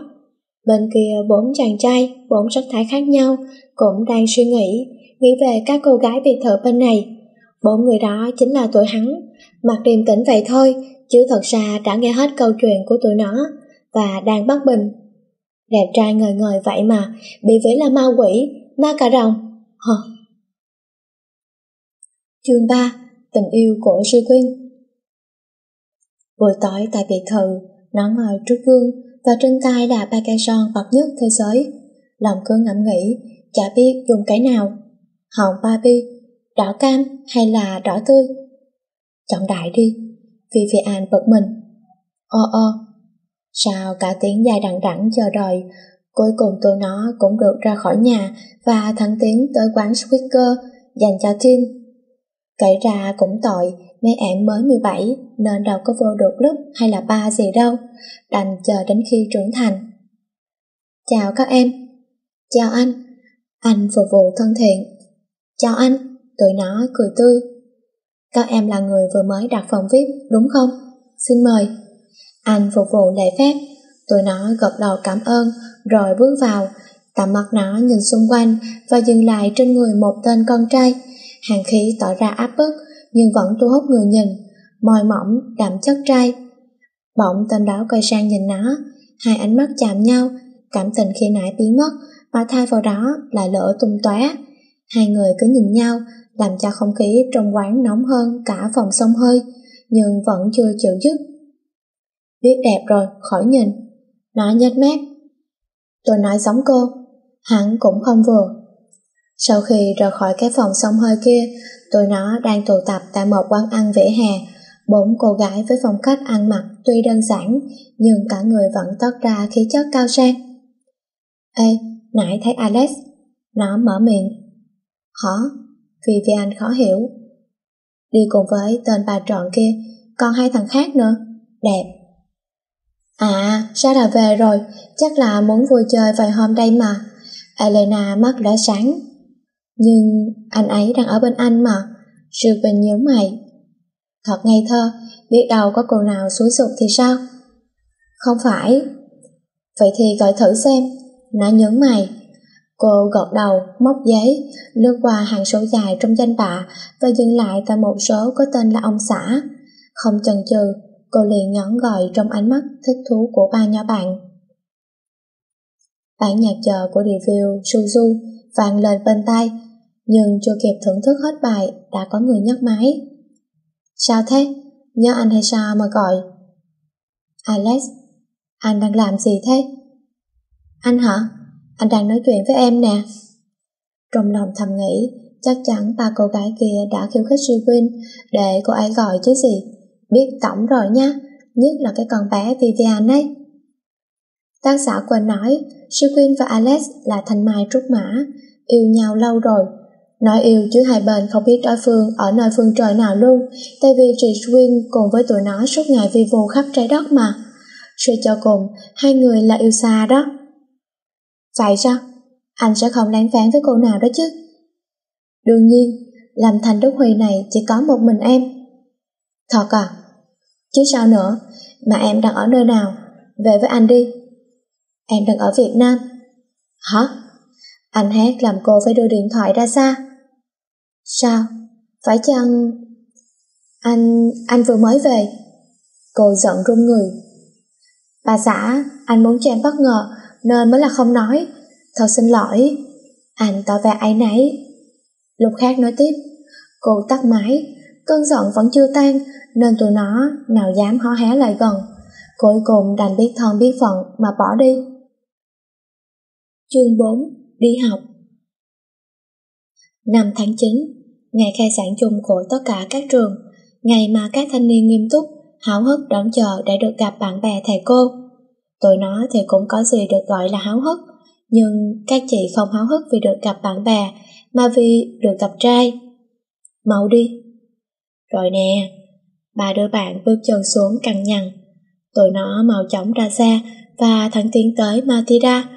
Chẳng mấy chốc Trước trường Matida, Một chiếc Audi 9 R8 sang trọng đổ lại. Từ bên trong Bốn cô gái với vẻ đẹp nghiêng nước nghiêng thành Bước xuống Và nhanh chóng chiếm hết trái tim Của mấy chàng ngây thơ ở đây. Nó không quan tâm mấy Bỏ luôn mấy đứa bạn và sải bước đi tìm nơi tổ chức lễ khai giảng. Vừa đi, Nó vừa ngắm nhìn xung quanh với ánh mắt đầy thích thú. Mãi mê chạy nhảy, Mà nó không để ý phía trước, Nên là rầm. Chị ấy đã va phải một người. Sự đau đớn từ cánh tay truyền tới, Làm cho nó nhíu mày. Nhưng có lẽ người va phải nó Không chút gì xót thương. Tài cho vô túi, Nhướng mày nhìn. Khỏi nói cũng biết ai rồi. Ôi còn đầu cánh tay xinh đẹp mỹ miều của ta nữa con người kia nhếch mép. Này, anh không biết lịch sự hả? Va phải người ta còn không biết xin lỗi. Ê, biết à? Xin lỗi. Hắn phùng ra hai từ, rồi ung dung bước đi. Đã đừng cho chân, nhếch mép một cái. Cái trường này ngộ à nha. Cái gì mà quý sợ tộc chứ? Bừa, toàn là bừa. Người gì đâu mà thiếu phép lịch sự. Dù vẫn rất là ấm ức đó nhưng nó vẫn nhịn mà tiếp tục tìm nơi phương trời ấy. Sau một hồi tìm với trả kiếm, nó đã thấy nơi ấy. Mở cửa lớn bằng tay, làm cho nó khó chịu đôi chút bởi vì đau. Tùy tiện ngồi vào một chỗ trống và ngủ suốt buổi, chả thèm để ý đến bài diễn văn dài dòng của ông hiệu trưởng. Khi kết thúc buổi lễ, nó mệt mỏi lệ bước trên hành lang, tìm lớp 12-1. Chả là chị này nhảy dù ấy mà nhưng nó không chọn lớp 1 mà dừng lại tại lớp 10. Bên trong, anh Felix, hội trưởng học sinh đang phổ biến gì gì đó, khẽ liếc hắn một cái sắc lẹm, rồi nó bước vào. Mọi hoạt động của lớp hoàn toàn dừng lại khi thấy nó. Xinh quá, bọn con trai thốt. hai chào các bạn, cho mình hỏi... Bạn cứ hỏi đi. Một đứa chen ngang. Ừ, cho mình hỏi... Hỏi đi hỏi đi, tự nhiên bạn, có gì thắc mắc nè? Ừ, toàn lỗ chằn họng. Cho hỏi, hỏi đi, hỏi. Giờ có cho tôi hỏi không? À, bạn xinh đẹp, hỏi đi. Tốt, lớp 12-10 ở đâu vậy hả? Ở đây nè, lớp 10 đây nè, một đứa con trai hấn hở. Ủa vậy hả? Mình học 12-1 cơ. Bye bye. Rồi sau đó nó chuồn đi. Bọn con trai ngơ ngác, mặt đen một cục khi bị nó lừa, còn hắn khẽ nhếch mép nhìn theo. Thú vị thật. Quay lại với chị Hillary. Chị đã phá lớp này, đến lớp khác và giờ tới lớp 12 năm khi chuẩn bị bước vào. Ê hèm, em học 12-1, đúng không? Đừng phá bạn nữa, mau về lớp đi. Cô giáo nhìn nó. Dạ, sorry cô. Nó yếu xìu đi về lớp. 12-1 là lớp giỏi nhất của trường, lớp này toàn tập trung đầy đủ các cậu ấm cô chiêu của những nhà kinh doanh nổi tiếng, nhưng cũng có vài học sinh học bổng với thành tích xuất sắc được đưa vào trường. bà con bạn của nó đứng đợi sẵn, khi thấy nó, không ai chào hỏi gì cả, làm nó thấy lạ. Các em là học sinh mới à? Cô giáo hiện hòa hỏi. Vâng, cả đám khẽ cúi người. Được rồi, vào đi đã. Ồ, là học sinh mới kìa, xin phết. Trật tự nào, để cho các bạn giới thiệu chứ. Mời các em. Xin chào mọi người, mình là Hoàng Dương Ái Nhi. Tên hết sức thân mật của mình là Hillary. Nó nói một tràng cùng với một vài động tác dễ thương. Khiêu quá, một đứa con gái thốt lên. Bạn thích gì? Người được cho là lớp trưởng. Thích đó, mình thích nhiều lắm. Thích hát, thích nhảy, thích K-pop, thích vẽ tranh, thích phay. Ồ, thế thì ghét. Mình thì ghét nhiều thứ lắm. Ghét nhện này, ghét ma, ghét côn trùng. Sợ thì sao? Một giọng nói vang lên phía cuối lớp là Alex. Ghét chính là sợ. Ồ, còn ba bạn kia thì sao? Xin chào, mình là Minh Châu, gọi mình là Swin êm đềm. Mình là Vivian, một chút nhí nhảnh. Tú Linh là mình, tĩnh mịch. Xa thế thì sao? Lớp trưởng vừa hỏi lập tức bị ném đá cho tội vô duyên. Không sao, tụi mình là học sinh học bổng. Sư Khuyên cười hiền, nọ há hốc. Bốn cậu là bạn với nhau à? Một bạn nữ hỏi. Đâu có, bạn ấy sao vậy, sao chơi với tụi mình được? Vì vì anh chói. Nó đứng như là tượng gỗ, đưa ánh mắt khó hiểu nhìn Alex, nhưng nhận lại là một cái nhún vai. À, Nhi ngồi cạnh Duy, Châu và Huy, Tú và Long, Linh và Khôi nhé. Cô giáo phân phát. Duy ở nơi phương trời nào? Nó bỏ luôn ba con bạn và hỏi. Là tôi, hẳn sờ tay. Hôm nay ra đường bước chân nào mà xui thế, về tắm lá bưởi mới được. Cả lớp che miệng cười. Đi về phía hắn, anh này đang gác chân lên bàn nghe phone. Này bạn Duy thân mến, cho mình ngồi ở trong. Nó mệt mỏi lên tiếng. Ngoài. Hả? À, không ngồi ngoài được. Nó hiểu lời hắn và nói. Quay. Không thích.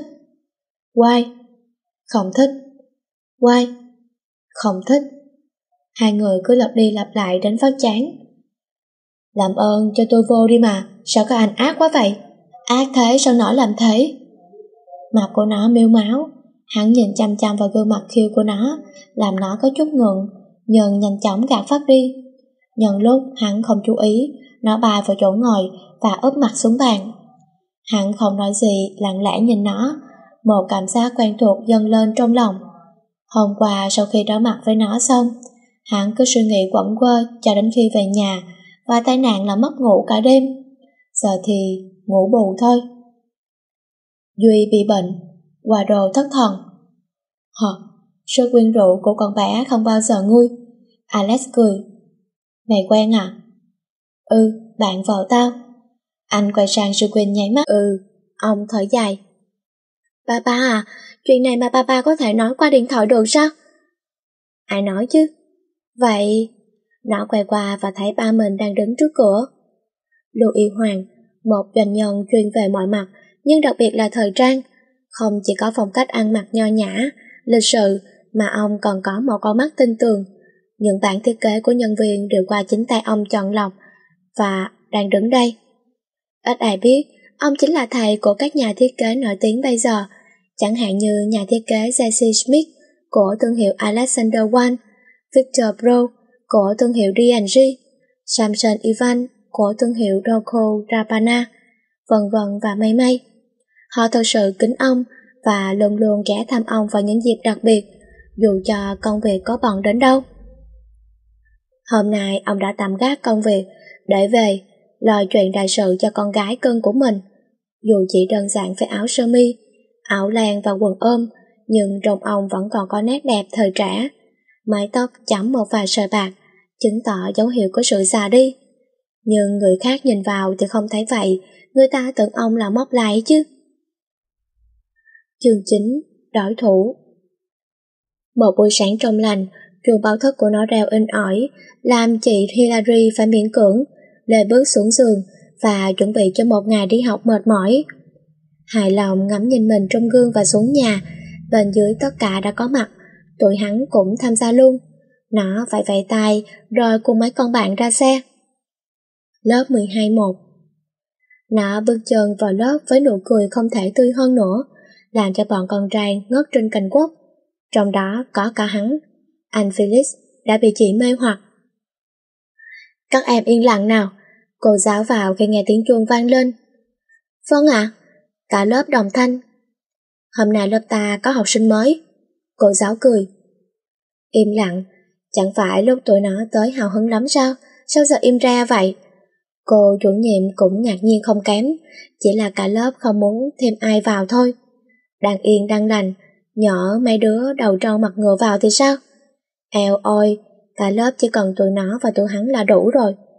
Cô giáo khi ổn định lại tinh thần thì cho học sinh mới vào. Ui chao, là nữ à? Bốn cô gái có vẻ xinh đó nha.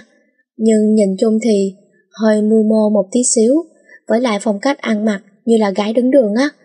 Nghe nói là chưa kịp đặt đồng phục theo số đo ba vòng khủng khiếp, nên mới mặc đồ thường. Xin chào, tôi là Ngô Khánh My, 17 tuổi, con gái chủ tịch tập đoàn mỹ phẩm lớn nhất Việt Nam. Nhỏ đầu tiên chảnh chọe nói, mắt nhìn về phía cô hắn. Miễn bình luận. Tôi là Ngô Khánh Vi, 17 tuổi. Còn tôi là Huỳnh Khánh Ngọc, lại một đứa. Trần Hoa Tranh, là người cuối cùng, muốn gây sự chú ý đây mà. Ừ, được rồi, các em tự tìm chỗ ngồi nhé. Cô giáo có vẻ khó xử. Cả bốn gật đầu rồi ông èo xuống lớp, trong ánh nhìn phẫn nộ và ganh ghét của cả lớp. Sao tụi này được chọn chỗ mà bốn hot girl của lớp không được chọn chứ? Ngộ đời. Tất nhiên là bốn nhỏ đã bị sắc đẹp của bốn bọn hắn mê hoặc, nên đi đến chỗ của bốn cặp đầu tiên là cặp Alex và Squin. Anh Alex không thèm đếm xỉa gì tới Ả Vi, mặc cho Ả kêu gào thảm thiết và nhận lại được một cái đạp. Cả lớp hả hê nhìn Ả đi về bằng cuối. Quan đồ cũng giống vậy, lo nâng niều chăm sóc chị Vivian nên chả thèm để ý tới nhỏ. Khánh Ngọc quá quê, đành rút lui xuống dưới ngồi. Đài hình như đã chìm vào trong giấc ngủ ngàn thu. Elena không nói gì thêm, chỉ lặng lặng nhường chỗ cho nhỏ cùng với nụ cười nhếch mép, làm nhỏ rợn người. Và quan trọng hơn hết, cả lớp đang yên tĩnh theo dõi cái bàn cuối ở dãy 4, nơi hai con người trung tâm của lớp ngồi. Nó và hắn nhìn chăm chăm, cô gái Khánh My trước mặt đang ống èo. Gương mặt bình thản của cả hai khiến nhỏ tức chết được, nhưng vẫn cố giữ bình tĩnh. Anh Felix, cho em ngồi ở đây được không? Dù gì chúng ta cũng từng quen biết. Im lặng, quay qua nói nhỏ gì đó với nó. Anh ta nói là quen cô hồi nào, nó thuật lại. Thật là, chẳng phải khi chị Vanessa còn ở Việt, anh và em đã rất thân hay sao? Anh ta nói là thân như anh trai và em gái thôi. Nói dối, không phải là tình cảm anh em mà, có đúng không? Nhỏ cô vớt vát hy vọng. Nó im lặng. Nè, anh nói gì đi? Ai biết? Nó nhún vai. Không phải cô là thư ký của anh ấy sao? What? Cô bị hâm à? Cô... Vậy nói đi, cô là gì của anh ấy? Hỏi anh ta kìa. Anh à, nó là gì của anh? Hắn bật dậy đè nó sát tường, làm nó bất ngờ, lưng đập mạnh vào tường, khiến đôi mày đẹp nhíu lại. Chưa kịp định thần, nó đã cảm thấy được một đôi môi mỏng dán vào môi của mình. Mặt nhắm tịch, mày vẫn nhíu chặt. Cả lớp kể cả bọn bạn của nó và hắn cũng há hốc mồm. Hot boy nổi tiếng lạnh lùng của Matilda đang hôn tân hot girl, tình động trời. Đây là câu trả lời. Nhỏ mì thất thần, nhìn, đời chân bỗng trở nên mềm nhũn và khuỵu xuống. Hai người, nhỏ giơ tay lên không trung. Chị à, không sao chứ, hãy vì bước đến. Các người, được lắm, tôi nhất định sẽ không tha cho mấy người. Trời, ai cần cô tha thứ chứ, vì vàng lý xéo. Cuối cùng chỉ có Khánh Ngọc là được ngồi cạnh thần tường. Quay lại với nó, chị mở to mắt nhìn hắn. Nó là gì mà hắn có thể tùy tiện, thích là hôn chứ, thật là quá đáng mà. Đôi mắt bỗng trở nên trầm lặng, Miệng không còn cười nữa, nó đẩy hắn ra và bước đi. Rồi xong, em dọn rồi đó, mau đuổi theo đi. Alex dục. Hắn khả thở dài rồi chạy theo nó. Chị Hillary hiện đang ở vườn trường. Vì quá sốc với việc hắn lợi dụng mình, nên nó đành xả giận xuống cái vườn vô tội. Nào là bức lá, bức cỏ, bẻ cành tự đưa hộp dưa, nhưng có vẻ là vẫn chưa hả giận. Nó mở áo khoác ra và... Tùm! Từng đợt nước mát lạnh thấm vào, khiến nó quên mọi buồn phiền.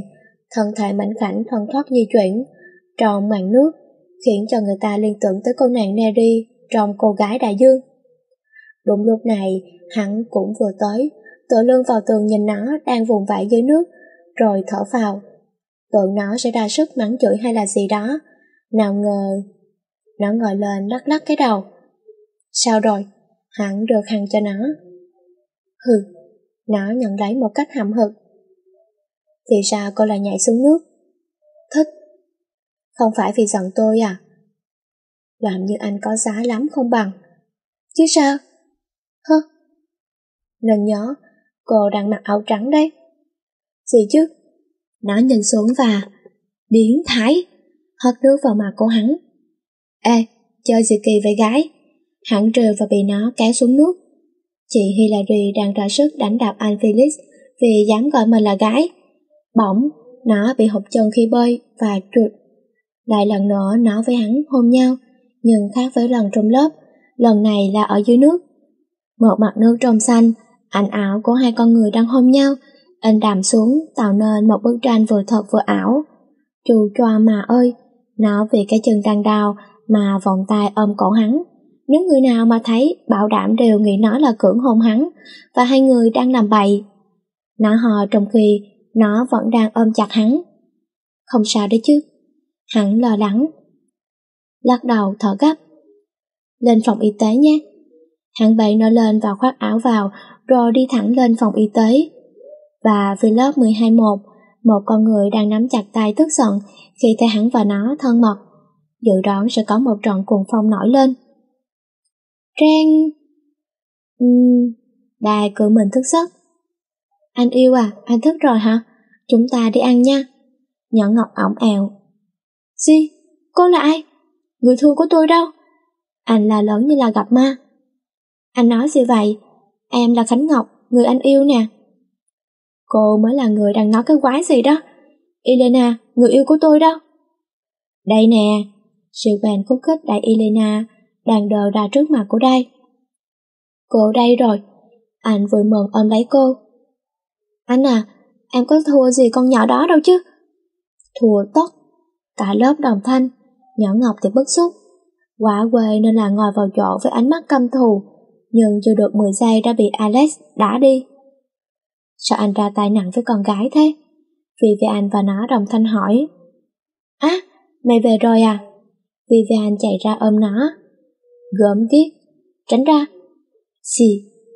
Mà nè, có ai có thuốc làm tan đá với trị tăng động không vậy? Chi? Để chỗ cho hai con người này chứ làm gì? Nó chỉ tài vào Elena vẫn đang đờ và đai thì mãi ôm cô. Wando ôm bụng cười và bắt nguồn cho cả lớp. Thôi nha, tôi đói rồi. Elena quát rồi chạy đi. Ba đứa nó nhanh chóng chạy theo, bọn hắn cũng vậy, và tất nhiên là không thể thiếu bọn hồ ly đóng rảnh rồi. Đến căng tin, nó chọn một cái bàn ở góc khuất. Mấy anh kia thấy vậy liền ngồi xuống cùng. Cho tụi em ngồi ở đây được không? Nhỏ mì từ đầu xuất hiện.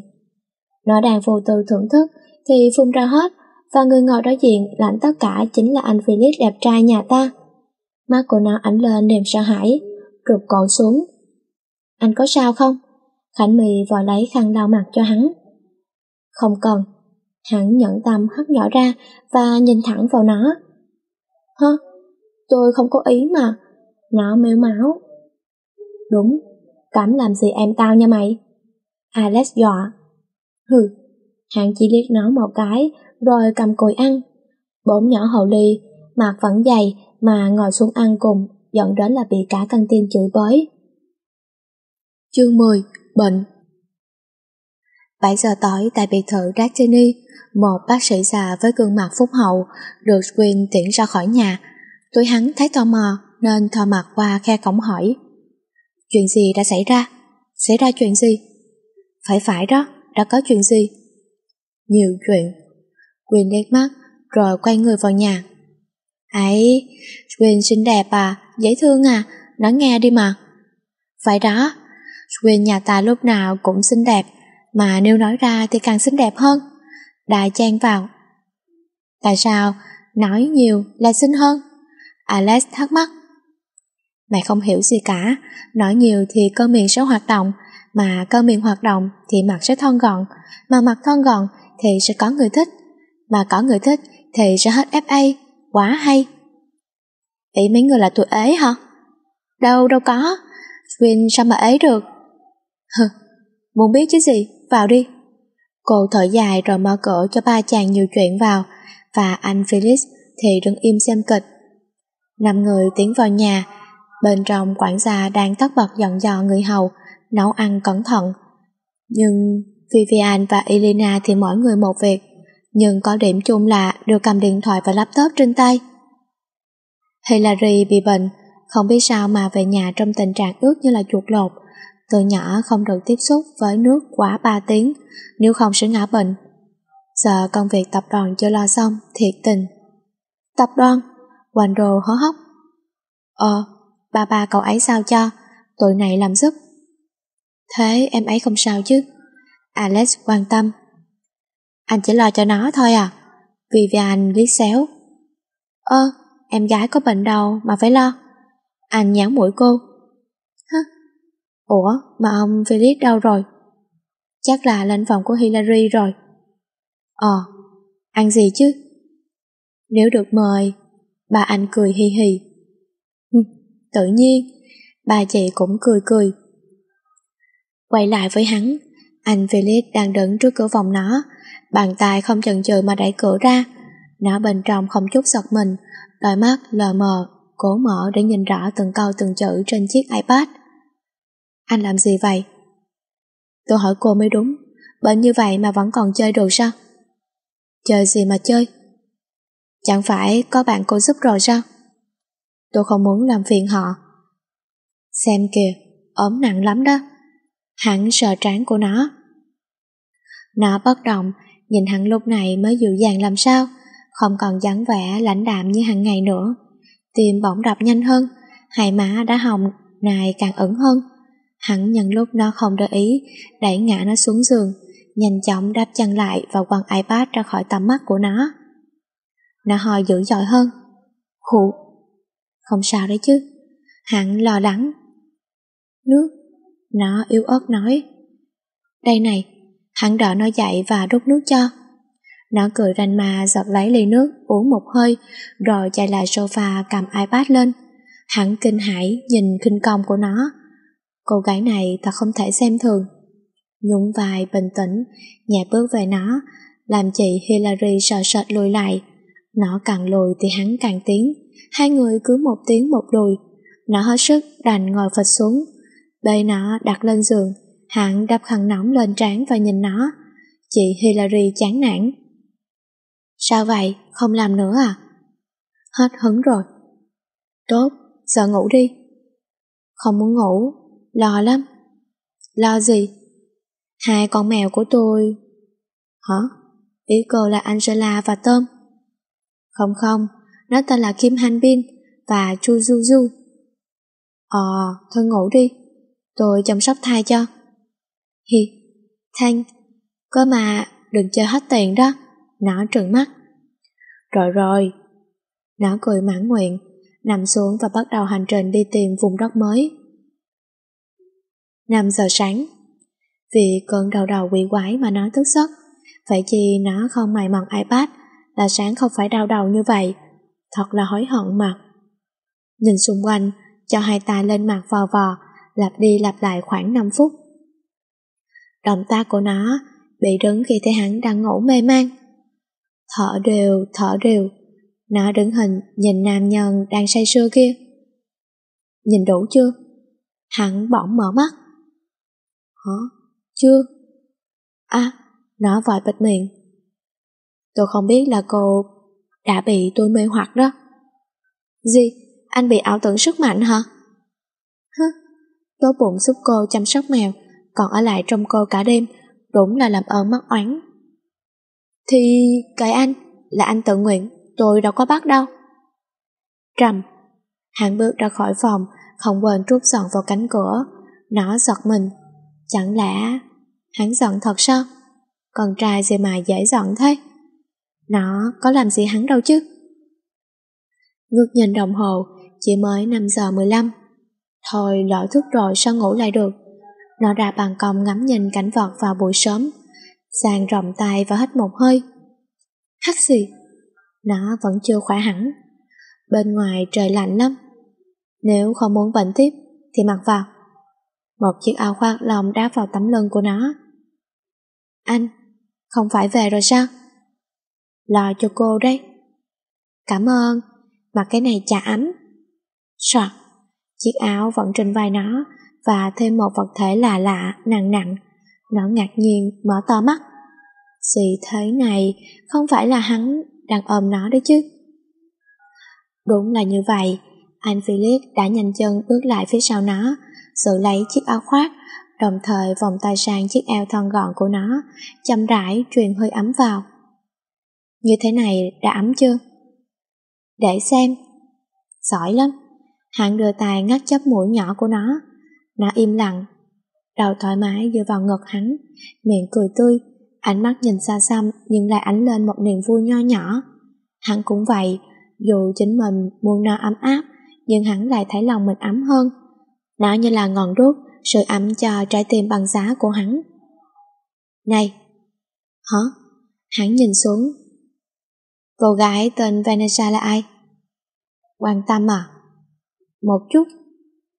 Bạn gái cũ. Hả? Cô ta là bạn gái cũ của tôi, nhưng... Sao? Nó tò mò bà khỏi người hắn. Anh nhà nhớ mày, đưa mắt nhìn xuống thân người trống rỗng vì nó đã đứng dậy, rồi nhìn sang nó. Chị hiểu ý liền trời môi và quay lại vị trí cũ là trong lòng của hắn. Ngoan, hắn cười điểu. Chị giỏi bắt nạt tôi thôi. Gần đến giờ đi học rồi đấy, hắn nhắc nhở. Anh chưa... Hát gì? Lại nữa, mau thay đồng phục ra đi. Hắn đánh trống lãng. Không, nói đi mà. Tôi không thích. Nhưng anh đã hứa là nói với tôi rồi mà. Nó mếu máu. Hồi nào? Gì? Anh xem tôi là con lừa à? Con lừa là con gì? Tìm chị mạng mà hỏi. Sorry, sorry đi à. Nó tỏ hắt ra rồi nhìn hắn bằng ánh mắt không mấy thiện cảm. Anh nhà nhũng vai nháy mắt, không thương tiếc đẩy chị vào phòng tắm cùng với sự tò mò không bao giờ được giải đáp. Ở dưới nhà. Hay, hai người làm gì cả đêm qua thế? Elena cười gian. Mày nghĩ xem, tao và anh ta sẽ làm gì? À, sorry nha, tao chưa hết bệnh. Nó ghé sát mặt cô nói bằng chất giọng băng lãnh, rồi ho sặc sụa vào mặt cô, sau đó là lời xin lỗi không thể nào xả dối hơn. Á, kiểu này tao sẽ bệnh mất. Còn ác độc, cô hét với nó. Để cho mày và ai kia có cơ hội quan tâm, tâm sự như tao với Felix, nhỉ? Phải đây cả đám đồng tình. Hơ, nó che miệng cười một tràng. Thôi nghe cái điều cười, hạ bá đó đi. Thế là nó chuyển sang đỏ kiểu, ha ha ha ha ha. Dẹp ngay cái nụ cười quỷ quái ấy đi. Rồi lại đổi kiểu, hi hi hi hi. Dẹp, cô quát thật to. Thôi, Alex ngăn cản trước khi nó dở giọng cười khác. Em đi học, bye bye. Nó vẽ tài và chuồn mất. Trong nhà, mọi người đang hồi nhau rêu trọc Elena, tất nhiên là không có hắn. Anh nhà đã chạy theo nó từ đời nào rồi, chỉ tội nghiệp đai ở lại là mắng mấy người vô duyên kia và an ủi Elena. Chương 11 Tuyên chiến Tiếng thẳng của một chiếc xe sang trọng vang lên, cả trường không thể nào mà không tò mò, nên liền quay lại và bắt đầu luyện thanh. Á, à, anh Duy kìa tụi bay! Vừa gặp hôm qua, nhưng tao vẫn thấy nhớ. Nữ sinh một. Phải, anh ấy chưa bao giờ hết đẹp cả. Ế, cơ mà hôm nay không có ba anh kia à? Lạp lạp la, nhiều lời bàn tán khác nữa dành cho hắn. Nhưng những lời nói ấy bỗng dừng tắt hẳn đi khi nó từ trên xe bước xuống. Dù mang khẩu trang, nhưng kẻ thù vẫn nhận ra nó bởi đôi mắt linh động kia. nàng hò vài tiếng rồi vẫy tay với tài xế và vào lớp. Hắn sau khi thấy nó được đưa tài xế đưa xuống xe an toàn thì cũng bước ra, ánh mắt sắc lạnh khẽ quét. Lập tức bọn hám trai ấy rùng mình quay đi, hắn cũng không thèm để ý gì nữa. Xuống căng tin, mua một chai nước rồi lên lớp. 12.1 Hôm nay nhộn nhịp hơn bao giờ hết vì Hot Girl đã trở lại và bốn con hồ ly kia vừa mừng vừa tức. Mừng vì sắp thực hiện được âm mưu, tức vì thấy tụi nó thân thiết với bọn hắn. Cạch Cửa lớp mở ra, hắn bước vào, khẽ vẫy tay chào với cả lớp, với gương mặt không thể bự hơn, rồi về chỗ, thoải mái các chân lên bàn. Nhỏ mi sáp lại, nhìn xem đồng phục đã bị nhỏ làm cho thành đồng phục múa cột với váy xẻ tà, không khoác áo ngoài, bùng cúc nữa chứ. Anh! Khánh My, sao em không khoác áo ngoài? Nhỏ chưa nói hết câu đã bị cô giáo chặn họng. Em... Em mau đặt lại đồng phục và ăn mặc cho đúng quy định. Cô không muốn lớp mình bị nói ra nó vào.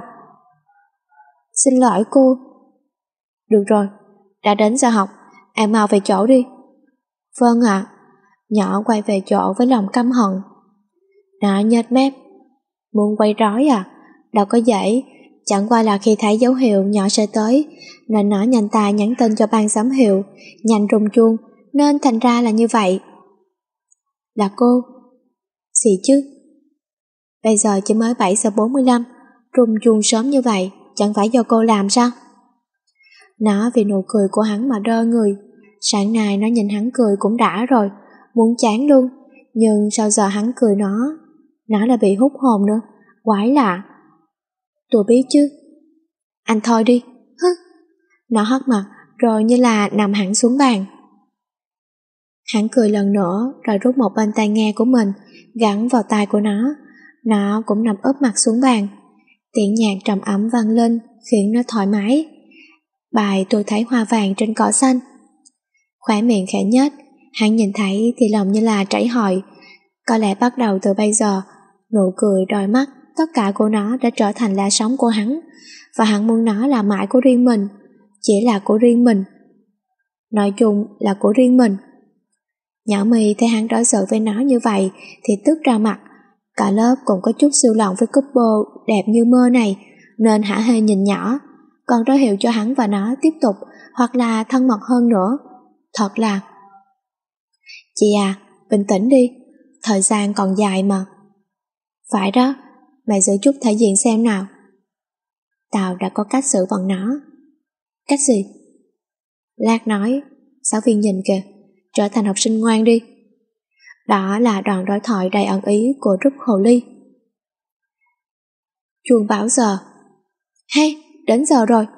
Vivian bài ngay lại bàn của nó khi nghe tiếng chuông. Giờ. Ấy, đi ăn chứ sao nữa. Thông cảm, đầu óc của nó không được bình thường. Elena chen vào. Giờ đi không? Ấy, hai vợ chồng nhà bay, hay gớm gì? Mệt.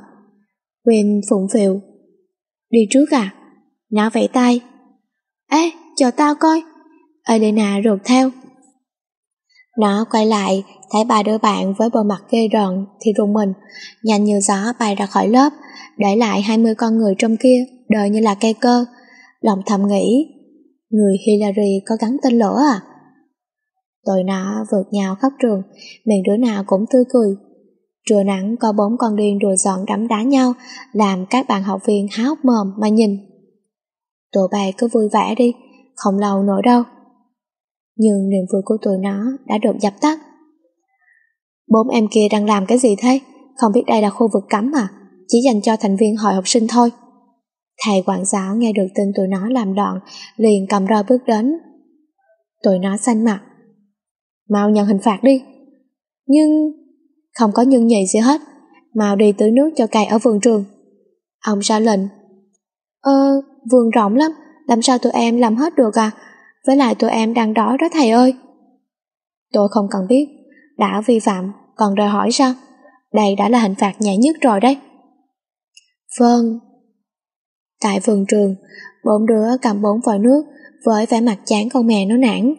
Lúc này bọn hắn từ đâu xuất hiện. Mình giúp được không? Đài nói. Đây, giúp nhé. Elena nhìn sang nó cười, rồi vứt vòi sang cho Đai. Hí, chớ đi nè. Vivian nhận tín hiệu, phường ngày nước cho bọn hắn. Ơ, muốn khiêu chiến à? Được thôi, thích thì chiều. Alex thở hắt ra rồi bắt đầu. Cả đám chia ra hai phe, trai và gái, mỗi bên hai vòi nước. Hắn cầm đầu tiên bên con trai, nó thì bên con gái. Hai người đứng trước che chở cho đám bạn rồi phun nước và tránh né lẫn nhau. Vivian, Elena và Quinn ôm chặt tay nó, làm chị Hillary mệt mỏi, vọt vã cầm hai cái vòi nước mà phun. Bọn hắn cũng không thua kém gì, vì là con trai nên mạnh hơn hắn hẳn. Với lại ba anh kia không nhát gan mà ôm lấy hắn. Bốn anh sẵn sàng hợp sức đánh bại bọn nó mà không tốn sức.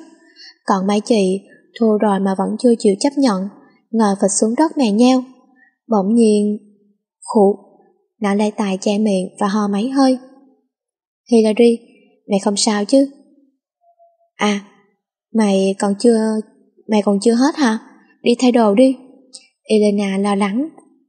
Không sao, nó cười. Gì mà không sao chứ? Harry, sao cho cậu đấy? Vivian quay qua hắn. Bọn kia hiểu ý nên là rút lui, để lại hai người. Nó nhìn hắn bằng ánh mắt lòng lành lóng lánh, đương nhiên là hắn không chịu nổi rồi. Bọt cười rồi cúi người bế nó lên phòng y tế. Tại đây nó được y tá cho uống thuốc, sau khi thay đồng phục khác. Điều kỳ lạ nhất từ trước tới nay là các nữ y tá chưa bao giờ cảm nắng tội hắn. Mấy anh có lên đây thì cũng không quan tâm, chỉ đối xử như là một học sinh bình thường. Bọn hắn cũng lấy làm lạ. Đối với người sĩ diện cao như đây thì anh đã liên tục tìm cách khiến cho các cô y tá say mê mình, nhưng vẫn thất bại. Bọn họ chỉ nhìn một cái rồi cười, chứ chưa có dấu hiệu gì gọi là say nắng cả. Này, nó gọi kết thúc hồi tưởng của hắn. Hắn ngồi cạnh nó tựa lưng vào tường, mệt mỏi trả lời. Sao tôi thấy mấy cô y tá có vẻ là không để ý đến anh vậy? Kệ họ, hắn nhún vai. Chứ không phải là anh hết sức hút rồi sao? Maybe. Ái Nhi, có người đưa cho em cái này. Một cô y tá bước vào. Cảm ơn ạ. À. Nó nhận lấy. Quả thật cô y tá đó không đếm xỉa gì tới hắn, đưa đồ xong rồi quay đi. Nó nhìn sang hắn. Anh nhà đang nhắm mắt, có vẻ đang ngủ. Khẽ cười rồi mở bức thư ra, nội dung như sau. Tàn học, địa điểm, sân trống quận 10. Nó nhếch mép. xì đây, tính khiêu chiến ư, thật là một cái trò dọa con nít. Tưởng tôi sợ sao? Một lần nữa nhìn sang hắn, mỉm cười thầm nghĩ. Xem ra anh đem đến cho tôi nhiều rắc rối nhỉ? Nhưng mà ai biết được, tôi lại thích ba cái vụ nhảm nhi đó. Philip, đi thôi, nó lại hắn. Ừ, anh mệt à? Một chút. Cho tôi hỏi một câu. Hỏi đi. Uống coca nha. Nó lấy từ sau lưng ra một lon coca. Hắn cười và nhận lấy. Nó cũng cười. Cả hai vui vẻ về lớp, hoàn thành nốt ngày học. chuông báo giờ. Tất cả học sinh vương vai mệt mỏi khi đã chào xong giáo viên bộ môn. Nó cũng như bao người, dù trong lòng vội vã, nhưng động tác lại rất là từ tốn. Thanh thản cho sách vở vào bằng một tay, tay còn lại thì thoăn thoắt, nhắn cho ba con bạn. Tụi em có việc phải đi trước. Vivian nói với bọn hắn khi cả đám tụ tập ngoài cổng. Vì gì? Để bọn anh đưa đi. Alex nhíu mày. Nhiều chuyện. Elena quát rồi vội làm cái mặt cuốn xin lỗi. Phải, con gái tụi em anh quan tâm làm gì? Sự quyền cũng lên tiếng. Lo cho mà. Đài và Wendo đồng thanh rồi tình cảm đập tay. Éo cần, đi à? Nó hất tóc bước đi. Trước khi đi khuất còn quay lại mi gió với bọn hắn nữa chứ. Mấy anh khẽ rụng mình, nhưng cũng phải công nhận là nó dễ thương thật. Khu đất trống quận 10 Tụi nó và bọn hậu ly đang đứng đối mặt với nhau, mặt hầm hầm, mọi chuyện sẽ diễn ra như thế nào đây? Chương 12 Sức mạnh của Swin Gặp gỡ ông nội. Xào sạc xào sạc Tiếng lại rời cứ vang mãi chẳng dứt. Một cơn gió thu vừa thổi qua Đã làm cho hai hàng cây quanh khu đất lay động Và những chiếc lá vàng đến tuổi lìa cành ao ạt bay xuống, Tạo nên khung cảnh ảm đạm. Tám người con gái, Tám vẻ đẹp khác nhau cứ nhìn nhau chằm chằm. Sao nào? Có gì thì nói lẹ đi chứ. Vivian mất kiên nhẫn, Nhưng giọng điệu vẫn uy hiếp người. Ngon lắm. Tội này muốn cảnh cáo các cô. Nhỏ Vi hùng hồn. Cảnh cáo cái chi? Elena vờ ngạc nhiên. Tụi mày không được đến gần các anh ấy. Hả? Ý các cô là F4 à? Đúng vậy. Các Nhỏ mì búng tay một cái, Từ đám cây phía sau một đám người bầm tròn bước ra trong hình dáng thì chắc là đầu gấu của một trường trung học. Không phép tắc nào đó, Nhưng nhìn vẻ mặt thì có chút hiền lành. Nói không lại thì chơi bẩn. Nó có chút sợ nhưng vẫn mạnh miệng. Không cần nói nhiều. Xông lên. Nhỏ vì phất tay. Nó Vivian và Elena giọt bắn mình. Vẻ mặt thoáng chút kinh ngạc và sợ hãi. Đôi chân không tự chủ lùi về sau. Chỉ còn Quyên đối mặt với gần 10 tên con trai nhưng có một điều kỳ lạ là cô không hề sợ hãi. Đôi mắt tự tin nhìn về phía đám người kia hai tay dang rộng che chở cho ba đứa bạn. Một mình cô chống chọi lại với 10 tên. Nhìn cách ra đòn còn có vẻ là vụng về nhưng vẫn đủ diệt sạch mấy tên đáng chết đó. Nó mở to mắt tay che miệng kinh hãi trong khi hai chị kia đã hồn bài phách tán. Swin đang đánh mà nhìn biểu cảm của tụi bạn nên là khẽ cười, nhưng nhanh chóng lấy lại tinh thần, dùng chân đá thẳng vào mặt một tên, khiến ẻm hùng đất luôn. Đó có phải là Swin không? Vivi ngơ ngác. Không phải, sao Quyên mạnh vậy? Không phải đâu. Nó mêu máu, không chấp nhận sự thật. Tụi bay khùng à? Tao nè. Swin quay lại khi đã xử xong đám côn đồ. Thiệt, Elena dùi dùi mắt. Ừ, cô cười khổ. Bốn nhỏ hậu ly thì tức ảnh ách về việc này, bọn họ thật không ngờ được một con nhỏ yếu đuối thường ngày lại có sức mạnh như vậy, thật là sơ suất. Tại một thân cây đà lớn, có bốn chàng trai đưa mắt nhìn về khu đất, nơi có bốn người con gái đang móc túi kiếm tiền của 10 chàng trai kia. Đó chính là F4 xinh đẹp của chúng ta. Alex bàng hoàng với sức mạnh của vợ, Quando và Đai thì tá hỏa. Chết rồi, sau này làm sao mà gặp Quinn để nhờ vả đây? Còn hắn, anh nhà vẫn bình tĩnh, không ngạc nhiên lắm về Quinn. Hắn chỉ quan tâm mọi cô gái đang không chấp nhận sự thật kia. Khỏi nói cũng biết ai rồi đúng không? Bên này. Gì thế này? Tôi có đang mơ. Nó ôm đầu ngán ngẩm. Chắc chắn là mơ rồi. Elena mơ mơ màng màng. Quinn hức Quyên ơi, ma nhập mày hả? Vivian khóc lóc. Cái đám này, đi về, không là tao giết đấy. Cô dọa. Về, về. Cả ba sợ hãi chạy ra xe. Nhưng chạy chưa được ba bước, đã bắt gặp bọn hắn. Nó há hốc. Ủa mơ, sao hắn lại biết được chỗ của tụi nó? Bàn tay mềm mại lên một lần nữa, đưa lên che miệng. Có gì mà phải ngạc nhiên? Ơ, sao mày... Sao mày la tao? Ờ thì... Cô bối rối Này, em học võ từ bao giờ? Anh muốn biết à? Phải. Ông dạy cho em. Ông nào? Ông nội mi. quyền đưa tài di trán của nó. Hả? Nó ngạc nhiên. Rồi nha, đi à? Cô nói và kéo tay Alex đi. Nó ngơ ngác. Là ông nội nó dạy sao? Nó đánh mặt lại tay nắm thành thành quyền. Ông nội thật là kỳ, không dạy được cho cháu thì đi tìm người khác truyền võ công à. Đi thôi, còn đứng đó làm gì? tội cài đi hết rồi kìa. Hắn gọi hồn nó về. Bất công, nó miêu máu. Giờ muốn sao? Hắn hỏi. Tìm ông nội. Nó cắn chặt răng như là út ức lắm rồi, rồi chạy đi. Hắn phía sau khẽ cười. Cô gái nhỏ ngây thơ. Trên xe của hắn, nó đang nói chuyện với ai đó, tay thì ghi ghi chép chép liễn thoáng, động tác rất nhanh nhạy. Được rồi, địa chỉ đây. Số 15 đường XYZ, quận 2, khu đô thị 1. Nó nói, sao nghe quen quen? Hắn nhớ màng mát thứ gì đó. Mau đi. Ờ ờ, hắn ậm ừ. Một lúc sau, chiếc xe sang trọng dừng lại tại một căn biệt thự không thể nào đẹp hơn được nữa. Màu chủ đạo của nó là màu trắng. Chưa vô cũng biết nội thất sang trọng như thế nào rồi. Nó không thèm nhìn ngắm mà bay vô luôn. Còn hắn, anh nhà đang há hốc. Đây chẳng phải là nhà cũ của hắn sao? Nói rõ hơn thì bà má hắn đang sống ở đây cùng em gái và cựu chủ tịch của Louis. Mà người cựu chủ tịch ấy chính là ông nội của nó. Ơ, thật là trùng hợp. Thu hồi vẻ mặt kinh ngạc, hắn thanh thản bước vào nhà như chưa có chuyện gì xảy ra. Ông, nó gọi lớn. Có chuyện gì đó? Ông Hoàng bước ra khi nghe tiếng nó gọi. Là cháu, Hillary vô cùng xinh đẹp và tài giỏi của ông đây. Nó tranh thủ khoe khoang. Hắn đứng gần đó nhìn nó mà bật cười.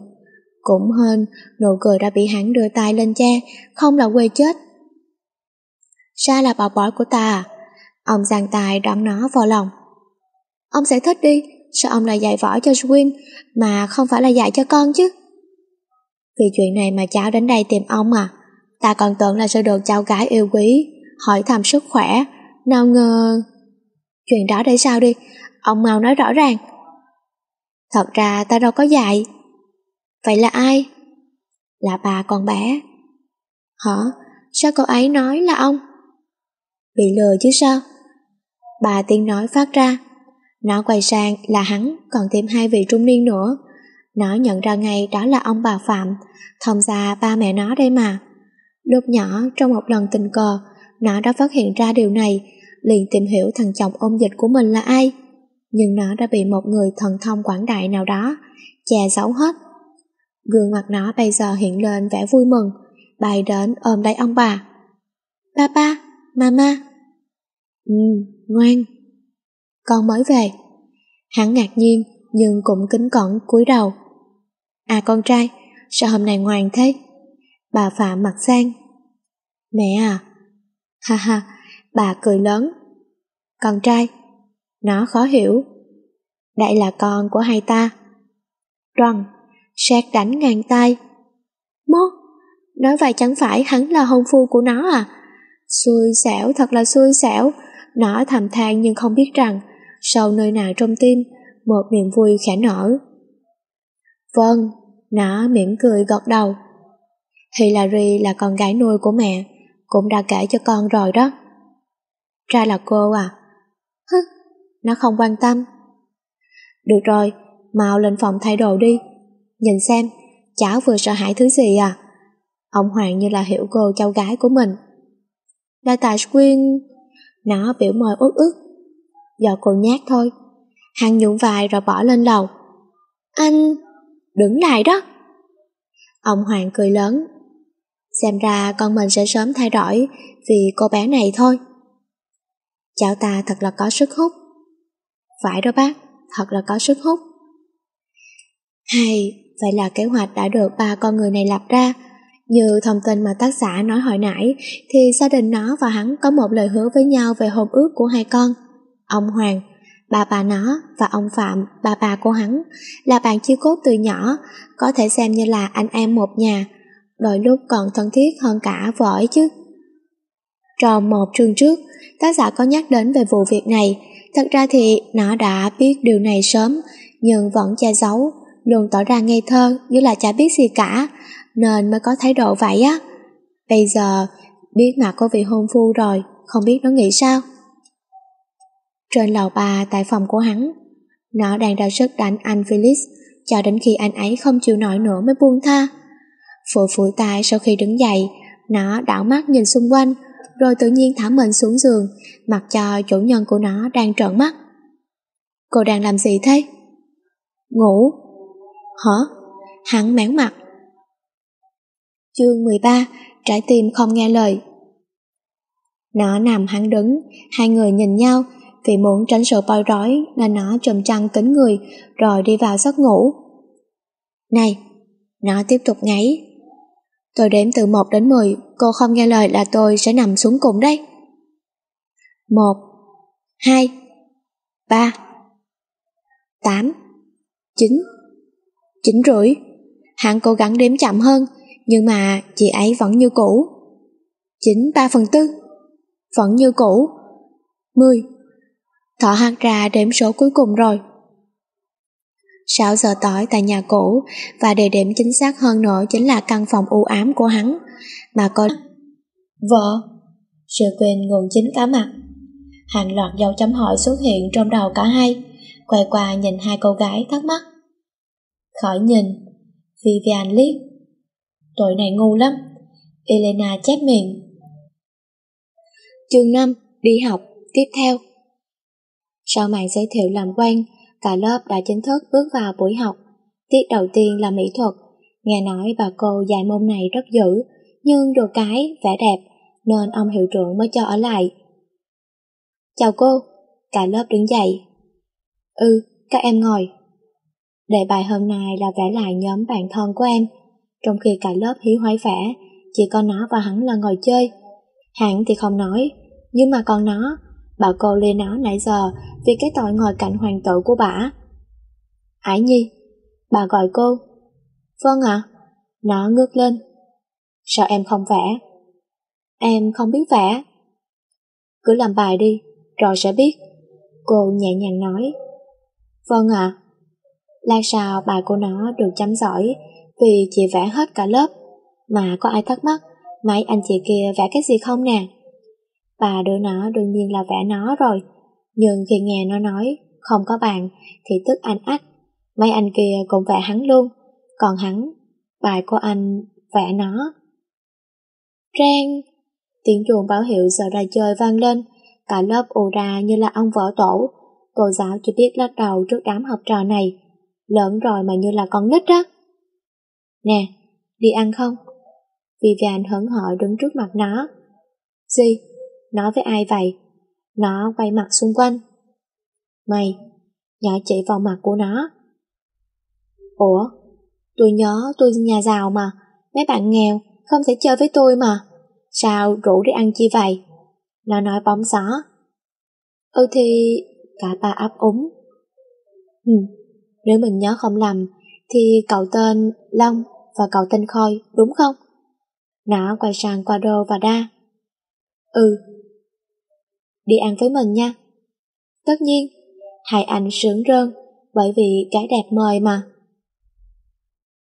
Chương 6 Ăn nhờ ở đầu Nó mệt mỏi bước xuống xe, nhìn thấy hắn đang ung dung đứng đó. tỉnh lên giọng trách móc, thì thấy một người phụ nữ trung niên quét dọn sân vườn. Quảng xa hông thì vừa bước vào. Hai người nhìn nhau cười cười, ánh mắt nhau lại rồi chút rồi hỏi. Này, bà đó là ai thế? Quản gia. Trời trảng, nó vùng ra hai từ rồi xách ba lô vào nhà. Cô có quyền gì mà nói như vậy? Quyền được nói, quyền của con người. Nó cười nhạt. Dù gì thì bà ấy cũng lớn hơn cô, sao cô có thể ăn nói như vậy? Hả? Lạnh lùng như anh, mà lại nói nhiều vì một bà quản gia sao? Bà ta là gì của anh? Im lặng. Không còn gì để nói. Xin lỗi chị đi, Tôi chỉ vì lo cho bản thân mình khi ông ấy có vợ thôi. Nó nhún vai và đi vào nhà. Hằng đứng đó nhìn theo bóng của nó, suy nghĩ về câu nói vừa rồi. Bà quản gia ấy là gì của hắn? Từ khi mẹ hắn mất, ba hắn lại bận chuyện công ty, không thường về nhà, nên đã thuê một bảo mẫu chăm nom hắn. Chính là bà quản gia đó. Bà có một cái tên hay là Olivia. Hắn xem bà như là một người mẹ thứ hai của mình, cho nên ai có hành vi xúc phạm đến bà ấy, hắn nhất định không tha. Nhưng sao hắn không làm được điều đó khi người đó lại là nó? Mệt mỏi bước vào nhà, ông quản gia của nó đã được Alex mời sơi nước. Tụi hắn quả thật rất là lễ phép với người lớn. Hắn cũng được sự gật đầu và ngồi xuống tiếp chuyện. Bỗng, quản gia không, ông phải ra cho tôi. Nó hét lớn. À, tôi xin phép. Ông cúi chào. Khải lắc đầu trước tính tình của nó. Thiệt là không phải thân thiện dễ gần là tốt. Cô chủ nhà ông quả thật đã mắc vào cái bệnh tiểu thư rồi. Thưa tiểu thư gọi tôi. Ông vừa đi đâu? Tôi có chút việc ở nhà bên cạnh à. Tôi đói, Nó trừng mắt. 7 giờ, thứ bảy tại căn phòng màu trắng hồng xinh xắn của biệt thự. Trên chiếc giường to tổ bố có một cô gái với vẻ đẹp ngây thơ trong trắng đang ngủ ngon lành. Bỗng, cọc cọc cọc, tiếng gõ cửa vang lên làm cô gái cửa mình thức giấc. Ai? Nó nói vọng ra. Là tôi thưa tiểu thư, có người gửi bưu phẩm cho tiểu thư. Cô hầu gái cẩn thận nói. Để đó đi, tôi ra liền. Biện nhát rời khỏi giường, nó mở cửa và nhặt lấy gói bưu phẩm rồi mở ra. Bên trong là một quần áo xinh xắn, đúng style của nó. Áo sơ mi màu vàng, bên trong có len cả hai đều là thương hiệu Thursday Island. Quần skinny jean trắng và túi sách đeo chéo màu lam, cộng thêm chiếc nơ chấm bi cài tóc. Nó hí hửng chạy vào phòng tắm thay đồ, mang giày vào rồi tung tăng xuống nhà. Đồ mới à? Hứ, nó liếc cô rồi ra khỏi nhà. Hờ, chết chắc. Cô ủ rũ. Nó đóng cửa cổng và nhìn sang nhà hắn như là một thói quen. Trong đầu nghĩ ra cái gì đó, thông thả bước đến và nhấn chuông. Kinh con. À, xin chào, cô là... Một cô giúp việc mở cổng. Bạn của Alex. Xin mời vào, thiếu gia Alex ở phòng khách ạ. Cô giúp việc mỉm cười. Nó cúi đầu cảm ơn, rồi chạy ù vào trong. Ngõ đầu vào phòng khách với gương mặt tươi hân hoa, nó làm bốn chàng trai ở đó sốt sặc. Cười khì khì, rồi từ tiện thả mình xuống ghế sofa êm dịu. Nó nhanh chóng giọt đầy trà của Wando và tu ưng ực. Sao, sao cậu? Nhà tôi bên kia. Nói rồi nó đi vòng qua. Đi đâu thế? Quản xa của các anh, bãi đâu rồi? Em hỏi làm gì? Tìm hiểu. Tạo lên phòng. Hắn đứng dậy. Ờ. Nó liên hắn sắc lẹm, rồi quay mặt sang chỗ khác, bàn chân không chịu yên. Đi khắp nhà, nhìn hết thứ này đến thứ khác, là mấy cô hầu trong nhà choáng váng cả lên. Vào lúc này, Thưa, tôi về rồi à? Quản gia Olivia từ ngoài đi vào. Bà là quản gia sao? Nó chắn trước mặt bà hỏi. Vâng, còn cô là... Người đẹp nhất thế giới.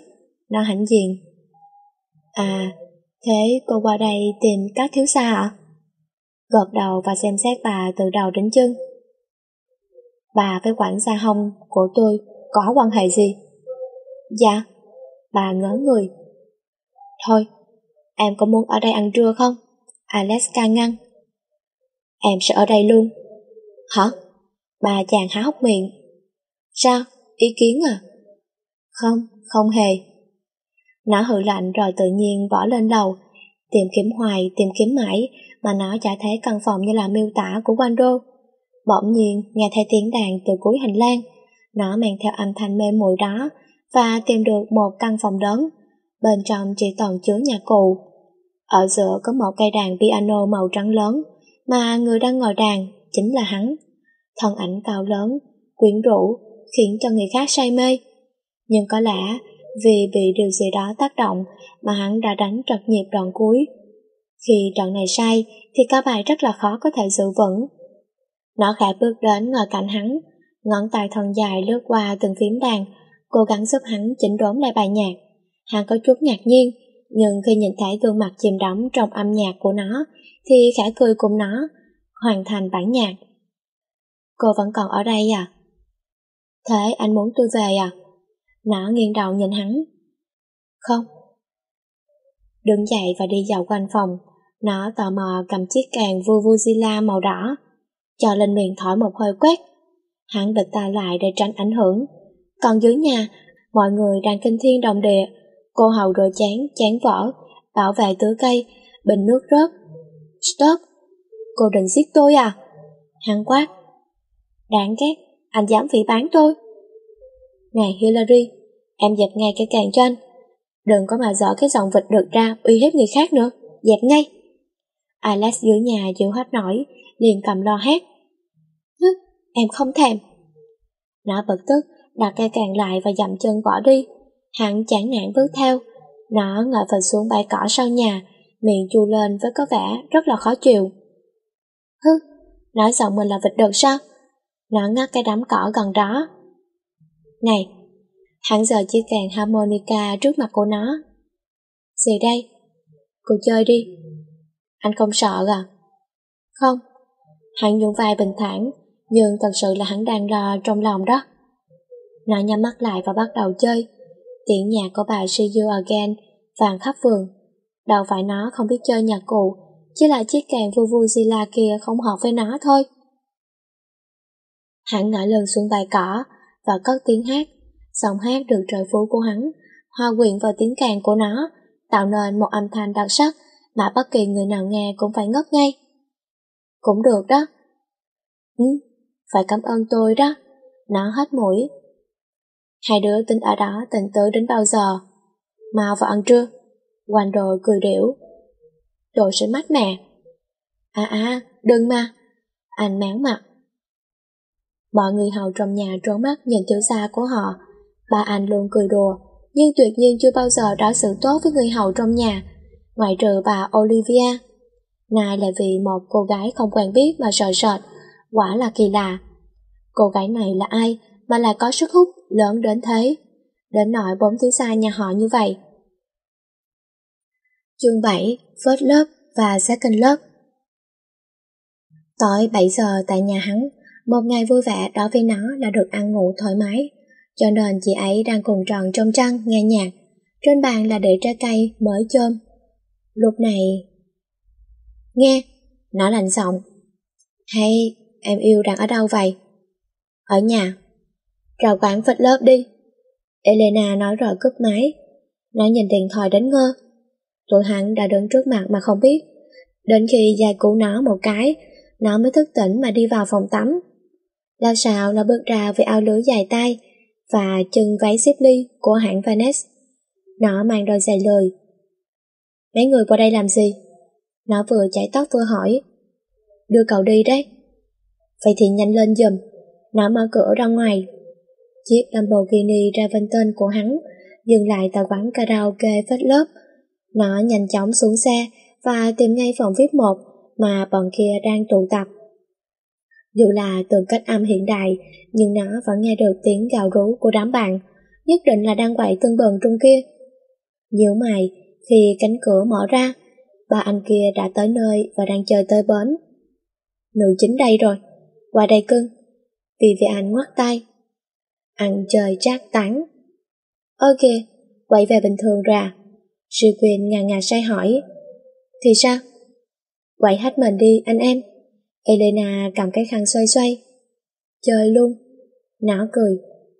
Thế là cả đám nhào vô nhảy múa lòn xà. Hắn không kém. Riquin say tới nỗi ngủ như chết. Alex hết cách đành ngủ cùng cô nàng luôn. Còn rồi thì luôn tìm cách cười chị Vivian. Bản thân chị này hám trai đẹp nên đương nhiên là vui vẻ cười nói rồi. Tự sướng chung nữa chứ. Người ta nhìn vô tưởng đôi này yêu nhau. Nhưng có cái gì đó ở góc phòng What the fuck? Elena và Dai đang hôn nhau sao? Chuyện gì đang xảy ra? Cùng tua lại 10 phút trước. Này, cô có muốn chơi một trò chơi không? Đai hỏi. Tưởng tôi sợ à? Trò gì? Quẳng tù tì, ai thua phải uống và hôn người kia. Hử? Sao? Không dám à? Ai nói, chơi thì chơi. Cô hơi ngại nhưng mà vẫn cứng miệng. Phản một bắt đầu, cô thua, nên phải hôn má của anh. Phản hai cô lại thua, phản ba thôi luôn. Anh dù vui vì được cô hôn, nhưng vẫn muốn thua ai. Hai, ai biểu trời sinh ra giờ quá làm chi, giờ ẩn tù tì, thắng hoài không thua. Trời không phụ lòng người, cuối cùng anh cũng thua. Đến lúc này cô đã sai đến nỗi, lên trời cũng được rồi, nên chẳng biết gì đâu. Cười cười nhìn anh uống rượu, Lời nói chưa trôi ra khỏi miệng đã bị anh nuốt lấy, bờ môi căng mọng không chút ngại ngần, đáp lại nụ hôn đầy mãnh liệt kia. Đại vội như là bắt được vàng, anh luồn tay vào mớ tóc mềm mại của cô và thực sự chìm vào trong nụ hôn. Quay lại thời điểm này, hai đôi môi vẫn còn đang quấn lấy nhau. Đi Lan, đừng bỏ em, đừng bỏ em. Cô bỗng bật khóc. Anh sững người. Rê Lan, là ai? Tâm trạng đang vui vẻ trên mai của anh, sợ như là trôi tuột xuống 19 tầng địa ngục. Rực cười, hồn Anh mà nghĩ về người con trai khác sao? Cô xem anh là cái gì?